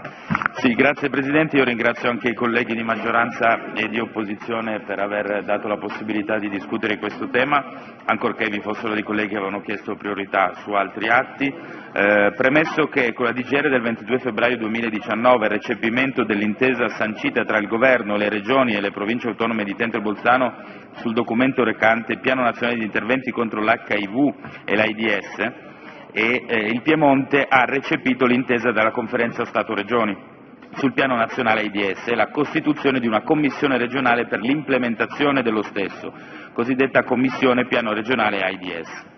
La sopracitata DGR ha stabilito che si rende necessario provvedere a istituire una commissione che supporti la pianificazione attuativa regionale del piano nazionale in sostituzione della consulta regionale di cui la DGR numero 127 4656 del 28 11 94 e DGR numero 9 11706 del 6709 e che si rimanda a successiva determinazione del direttore della direzione regionale sanità l'individuazione e la nomina dei componenti e le modalità modalità di funzionamento di tale organismo, anche nei confronti dei soggetti delle organizzazioni portatrici di interessi sopra menzionati.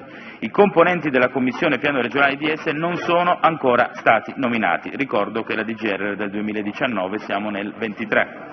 La suddetta DGR ha assegnato alla Commissione le seguenti funzioni: predisposizione di proposte e di provvedimenti specifici necessari per l'implementazione o il consolidamento degli interventi previsti appunto dal Piano nazionale contro l'AIDS a livello eh, locale e la loro integrazione e armonizzazione con gli obiettivi dei piani regionali vigenti in materia sanitaria, monitoraggio degli indicatori di risultato degli interventi realizzati a livello locale, nella fase di programmazione e di implementazione di monitoraggio degli interventi effettuare delle consultazioni periodiche dei soggetti e delle organizzazioni, organizzazioni portatori di interessi.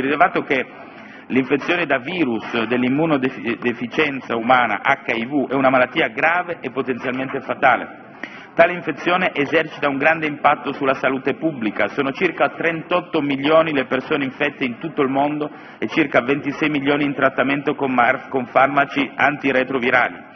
Oggi si stima che in Italia ci siano circa 120-130 mila persone che vivono con l'HIV, con circa 51.568 nuovi casi registrati tra il 2011 e il 2020 in Piemonte si possono stimare tra le 8.400 e le 9.100 persone che vivono con l'HIV, circa il 7% della, eh, del totale Italia. Di queste l'88%, 7.500, hanno ricevuto una diagnosi di HIV e si stima che 6.600 pazienti siano attualmente trattati con terapie antiretrovirali.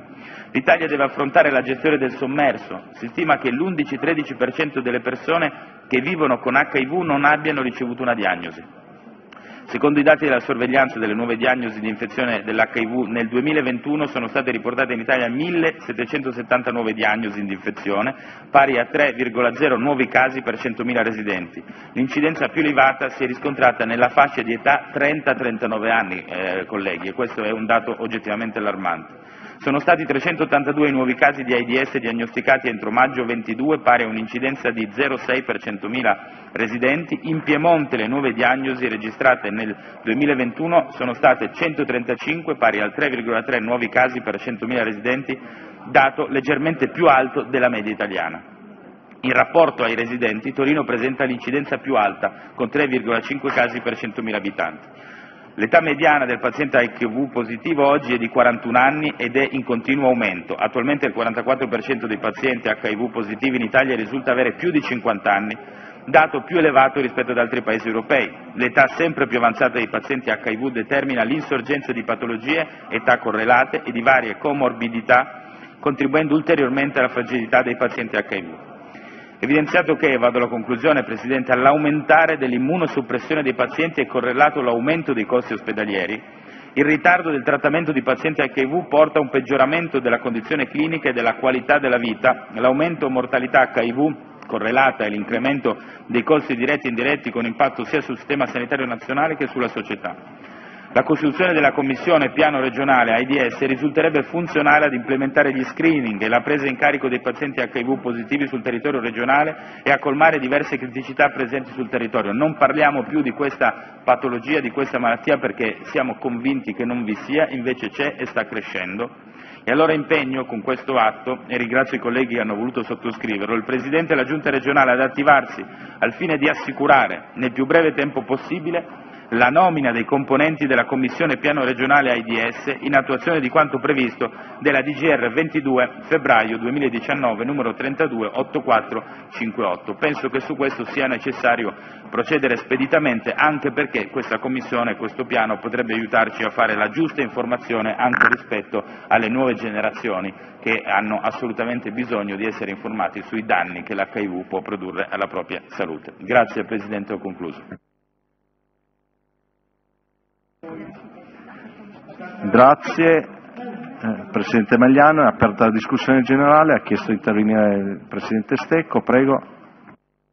Sì, volevo dire che ho firmato anch'io l'ordine del giorno del Presidente Magliano, eh, so che appunto in assessorato è in procinto di, eh, di nominare appunto la Commissione HIV, eh, il Covid naturalmente ha, ha bloccato, ha portato altre priorità per, per, due anni circa ehm, e comunque eh, concordiamo in pieno sul fatto che eh, ora in questo momento occorre far partire questa commissione e so che anche che sostanzialmente l'atto in procinto di essere promulgato. Grazie.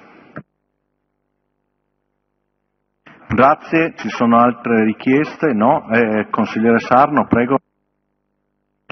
Grazie Presidente, ma solo per sostenere l'atto che è stato depositato e presentato dal collega Magliano. Eh, aggiungendo un elemento, eh, lo dico soprattutto alla maggioranza e alla Giunta, ci sono state anche comunicazioni ufficiali su questo, su alcuni dati che almeno ci hanno e ci preoccupano, arrivanti anche non solo dall'ufficio scolastico regionale ma anche da molte realtà e associazioni di docenti eh, nelle scuole che si stanno ponendo il tema, lo dico Presidente al collega Stecco, eh, il problema dell'essere in procinto di non eh, risolve il problema e eh, la non capacità di aver messo come strategico e urgente quella nomina, certo non è quello che risolve il problema, ma sicuramente quello può aiutare. Lo sappiamo perché, ripeto, eh, le indicazioni che abbiamo in particolare dalle scuole medie e anche dalle, dalle scuole superiori e anche dalle scuole medie. Eh, lo dico in maniera molto chiara, il tema generale sull'educazione sessuale e quindi dei rischi che, com- che comporta eh, l'attività sessuale anche dei minori è un tema che quest'Aula dovrebbe mettere al centro di un dibattito con l'assessorato all'istruzione non solo, con la Commissione Sanità e con la Commissione Istruzione perché i dati che ci sono e sono presenti sono dati oggettivamente preoccupanti.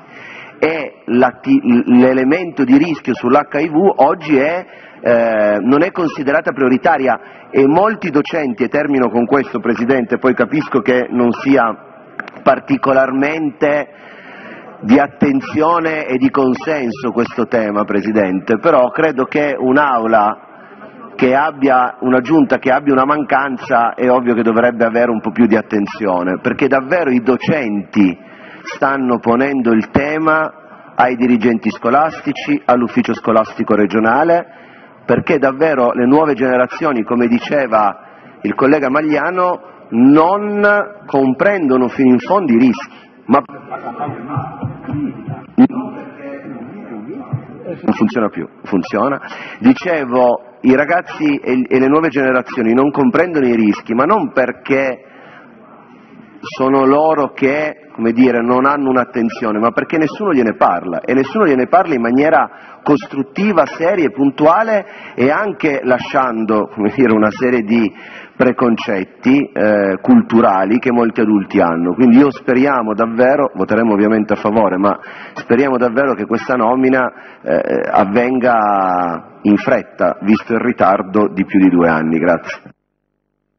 Grazie, non vedo altre richieste di intervento in discussione generale. generale. Possiamo chiudere la discussione generale. Chiedo il parere della Giunta.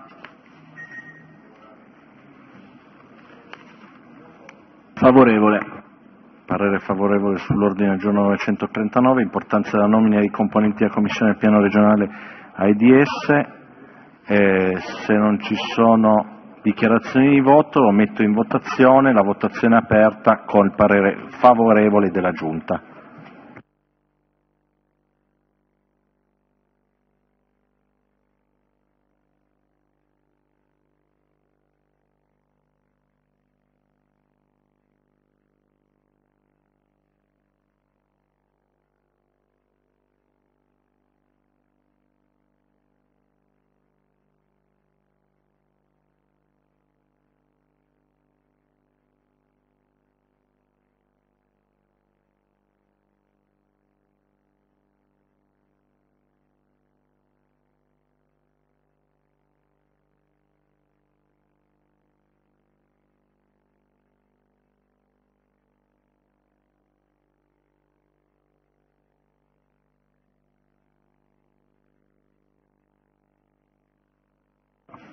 La votazione è conclusa, il Consiglio approva l'ordine del giorno 939 Magliano, adesso passerei all'altro ordine del giorno, il 700 52, promozione di attività e iniziative di comunicazione per una cultura che condanni ogni forma di violenza nei confronti dei lavoratori della sanità, del consigliere Cane. Prego.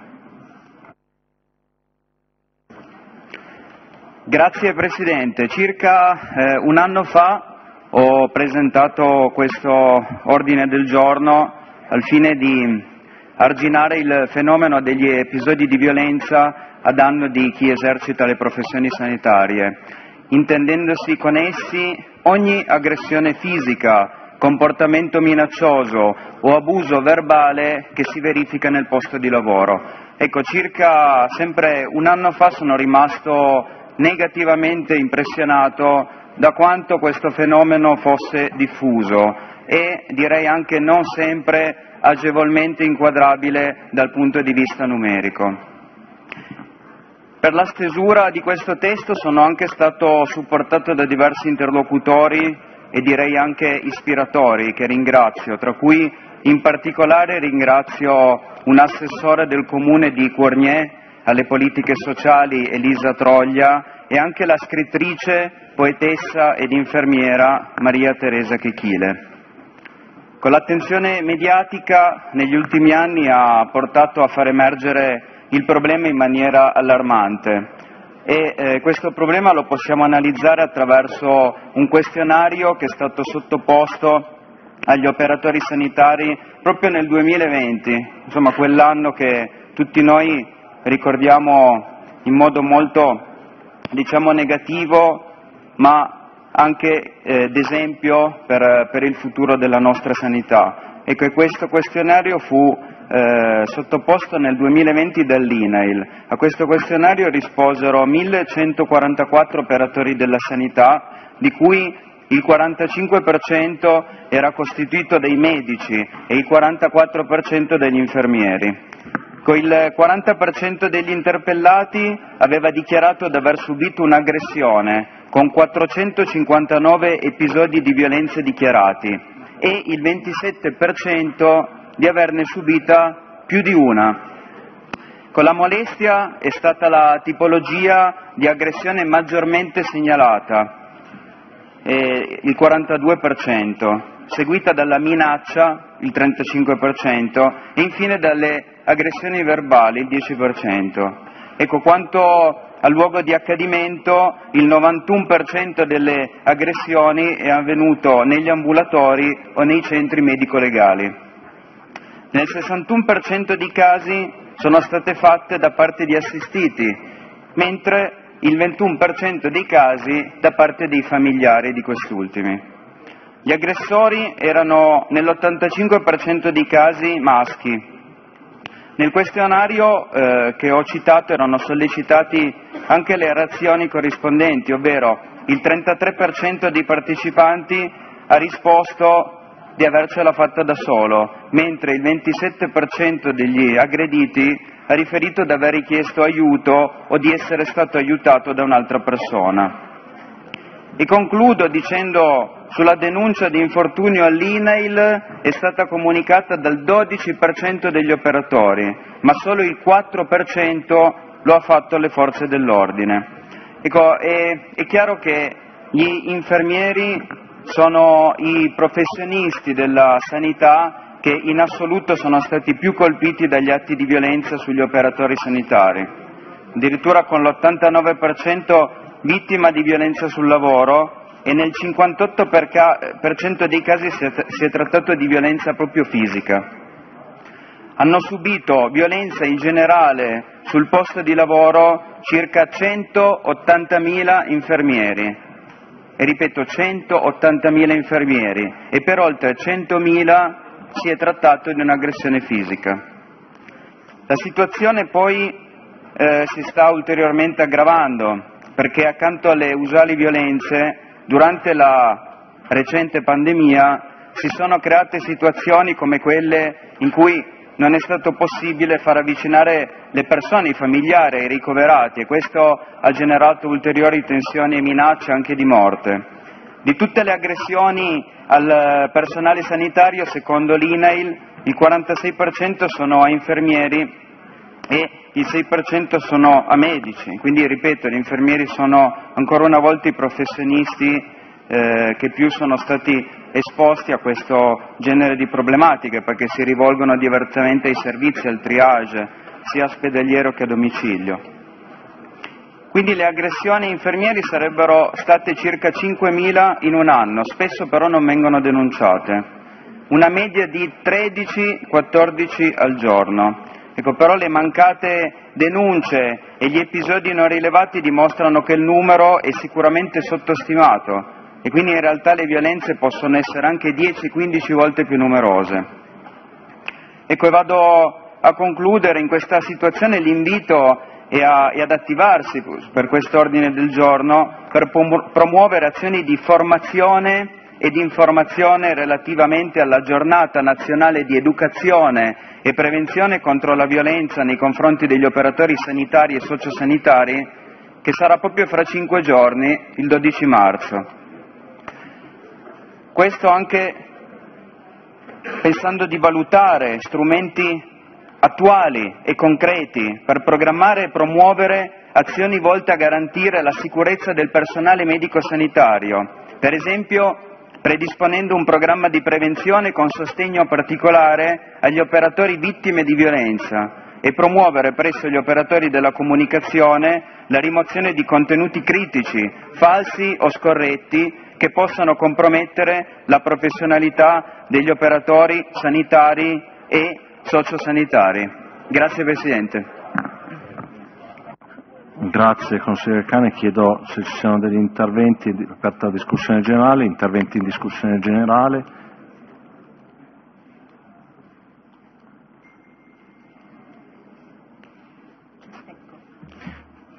ha chiesto di intervenire il consigliere Stecco, prego.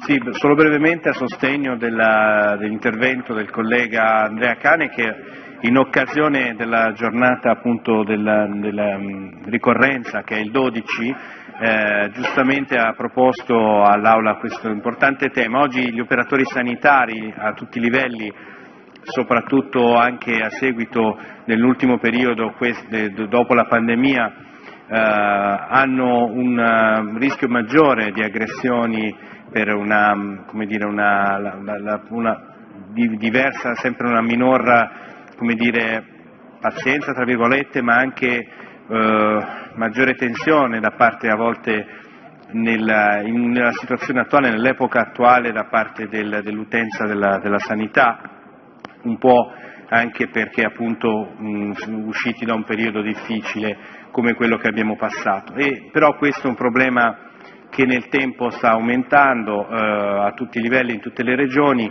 e chiaramente c'è chi ripropone appunto di, di rimettere il posto di polizia all'interno dell'ospedale, cosa che, eh, non era, che non, non, era, stato tolto nel, negli ultimi anni e questo può essere una, certamente un punto, un punto anche di, di presi, per presidiare maggiormente.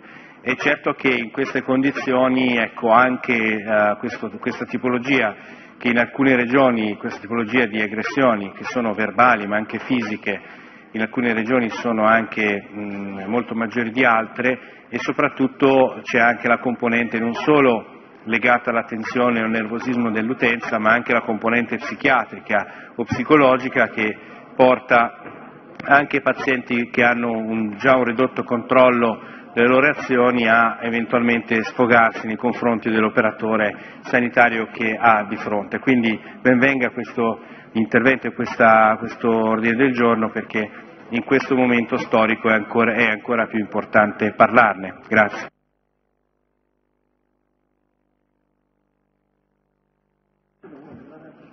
Grazie consigliere Stecco, chiedo se ci sono altri richieste di interventi sull'ordine del giorno 752 del consigliere Cane, se non ci sono altri interventi chiudo la discussione generale, chiederei il parere della Giunta. Sì. È un parere, il sì è un parere, lo interpreto come un parere favorevole. Favorevole Presidente. un parere favorevole. Eh, mettiamo, se non ci sono dichiarazioni di voto, Prego, Presidente Frediani. No, mi scuso, mi stavo confrontando con i colleghi perché non vorrei essere io che a quest'ora non riesco tanto a capire l'italiano. Se ci potesse chiarire meglio il, il primo firmatario, il terzo impegno, cioè che cosa significa promuovere presso gli operatori della comunicazione, che già è un po' vago come, come definizione, la rimozione di, da dove? Di contenuti critici, falsi o scorretti che possono compromettere la professionalità degli operatori sanitari e sociosanitari. Ci sembra un impegno un po' cioè, poco definito anche rispetto ai destinatari delle azioni di, di promozione e poi la rimozione non si capisce, cioè, magari non so, promuovere l'adozione di una terminologia che non, non cioè, solo capire quale sia l'intento di questo terzo impegno. Grazie. Grazie. Darei la parola per sì, grazie. No, ringrazio tra l'altro per la domanda perché ha un doppio contenuto. Vabbè, uno, come ho ehm, diciamo, evidenziato all'inizio della mia discussione, questo ordine del giorno, ahimè, ha già più di un anno d'età, quindi era già eh, stato eh, depositato per il 12 marzo, per la ricorrenza dello scorso anno.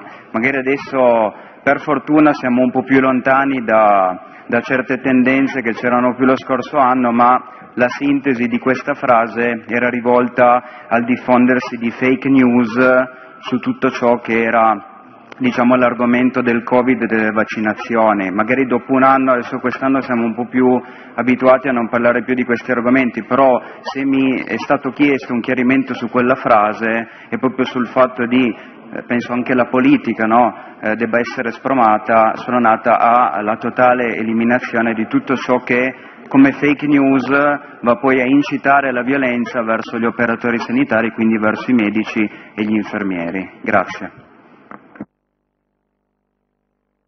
Grazie. Ha chiesto di intervenire il consigliere Sarno.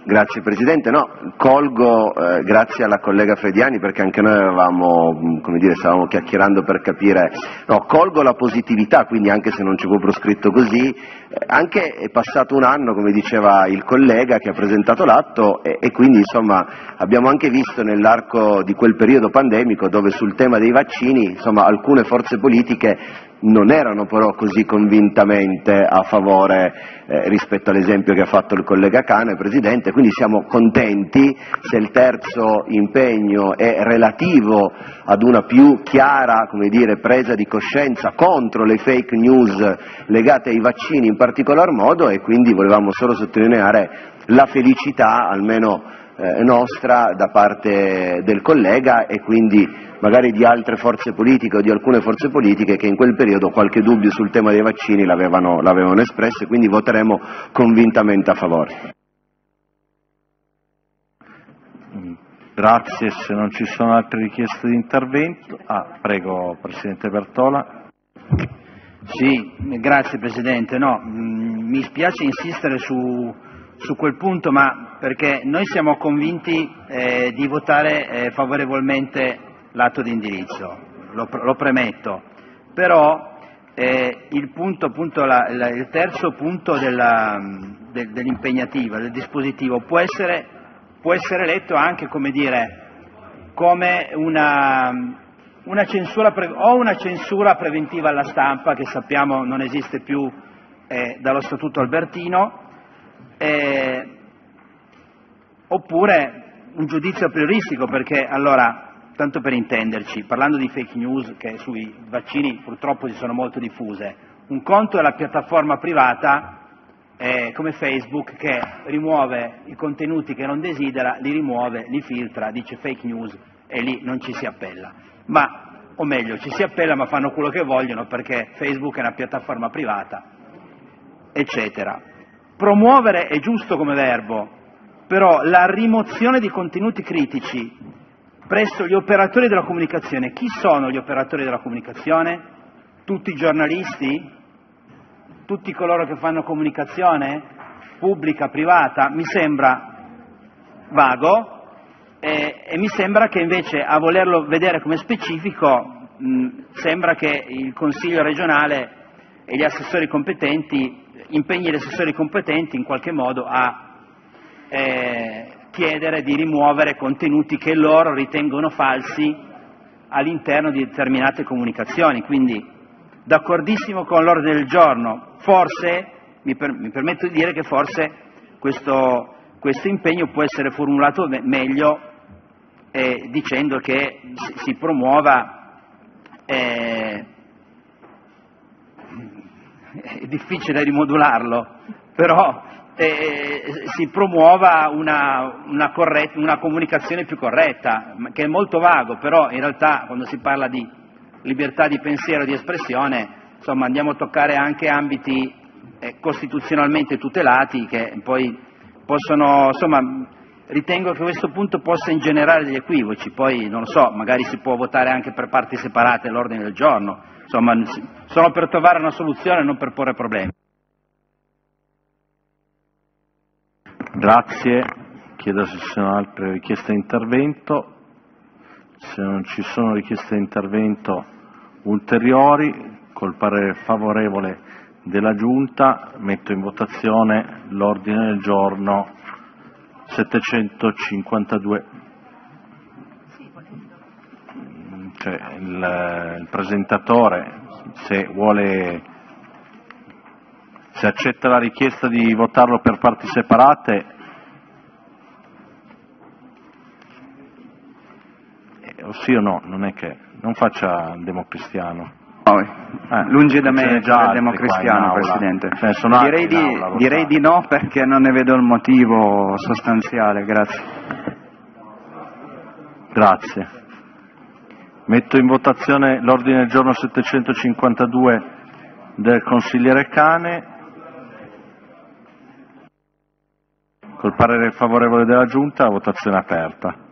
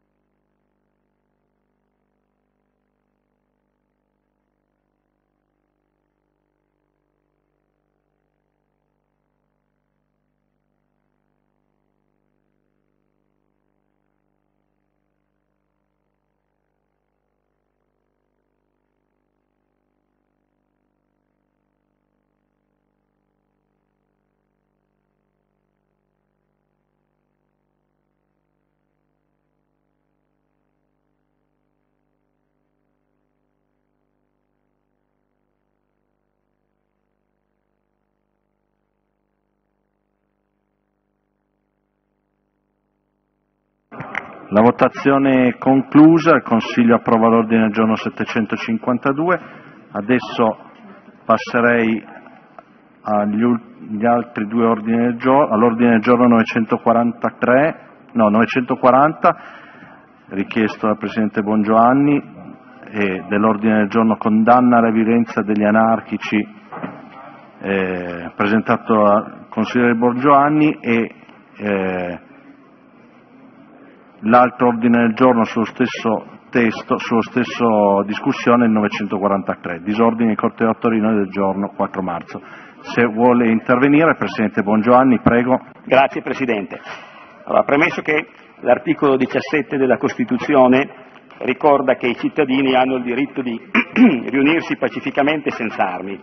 Per le riunioni anche in luogo aperto al pubblico non è richiesto preavviso. Delle riunioni in luogo pubblico deve essere dato preavviso alle autorità che possono vietarle per comprovati motivi di sicurezza e di incolumità pubblica.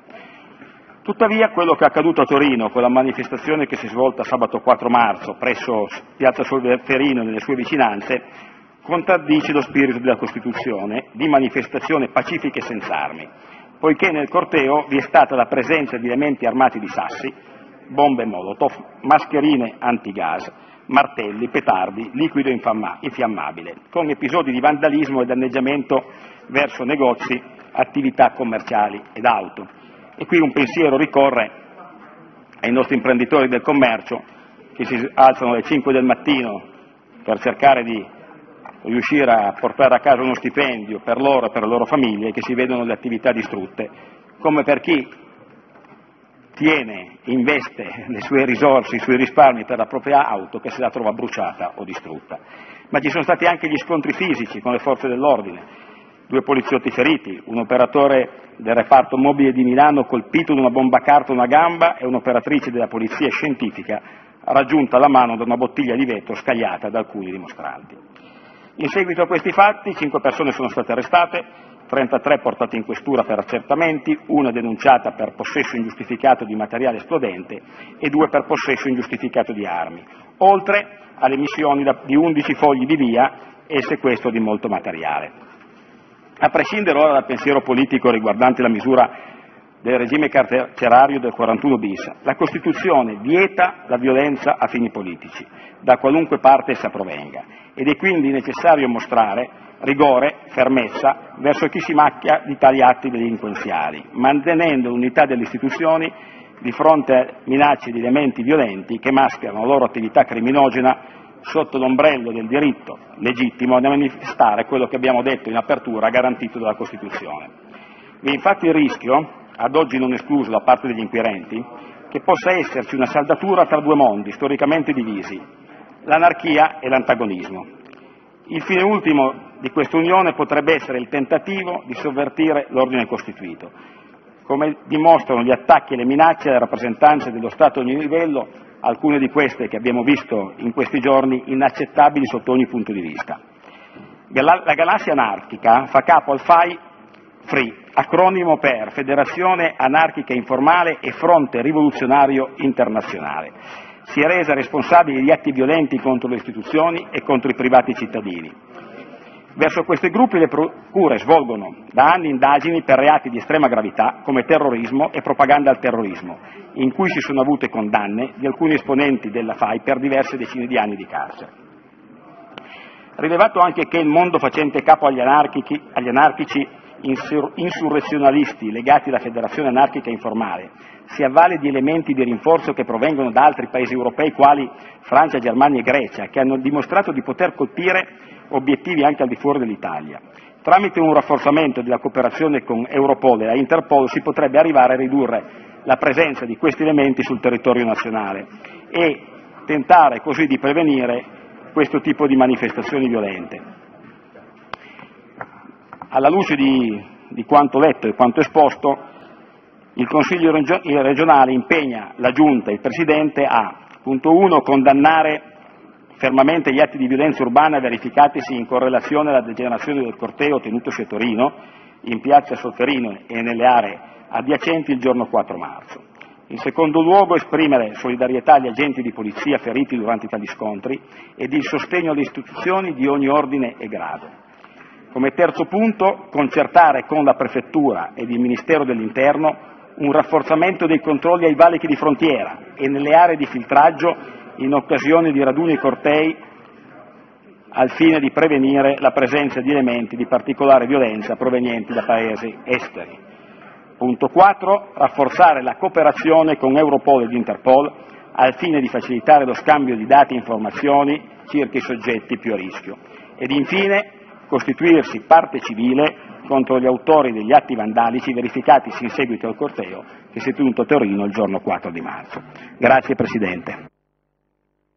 Grazie, ringraziamo il Presidente Bongiovanni per l'illustrazione.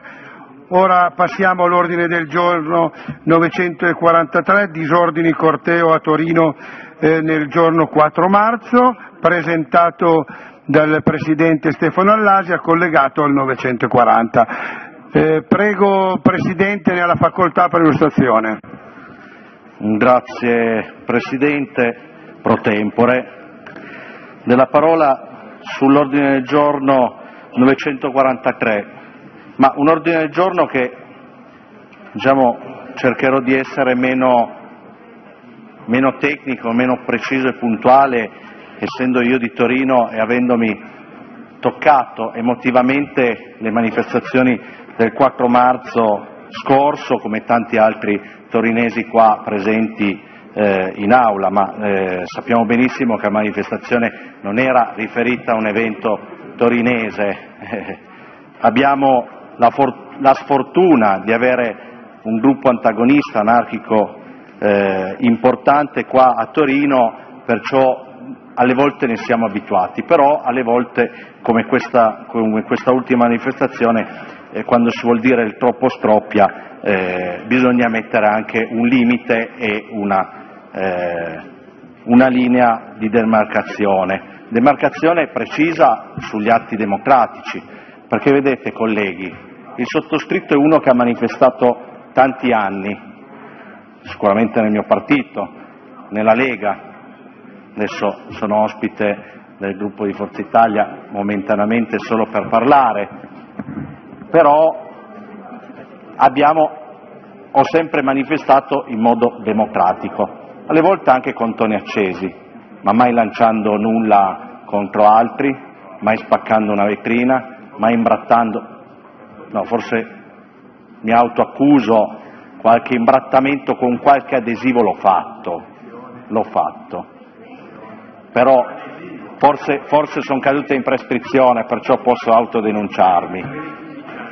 Qualche scritta notturna sulla Padania Libera Indipendente l'ho fatta, mi sono accus- mi sono non mi sono mai nascosto dietro, ma l'ho fatto sempre in termini e in luoghi assolutamente eh, non privati. Qua alle volte, come questa, in questa manifestazione, eh, si è esagerato, perché si è andato a danneggiare la proprietà privata, come abbiamo visto già descritto dal Presidente Bongiovanni cosa è successo, oltre i negozi, vetrine di negozi distrutti e eh, persino dalle forze dell'ordine in cui tutti noi, spero tut, tutto, il, tutto il Consiglio regionale eh, possa esprimere pienamente la solidarietà alle forze dell'ordine e anche ai cittadini che hanno avuto i danni, eh, ma non, non, si capisce la motivazione per cui, detto anche dalle forze dell'ordine, il motivo per cui si sono accaniti verso le proprietà private. Io non voglio distinguere proprietà private e proprietà pubbliche, perché nelle scorse manifestazioni anarchici a Torino andavano contro degli obiettivi sensibili, che erano le banche, che erano gli istituti eh, di forza pubblica, cosa che abbiamo sempre ritenuto, il mio gruppo politico e la mia parte diciamo, del, centrodestra ha sempre difeso a spada tratta, non tanto le banche, eh, poi quello è un altro capitolo, ma secondo me è un'altra questione da trattare, ma in modo democratico e legislativo. Sicuramente non è, non è lanciando un tombino che si risolvono le questioni, però correttamente, come già stato descritto e definito anche dallo stesso sindaco di Torino, bisogna porre dei limiti, bisogna fare in modo che chi ha avuto danneggiamenti seri, eh, privati e pubblici, siano ripagati al più presto, perché come ho sentito da qualcuno ha detto ma sì, ci sono le assicurazioni, ma chi se ne frega, ho capito, ma perché devi andare a danneggiare? Andiamo a penalizzare effettivamente, a colpire effettivamente eh, chi ha fatto gli atti travosi, tenendo conto che la protesta può essere legittimata da un proprio pensiero.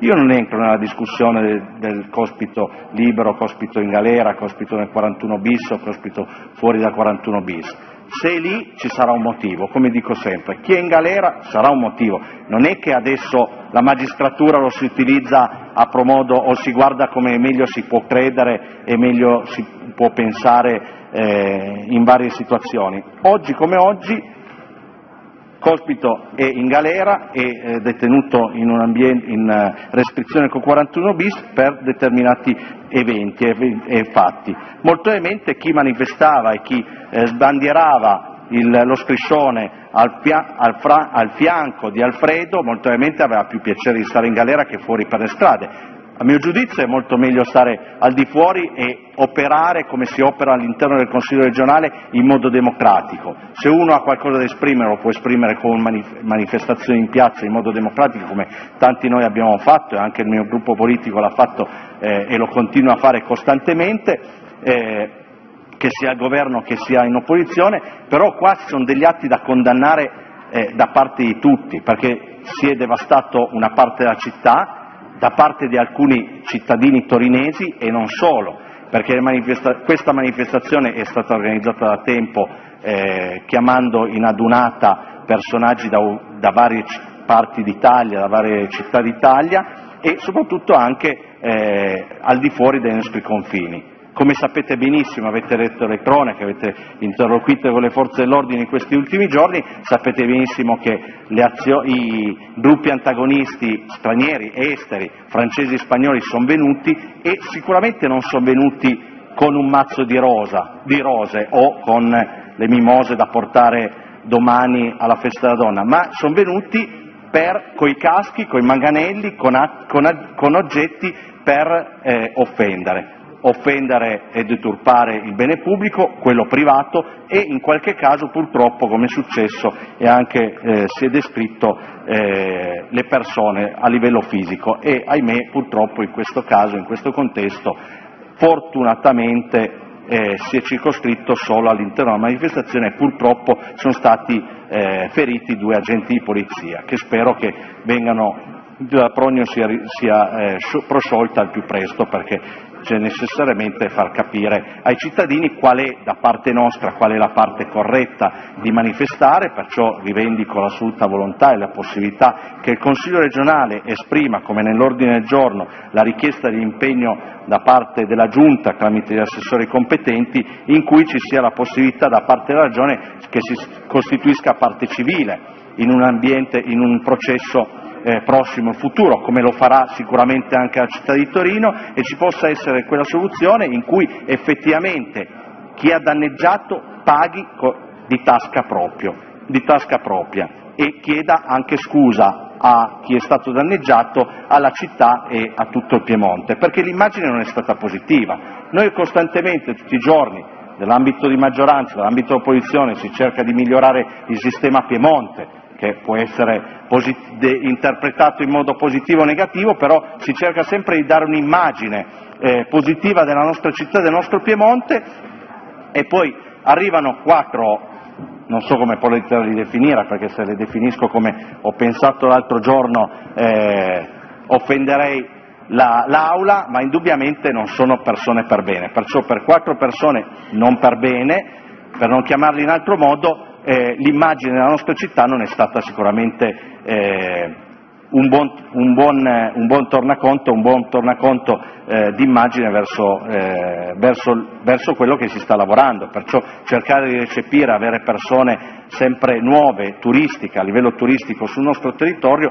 e benvengano le manifestazioni che possono essere quelle sportive, se poi ci sarà nel prossimo futuro la possibilità di ospitare a Torino le Olimpiadi saremo ben tutti contenti e spero che anche la sinistra lo sia contenta, l'attuale opposizione senza offendere nessuno dell'attuale opposizione, le opposizioni siano tutti ben felici, però sicuramente eventi come quelli che hanno ridondanza, hanno un eco sicuramente quasi quanto un evento sportivo come le Olimpiadi sicuramente non, non giova alla nostra immagine, perciò ci deve essere la parte politica, la parte amministrativa in regione che si fa eh, parte civile per chiedere effettivamente i danni a chi effettivamente ha occupato quegli spazi e occupato anche le cronache nere di cittadine in questi giorni. Oltremodo rivendichiamo come posizione, ma è già stato descritto dal mio collega Bongiovanni, la possibilità effettivamente di chiudere i centri sociali a Torino e non solo, soprattutto un centro sociale specifico come quello di Ascatasuna e chiudere le radio antagoniste che sono state il volano di pubblicità all'interno di quel mondo lì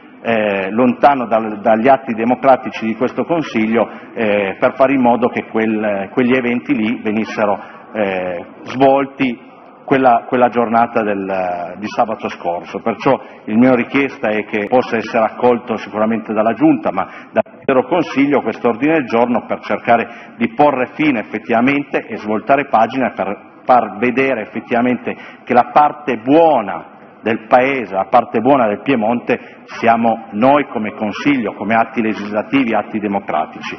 Grazie dell'attenzione, rubandovi ancora eh, qualche secondo ringrazio, e, eh, ringrazio la Presidenza pro tempore della disponibilità e della possibilità di avermi dato la parola.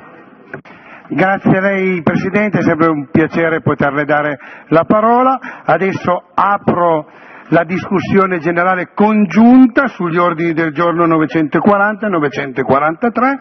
Ha chiesto di intervenire sulla discussione generale il collega Silvio Magliano. Prego collega, ne ha la facoltà. Sì, grazie Presidente, ma per annunciare che entrambi gli atti avranno il nostro voto favorevole, eh, ieri si è espresso anche il sindaco della città Lorusso, su questo non possono esserci infingimenti, non ci possono essere distinzioni, bisogna da questo punto di vista essere tutti compatti per eh, dire che la libertà di espressione, la libertà di manifestazione è sacrosanta fino a quando quella libertà non è eh, violata nella sua dimensione più grande, cioè la libertà di coloro che in quel momento avevano i negozi aperti, delle famiglie che stavano eh, eh, vivendo una giornata a Torino. Il giorno prima c'è stata una manifestazione sull'ambiente che si è conclusa in modo assolutamente pacifico, mi raccontava il collega Sarno, invece sabato abbiamo visto una città messa a ferro e fuoco. Sono stati lesi i diritti di coloro che lavorano, che pagano le tasse,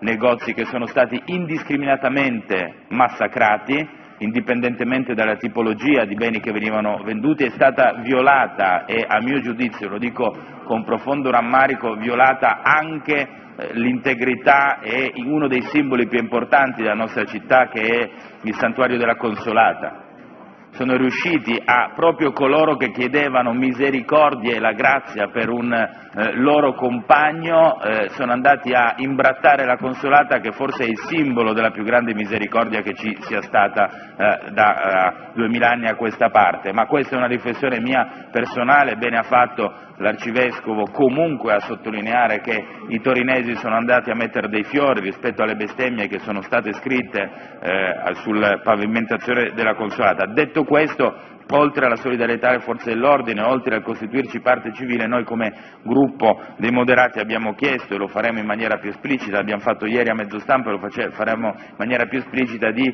immaginare, lo dico a tutti i colleghi, un fondo che possa sostenere chi ha subito danni. Io ho parlato con diversi assicuratori di coloro che hanno subito i danni e i premi assicurativi non copriranno i danni che questi delinquenti hanno, eh, hanno arrecato a coloro che volevano solo vivere di quello che potevano produrre produrre di quello che potevano vendere, quindi sarebbe importante che Regione Piemonte e il Comune di Torino dessero un segnale di questo tipo, aperto anche alla cittadinanza, in modo tale che la parte buona di questa Regione, di questa città, possa contribuire con anche euro personali affinché coloro che hanno subito questi danni, che non verranno pagati interamente dalle proprie assicurazioni, possano vedere ristorati questi danni dopo anni di Covid, dopo anni di crisi, durante l'inflazione, durante l'aumento dei prezzi per cui noi voteremo convintamente a favore di questi due atti e appunto riteniamo che ciò che è accaduto sia grave e su questo non possano esserci né divisioni né distinguo. Grazie Presidente, io ho concluso.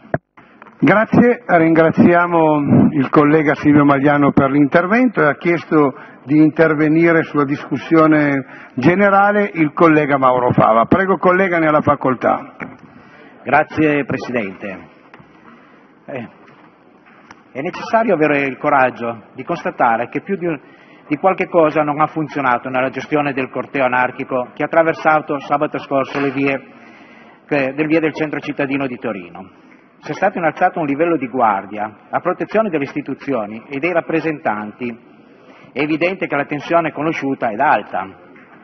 Da settimane i servizi denunciano che la rabbia di questi estremisti ed un livello di guardia e le proteste sono in procinto di fare un salto di qualità con atti dimostrativi.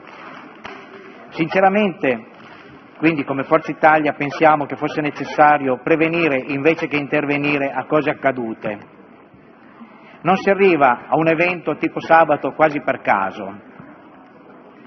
C'è da domandarsi chi pagherà i danni compiuti da questi delinquenti, che spesso risultano nulla tenenti il tutto diventa surreale se si pensa che proprio ora molti dei fermati alla fine della manifestazione sono tranquillamente in libertà.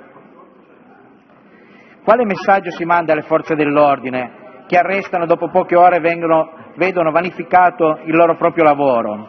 Le forze dell'ordine troppo spesso sono lasciate sole nell'ambiguità delle dichiarazioni di alcuni partiti politici che da un lato condannano e dall'altro accarezzano l'elettorato anarchico. Questi ordini del giorno, che noi approviamo e li votiamo entrambi, ha il pregio di fare chiarezza su quanto accaduto e di chiedere senza distinguo che, che vi sia una risposta forte dello Stato, oltre che di chi ha commesso errori paghi i danni arrecati, perché i cittadini, specialmente i cittadini di Torino, non devono essere lasciati soli in queste circostanze. Grazie Presidente.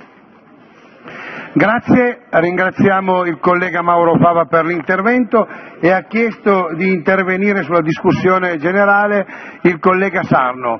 Questa volta ha chiesto il collega, sì, eh, prego, ne ha la facoltà. Grazie Presidente, sì, questa volta ho chiesto. Eh, ho chiesto la parola per eh, aggiungere um, un elemento all'ordine del giorno, in particolare quella a prima firma Bongiovanni, ma eh, nella parte coincidente anche a quello a prima firma all'Asia. Al punto 5 dell'ordine del giorno Bongiovanni vorremmo aggiungere come eh, gruppo del Partito Democratico e in scia a quello che stava dicendo il collega Magliano, la frase a seguito de, de, della frase del punto 5 impegnandosi, perché la frase è rispetto alla Costituzione di parte civile, impegnandosi a devolvere la somma ricevuta dalla eventuale costituzione parte civile ai commercianti colpiti dagli atti violenti. Quindi sostanzialmente non solo costituirsi parte civile, ma se da lì ci fosse dire, una somma rispetto a quella Costituzione, eh, devolvere evidentemente, come diceva il collega Magliano, direttamente ai eh, commercianti che hanno subito subito quegli atti. Eh, questa è la prima considerazione, Presidente. La seconda, condividendo ovviamente gli incipiti dell'ordine del giorno, come ricordato, portato anche in aula della città di Torino, ma come di altre città della provincia di Torino, abbiamo usato in quest'aula i proponenti anche di identificare la parte giusta, eh, la parte buona, non la parte giusta, la parte buona della città. Ebbene, rispetto agli atti è evidente la condanna per il metodo, eh, al netto dei contenuti, ma per il metodo certo che sì. È vero, Presidente, che però se parliamo di parte buona, lo dico con estrema chiarezza, se ci fosse domani un presidio per la difesa dell'ordine pubblico e per la difesa di quei commercianti contro quella violenza, quella piazza, a risposta di quei fatti, sarebbe occupata e animata da tutte le forze politiche, credo, credo presenti in quest'Aula. Voglio far notare che a Firenze, per atti altri violenti, squadristi, quella piazza di Firenze, la parte buona, non era animata da tutte le forze democratiche di questo Paese. E credo che questo sia un male per il nostro Paese, non per le parti politiche in causa o che sto richiamando, ma credo che sia un male per il nostro Paese repubblicano, non violento e antifascista. E quando ci sono delle mancanze in una piazza del genere credo che ci sia un problema all'interno del nostro Paese e quindi crediamo fortemente che nelle prossime settimane ci debba essere una discussione in quest'Aula anche su quei fatti di Firenze. E qui, Presidente, io sto parlando e non ho interrotto nessuno, chiedo ai colleghi di non farlo, grazie. Eh, colleghi, guardi, Grazie, prendevo Presidente. appunti sul suo Grazie, discorso, mi scusi, fate Grazie. silenzio e fate finire il collega Sarlo. Prego collega. E quindi credo che ci sia una riflessione, in quella riflessione credo che appunto, come stavo dicendo Presidente prima di essere interrotto, da qualche banco davanti a quest'Aula, delle prime file, credo che quella mancanza, quei vuoti, quella non presenza, io non ho interrotto Prego, Presidente, eh, colleghi, per cortesia, lasciate finire il collega Sarno. ascoltando anche coloro che forse su No, temi collega, lei fondativi sto parlando con lei ascoltando, sto parlando con prego. lei su valori fondativi della nostra Repubblica se qualcuno ha dei dubbi non è sicuramente Presidente un mio problema ma è un problema di chi solleva dubbi su chi dovrebbe stare in una piazza che ha dichiarato fortemente che l'antifascismo è un valore fondativo della nostra Repubblica.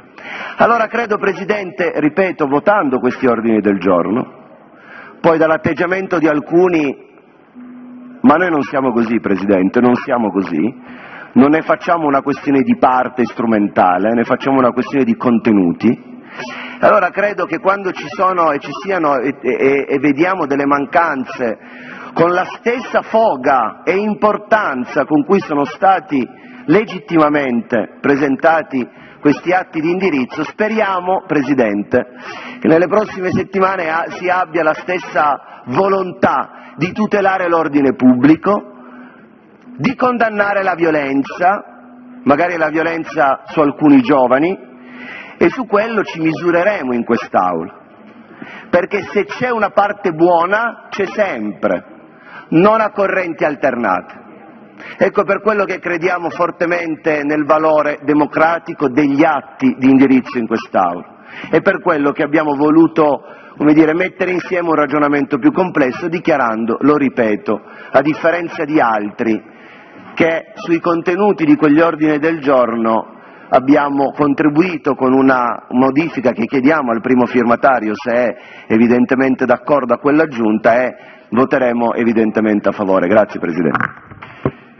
Grazie a lei, ringraziamo il collega Sarno per l'intervento e ha chiesto di intervenire sulla discussione generale la Presidente Francesca Frediani. Prego collega, ne ha la facoltà. Grazie Presidente, ma, eh, io invece annuncio il voto di presenza rispetto a questi due atti di indirizzo, ma per due motivi molto semplici. Il primo riguarda l'atto a prima firma del Presidente Bongiovanni che mi sembra che in alcune parti faccia un po' confusione tra i concetti anarchia e antagonismo e mi sembra che questo denoti una tendenza che da qualche tempo si vede di criminalizzare tutti i movimenti di protesta e lo dico perché da anni appartengo a un movimento di protesta che si muove in modo assolutamente pacifico, che viene continuamente criminalizzato dai media e dalla politica, anche che quelle, quelli che in questo momento stanno ridacchiando senza conoscere minimamente il mio territorio. Quindi questa confusione io credo che sia strumentale e che segua dei fatti che devono essere assolutamente condannati, che sono infatti oggetto di attenzione da parte di chi è preposto ad approfondire i fatti, che qua si danno anche per scontati, io non so, non ero neanche presente, ovviamente. La, l'area anarchica non è un'area che mi appartiene, se no non sarei neanche qui a parlare, credo che questo sia chiaro a tutti. Quindi io credo che lo scopo di questo atto di indirizzo sia per l'appunto quello di criminalizzare in generale tutte le forze che si oppongono a a vario titolo e anche appunto con metodi assolutamente pacifici nel nostro Paese, quindi non mi sento di condividere questa impostazione e questa confusione rispetto ai vari movimenti che ci sono nel nostro Paese, con una generalizzazione che, tro- che trovo assolutamente banale. Invece nel, nell'atto di indirizzo presentato dal Presidente all'Asia, che tra l'altro eh, ricordava anche con eh, il collega Bertola, normalmente quando si presenta un atto di indirizzo di questo tipo si chiede la sottoscrizione ai capigruppo, almeno così si faceva nelle precedenti legislature. Però comunque al di là di questo mi sembra che prendere delle premesse da articoli di giornale non sia proprio un atto degno di, eh, di un consiglio regionale, cioè, mi aspettavo nelle premesse almeno qualche riferimento in più rispetto alle competenze regionali, che tra l'altro non sono chiare sia negli impegni dell'atto del Presidente Bongiovanni che nell'impegno del Presidente Allasia, cioè in alcune, alcuni impegni non vediamo grande attinenza con eh, quelle che sono le attività del Consiglio e della Giunta. Ad esempio io non so se al momento ci sia cooperazione con l'Europol e l'Interpol per facilitare lo scambio di dati e informazioni circa i soggetti più a rischio. Non so se sia un'attività della Giunta già in essere, però scrivere rafforzare la cooperazione fa pensare che questa attività sia già in essere. Quindi confermo ovviamente, evidenzio, sottolineo la solidarietà a tutti i commercianti e i cittadini che si sono ritrovati eh, coinvolti nelle manifestazioni e condanno assolutamente qualsiasi gesto di violenza anche verso le proprietà di queste persone. Però questi atti di indirizzo li trovo assolutamente strumentali e non condivisibili nelle loro finalità. Grazie, ringraziamo la collega Francesca Frediani per l'intervento e ha chiesto di intervenire sulla discussione generale il Presidente Giorgio Bertola. Prego collega, ne facoltà. Grazie Presidente, mi unisco eh, alla ferma condanna eh, dei, gravi, dei, gravi, episodi di violenza verificatisi eh, nella giornata eh, del 4 marzo e eh, espressi, condanna espressa. Scusate colleghi, potete prendere posto che dobbiamo che stiamo facendo i lavori d'aula e stiamo parlando dell'ordine del giorno 940-943. Grazie, prego collega Bertola, proceda. Io procedo quando finiscono loro. Io al suo posto userei il tempo per lei sta colloquiando con me e quindi sono qui eh, diciamo fiducioso possono fare riunioni e con eh, tanta voglia della giunta quando un consigliere parla. Prendo atto, Presidente. Stavo solo rispettando anche sua, il suo diritto ad ascoltarmi senza essere disturbato. Grazie. Grazie, proceda. Tanto le cose che devo dire le dico lo stesso, quindi non è che cambia qualcosa. Eh, dicevo, mi unisco alla condanna eh, dei gravissimi fatti di, di violenza eh, delle manifestazioni del 4 marzo, condanna che si esprime eh, negli atti di indirizzo che legittimamente sono stati sono stati presentati. Eh, sono contrario a qualsiasi espressione di violenza e qualsiasi di espressione di violenza anche nella politica. Sono preoccupato per l'aumento della violenza nella politica, eh, non l'abbiamo visto solo eh, nella manifestazione di sabato, l'abbiamo visto anche con i fatti di Firenze, poi posso capire che qualcuno in quest'Aula quando sente parlare di eh, violenza fascista si senta toccato e venga infastidito da chi parla di antifascismo, però c'è stata violenza fascista a Firenze. Sono contrario all'una e all'altra violenza. Nessuna delle due appartengono al mio modo di concepire la politica ed il confronto con chi ha delle opinioni diverse dalle mie. Eh, detto ciò, mh, ho letto attentamente eh, entrambi gli atti di indirizzo, sia quello presentato dal Presidente eh, del gruppo Fratelli d'Italia Bongiovanni, sia quello presentato dal, dal Presidente Allasia in qualità di consigliere regionale. Ehm, ho qualche dubbio, allora, al di là del, del, dell'unirmi alla ferma condanna, ho qualche dubbio sulle competenze della Regione in materia di sicurezza e di polizia, perché eh, prendiamo da una parte la Costituzione, guardiamo chi ha le competenze sulla sicurezza, prendiamo lo Statuto regionale, lo Statuto regionale menziona la sicurezza quando parla di sicurezza sociale, che sapete meglio di me, la sicurezza sociale è qualcosa di un po', di un po diverso. Quindi io tutte queste competenze in materia di sicurezza e di polizia in capo alla Regione eh, non, non le vedo, ma tant'è. Mi spiace, ma lo dico così in maniera molto tranquilla, eh, mi spiace che né a, al consigliere, al Presidente Bongiovanni, né tantomeno, questo mi dispiace un po' di più, al Presidente del Consiglio all'Asia sia venuto in mente di esprimere una condanna da parte del Consiglio regionale. Per me è il Consiglio regionale che condanna gli episodi di violenza, lo possiamo fare come Consiglio. Invece in entrambi gli atti di indirizzo impegna il Consiglio regionale impegna la Giunta a condannare gli atti di violenza. Perché non possiamo farlo noi? E poi chiaramente ci sono altre questioni invece, eh, rispetto alle quali invece chiaramente dobbiamo eh, impegnare la Giunta, perché già ho dubbi che lo possa fare la Giunta, sicuramente non siamo noi come Consiglio regionale a, collabor- a collaborare con l'Interpol e con, l'Europol. Mm, eh, riguardo l'atto di indirizzo presentato dal consigliere Bongiovanni ho anche qualche eh, dubbio sul, sul, terzo punto dell'impegnativa, concertare con la Prefettura e il Ministero dell'Interno un rafforzamento dei controlli ai valichi di frontiera nelle aree di filtraggio in occasione di raduni e cortei al fine di prevenire la presenza di elementi di particolare violenza provenienti da paesi esteri.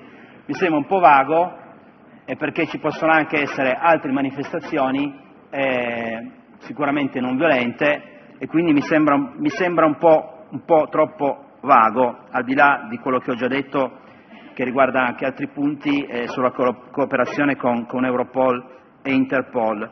Per quanto riguarda invece eh, l'atto di indirizzo presentato da, dal, dal Presidente all'Asia, eh, dove si dice eh, a costituirsi a parte, a Costituzione a parte civile, sarebbe giusto dire Costituzione di parte civile, ma questo è un dettaglio, ehm, dove si fa riferimento all'impedire preventivamente lo svolgersi di manifestazioni che icto oculi contravvengano a tutti i criteri di sicurezza per la città e i cittadini, farei un riferimento specifico al comma 3 dell'articolo 17 della Costituzione, così come è stato fatto nello stesso atto di indirizzo sopra, eh, perché altrimenti sembra così una, un impedimento preventivo invece se viene, viene espressamente collegato al comma 3 dell'articolo 17 della Costituzione, come peraltro si fa sopra, è, è, più, è più, comprensibile. Quindi eh, chiedo se per quanto riguarda eh, l'atto di indirizzo presentato dal Presidente Bongiovanni chiedo se è possibile eh, eh, votarlo per parti separate, già che siamo d'accordo col complesso del, del documento, abbiamo, come detto, qualche dubbio sul, sul punto 3 e anche eh, sul punto 4 relativamente alle competenze in materia di sicurezza e pulizia che ha la Regione. In generale, eh, chiaramente eh, cerco di, insomma, di, non andare troppo a, a dire, a cercare il pelo nell'uovo, anche se mi corre l'obbligo di farlo nel mio intervento, eh, essendo favorevole in linea generale alla condanna delle violenze, eh, avrei un orientamento prevalentemente favorevole. Chiaramente preferirei si potesse votare per parti separate l'ordine del giorno del Presidente Bongiovanni. Grazie, ringraziamo il Presidente Giorgio Bertola per l'intervento e ora eh, non vedo più richieste. Bene, ha chiesto di intervenire il collega Bongiovanni. Prego, collega, nella facoltà. Grazie Presidente. Allora, sulla richiesta del collega Sarno di integrare il punto 5 con l'impegno a devolvere le risorse che speriamo si possano recuperare costituendosi parte civile ai commercianti, sono favorevole. No alla richiesta del Presidente Bertola del voto per punti separati, ma chiedo anche il voto per appello nominale. Grazie. Eh, prego, ehm, può mica, Presidente Bongiovanni, può mica avvicinarsi alla Presidente, grazie. Ha chiesto di intervenire il Presidente Stefano Allasia. Prego Presidente nella facoltà. Grazie Presidente, ma eh, riferito alle richieste che mi sono annotato puntualmente sulla richiesta del consigliere Sarno di, di devolvere l'eventuale, poi concordo sulla discussione che è avvenuta che forse la Costituzione parte civile della Regione è difficile poterla attuare, ma ne, ne sono consapevole, però come si è sempre detto, come ha sempre detto e descritto dall'inizio dei tempi il sottosegretario eh, Vegas, eh, un, un, ordine del giorno non si nega a nessuno, perciò mi scuso se eventualmente ci sarà un errore, ma era una puntualizzazione politica, poi non mi aspettavo che l'eventuale eh, rimborso eh, venisse utilizzato per altri scopi, anche perché qua dobbiamo far capacitarci che oltre i danni strutturali per tutta una serie di commercianti del centro c'è stato un mancato guadagno di un'intera giornata importante come il sabato.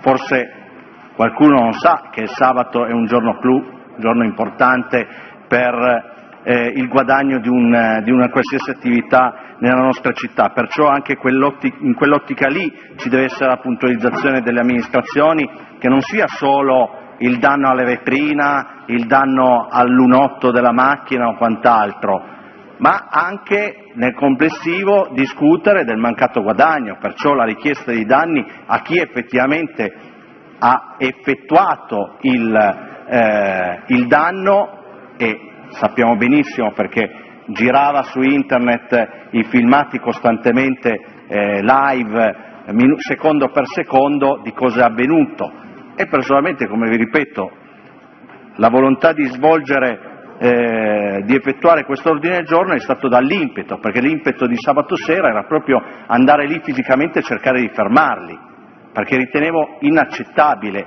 che avvenisse una situazione del genere eh, nella mia città. Poi trovo eventualmente la possibilità se, di modificare l'ordine del giorno e eh, trasformandola la condanna del Consiglio regionale, quello assolutamente è una modifica che posso trovare di buon accordo, di buon accordo eh, con i proponenti perché mi sembra anche logico che il Consiglio regionale. Non ho sentito la solidarietà di tutti verso le forze dell'ordine, mi spiace, perché effettivamente chiedo anch'io la, la, vota, la votazione per parti separate. Eh, il, la votazione non per parti separati, per appello nominale del mio ordine del giorno per capire effettivamente, perché c'è da capire non chi è buono, chi è cattivo, chi sta da una parte o dall'altra. Consiglieri, il sottoscritto non è né fascista né comunista, ve lo dica. Posso essere brutto, posso essere grasso, posso essere calvo o posso essere anche disdicevole, sgradevole, come volete, meglio credete, non è che volete dire, però darmi del fascista no. Colleghi, fate finire il Perciò- Presidente, per cortesia, grazie. rimando realisticamente le accuse perché qua stiamo parlando di eventi. Poi, come è successo in altre situazioni, si vuole trattare l'argomentazione dell'antifascismo sul nostro territorio?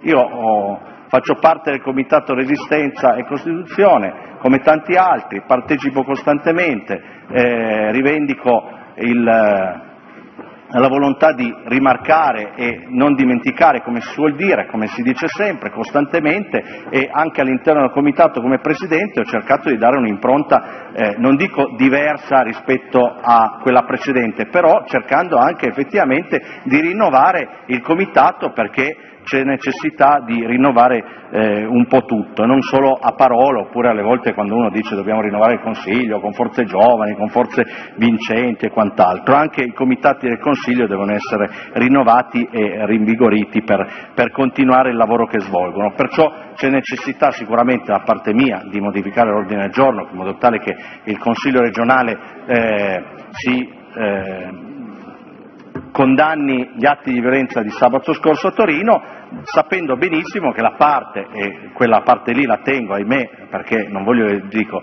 è già stato scritto, i collaboratori hanno te- lavorato e sprecato del tempo per farlo, però indubbiamente ci fosse una possibilità remota di poter eh, chiedere dei soldi fisicamente, effettivamente chi ha eh, effettuato i danni sarebbe inco- felice come Consiglio regionale, sicuramente per dare dei ristori a chi ne ha, ha subito i danni e non solo, e danni fisici e danni morali e danni anche di mancato guadagno. Perciò se eh, il Presidente me lo permette mi avvicino dolcemente all'ufficio di, di Presidenza per sottoscrivere le, le modifiche. Grazie. Grazie Presidente, ne ha la, la facoltà, sospendo 5 minuti la, la seduta, riapriamo alle 17.40.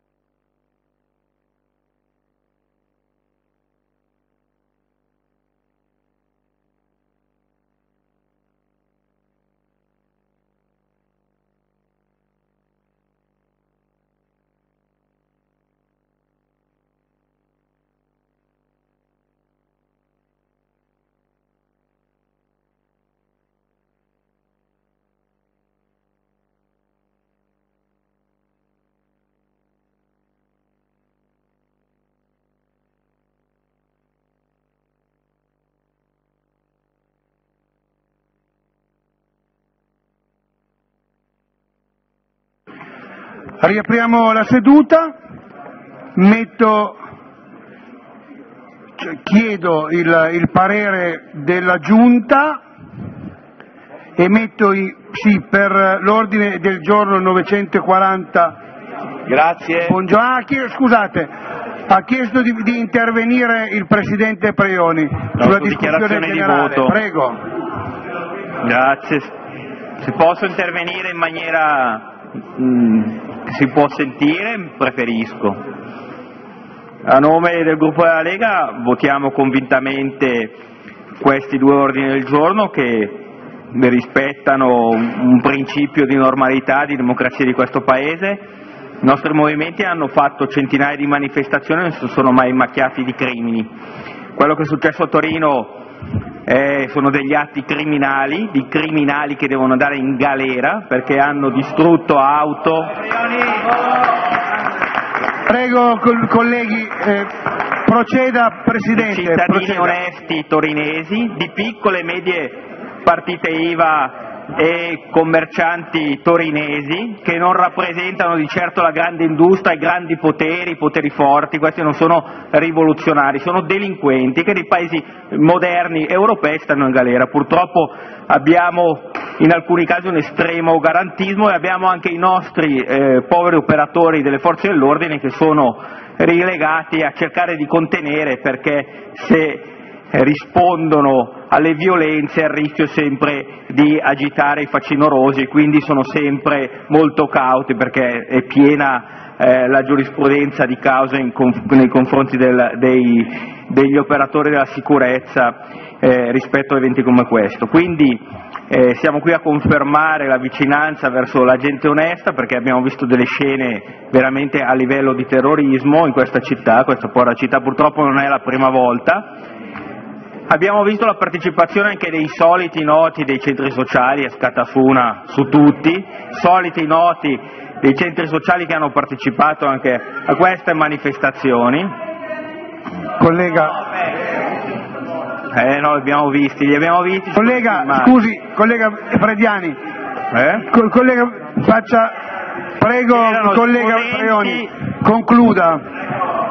Di questo mondo quindi assolutamente noi chiediamo, oltre a questo, non è nel dispositivo degli ordini del giorno, ma eh, questa città dovrà prima o poi liberarsi e avere anche gli sgomberi di questi centri di illegalità e di delinquenza. Grazie. Grazie, eh, ringraziamo il collega Pregoni per la risposta. Chiedo, chiede di intervenire sulla discussione generale la collega Cossato. Prego col collega. Prego, prego collega Accossato, ne ha la, facoltà.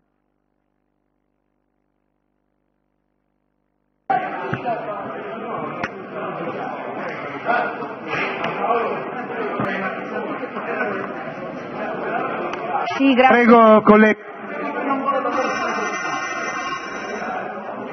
Prego collega Accossato, proceda, ne ha la facoltà. Grazie Presidente, ma io non ero intervenuta fino ad oggi, a questo momento e, e lo ribadisco, però voglio cogliere l'occasione per eh, mettere a verbale e dire a microfono ovviamente la mia condanna degli episodi gravi che sono successi sabato, la solidarietà alle vittime che sono le forze dell'ordine e sono sicuramente le attività economiche, i negozianti e chi appunto ha avuto dei danni da questa manifestazione, ma il procedere del dibattito ha confermato mia, il mio sentimento di non adesione al, alle proposte agli ordini del giorno presentati per lo spirito che è stato confermato in questa conclusione di dibattito per una presa di posizione che ahimè è a senso unico e che non ho visto non abbiamo visto su altri episodi di violenza e quindi il procedere del dibattito mi ha confermato nella difficoltà e nell'impossibilità da parte mia, del mio gruppo, di aderire a queste proposte, a questi ordini del giorno, di cui condivido, ripeto, la condanna, ma non condivido lo spirito che li anima e il retroterra culturale che li porta in questo Consiglio. Ovviamente si tratta di posizioni politiche, si tratta di un sentire che ancora fino a qualche minuto fa mi potevano portare a, a sostenerli, ma davvero l'epilogo della discussione e alcune ulteriori affermazioni mi portano quindi a non partecipare al voto, votare presenza, pur, ripeto, quindi non mi, preoccupa la votazione per appello nominale perché vado a testa alta e lo continuerò, lo ribadirò nel condannare gli episodi di violenza e quelli di sabato in particolare. Non ho problemi, non l'ha il mio gruppo da questo punto di vista, ma l'epilogo del, del, dibattito ha messo in evidenza quello che prima pensavo nascosto ma che è emerso con molta chiarezza, quali sono, torno a dire, retroterra culturali, politici di pensiero di molti degli estensori di chi voterà questo ordine del giorno. E mi spiace, mi spiace davvero, quindi voterò presenza. Grazie, ringraziamo la collega Cossato per l'intervento e ha chiesto di intervenire in discussione generale il Presidente Chiamparino. Prego Presidente nella facoltà. Sì, ma le rubo, grazie Presidente, pochi minuti, solo per dire che in quest'Aula credo di essere l'unico che avrebbe, anzi aveva avuto titolo a costituirsi parte civile contro Cospito e poi non l'ha fatto, perché nel 2007, mi pare, fui destinatario di una bomba carta eh, inserita all'interno del libro di, noto libro L'idiota di Dostoevsky, il titolo evidentemente era, voleva essere simbolico ignorando però che nell'idiota la, la, la, figura del principe protagonista è una figura positiva come sa chi l'ha letto, però poi per fortuna fu innescata male, fu scoperta dagli uffici della vigilanza del comune e tutto finì a quel modo, io non ho ritenuto di costituire parte civile, quindi credo di, eh, non, diciamo, di avere titolo anche personale per eh, capire diciamo, il tipo di violenza che genera da quel tipo di posizioni politiche. E ne approfitto per dire, mi rivolgo anche alla, alla collega consigliera Cossato, mi permetto di dire sarebbe importante che al di là delle valutazioni diverse che ci sono in questo emiciclo, diverse sul contesto, però dessimo tutti un segnale di voto positivo per una ragione, perché non ci possono essere dubbi, dubbi ripeto, al di là delle valutazioni sul contesto che le mie che sono diverse da quelle di Paolo Bongiovanni e dal consigliere Allasia, potrei polemizzare anche perché secondo me, adesso mi, me la permetterà l'amico Presidente, ma eh, io sono d'accordo con le sue, le sue analisi sulla legittimità e le tipologie di proteste possibili. Anche andare sotto casa di una ministra non è un tipo di manifestazione accettabile da un punto di vista della legittimità della violenza. Si fanno le manifestazioni contro la riforma della pensione. Glielo dico. Colleghi per cortesia, glielo, colleghi per cortesia.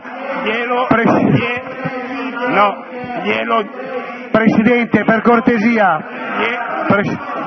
Sospendo la, la seduta, la seduta è sospesa. glielo dico a lei e a Salvini, va bene? Glielo dico a lei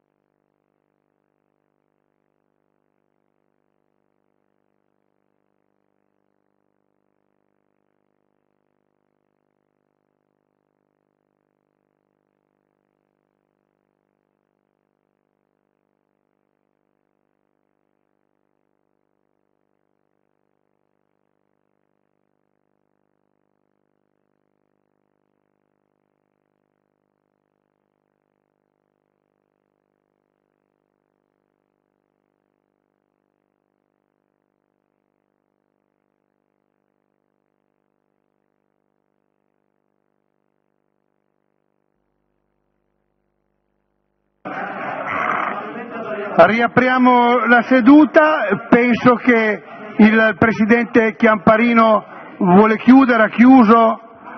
Chiud... Prego, prego, prego. Prego, prego, Presidente, prego, Presidente Chiamparino, concluda. Grazie. Io sono stato, io sono stato interrotto inopinatamente e a, violando il regolamento dal Presidente Alasia. Quindi la, prego, lei prima di tutto, in quanto Presidente facendo funzioni, ripristini le regole interne al dibattito di quest'Aula, perché lei non può accettare supinamente quello che le viene imposto da una parte politica, prima di tutto.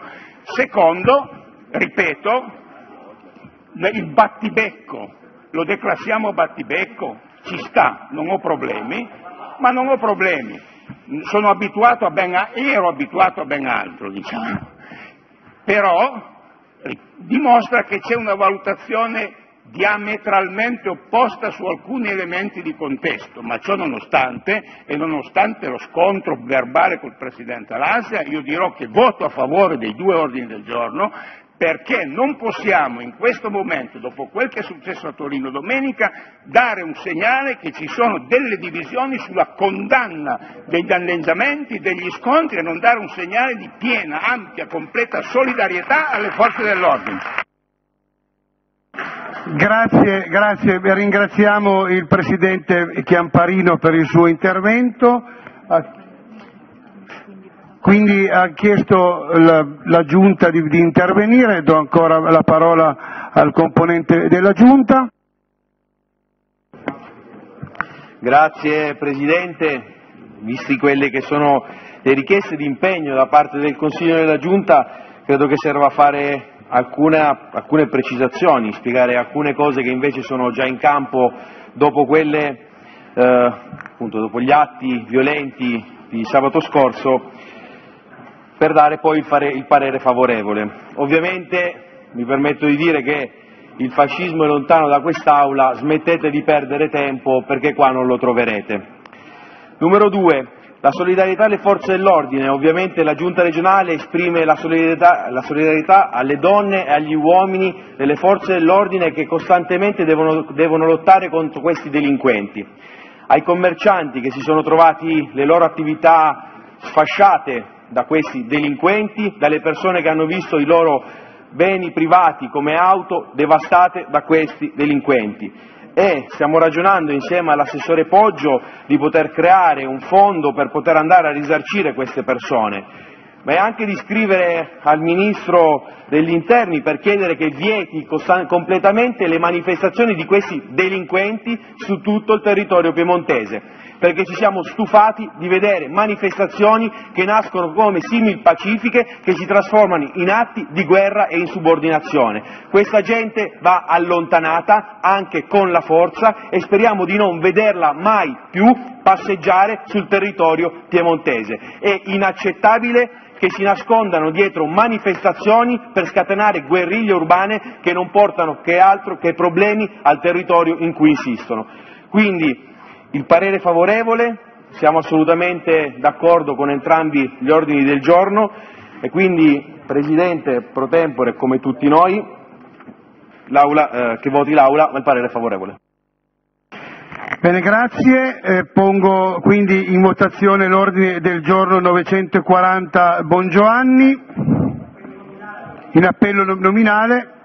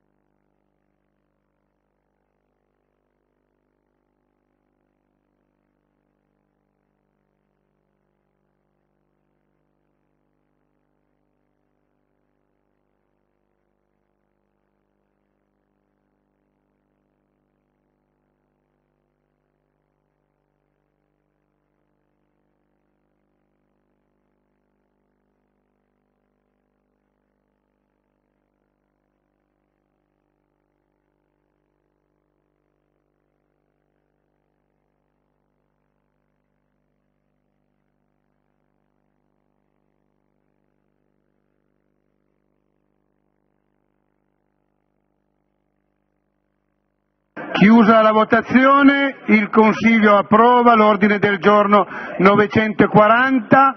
Metto in votazione l'ordine del giorno 943 all'Asia.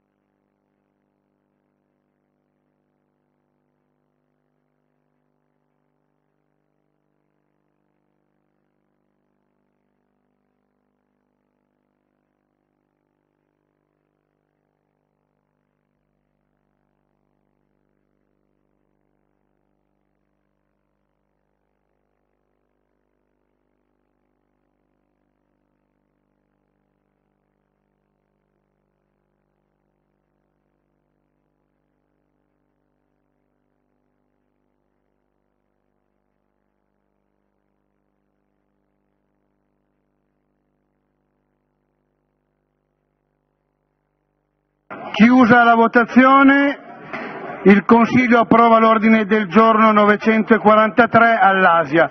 Mi sembra che ci sia l'accordo per chiudere la seduta, quindi dichiaro chiusa la seduta del Consiglio regionale. Buona salute a tutti.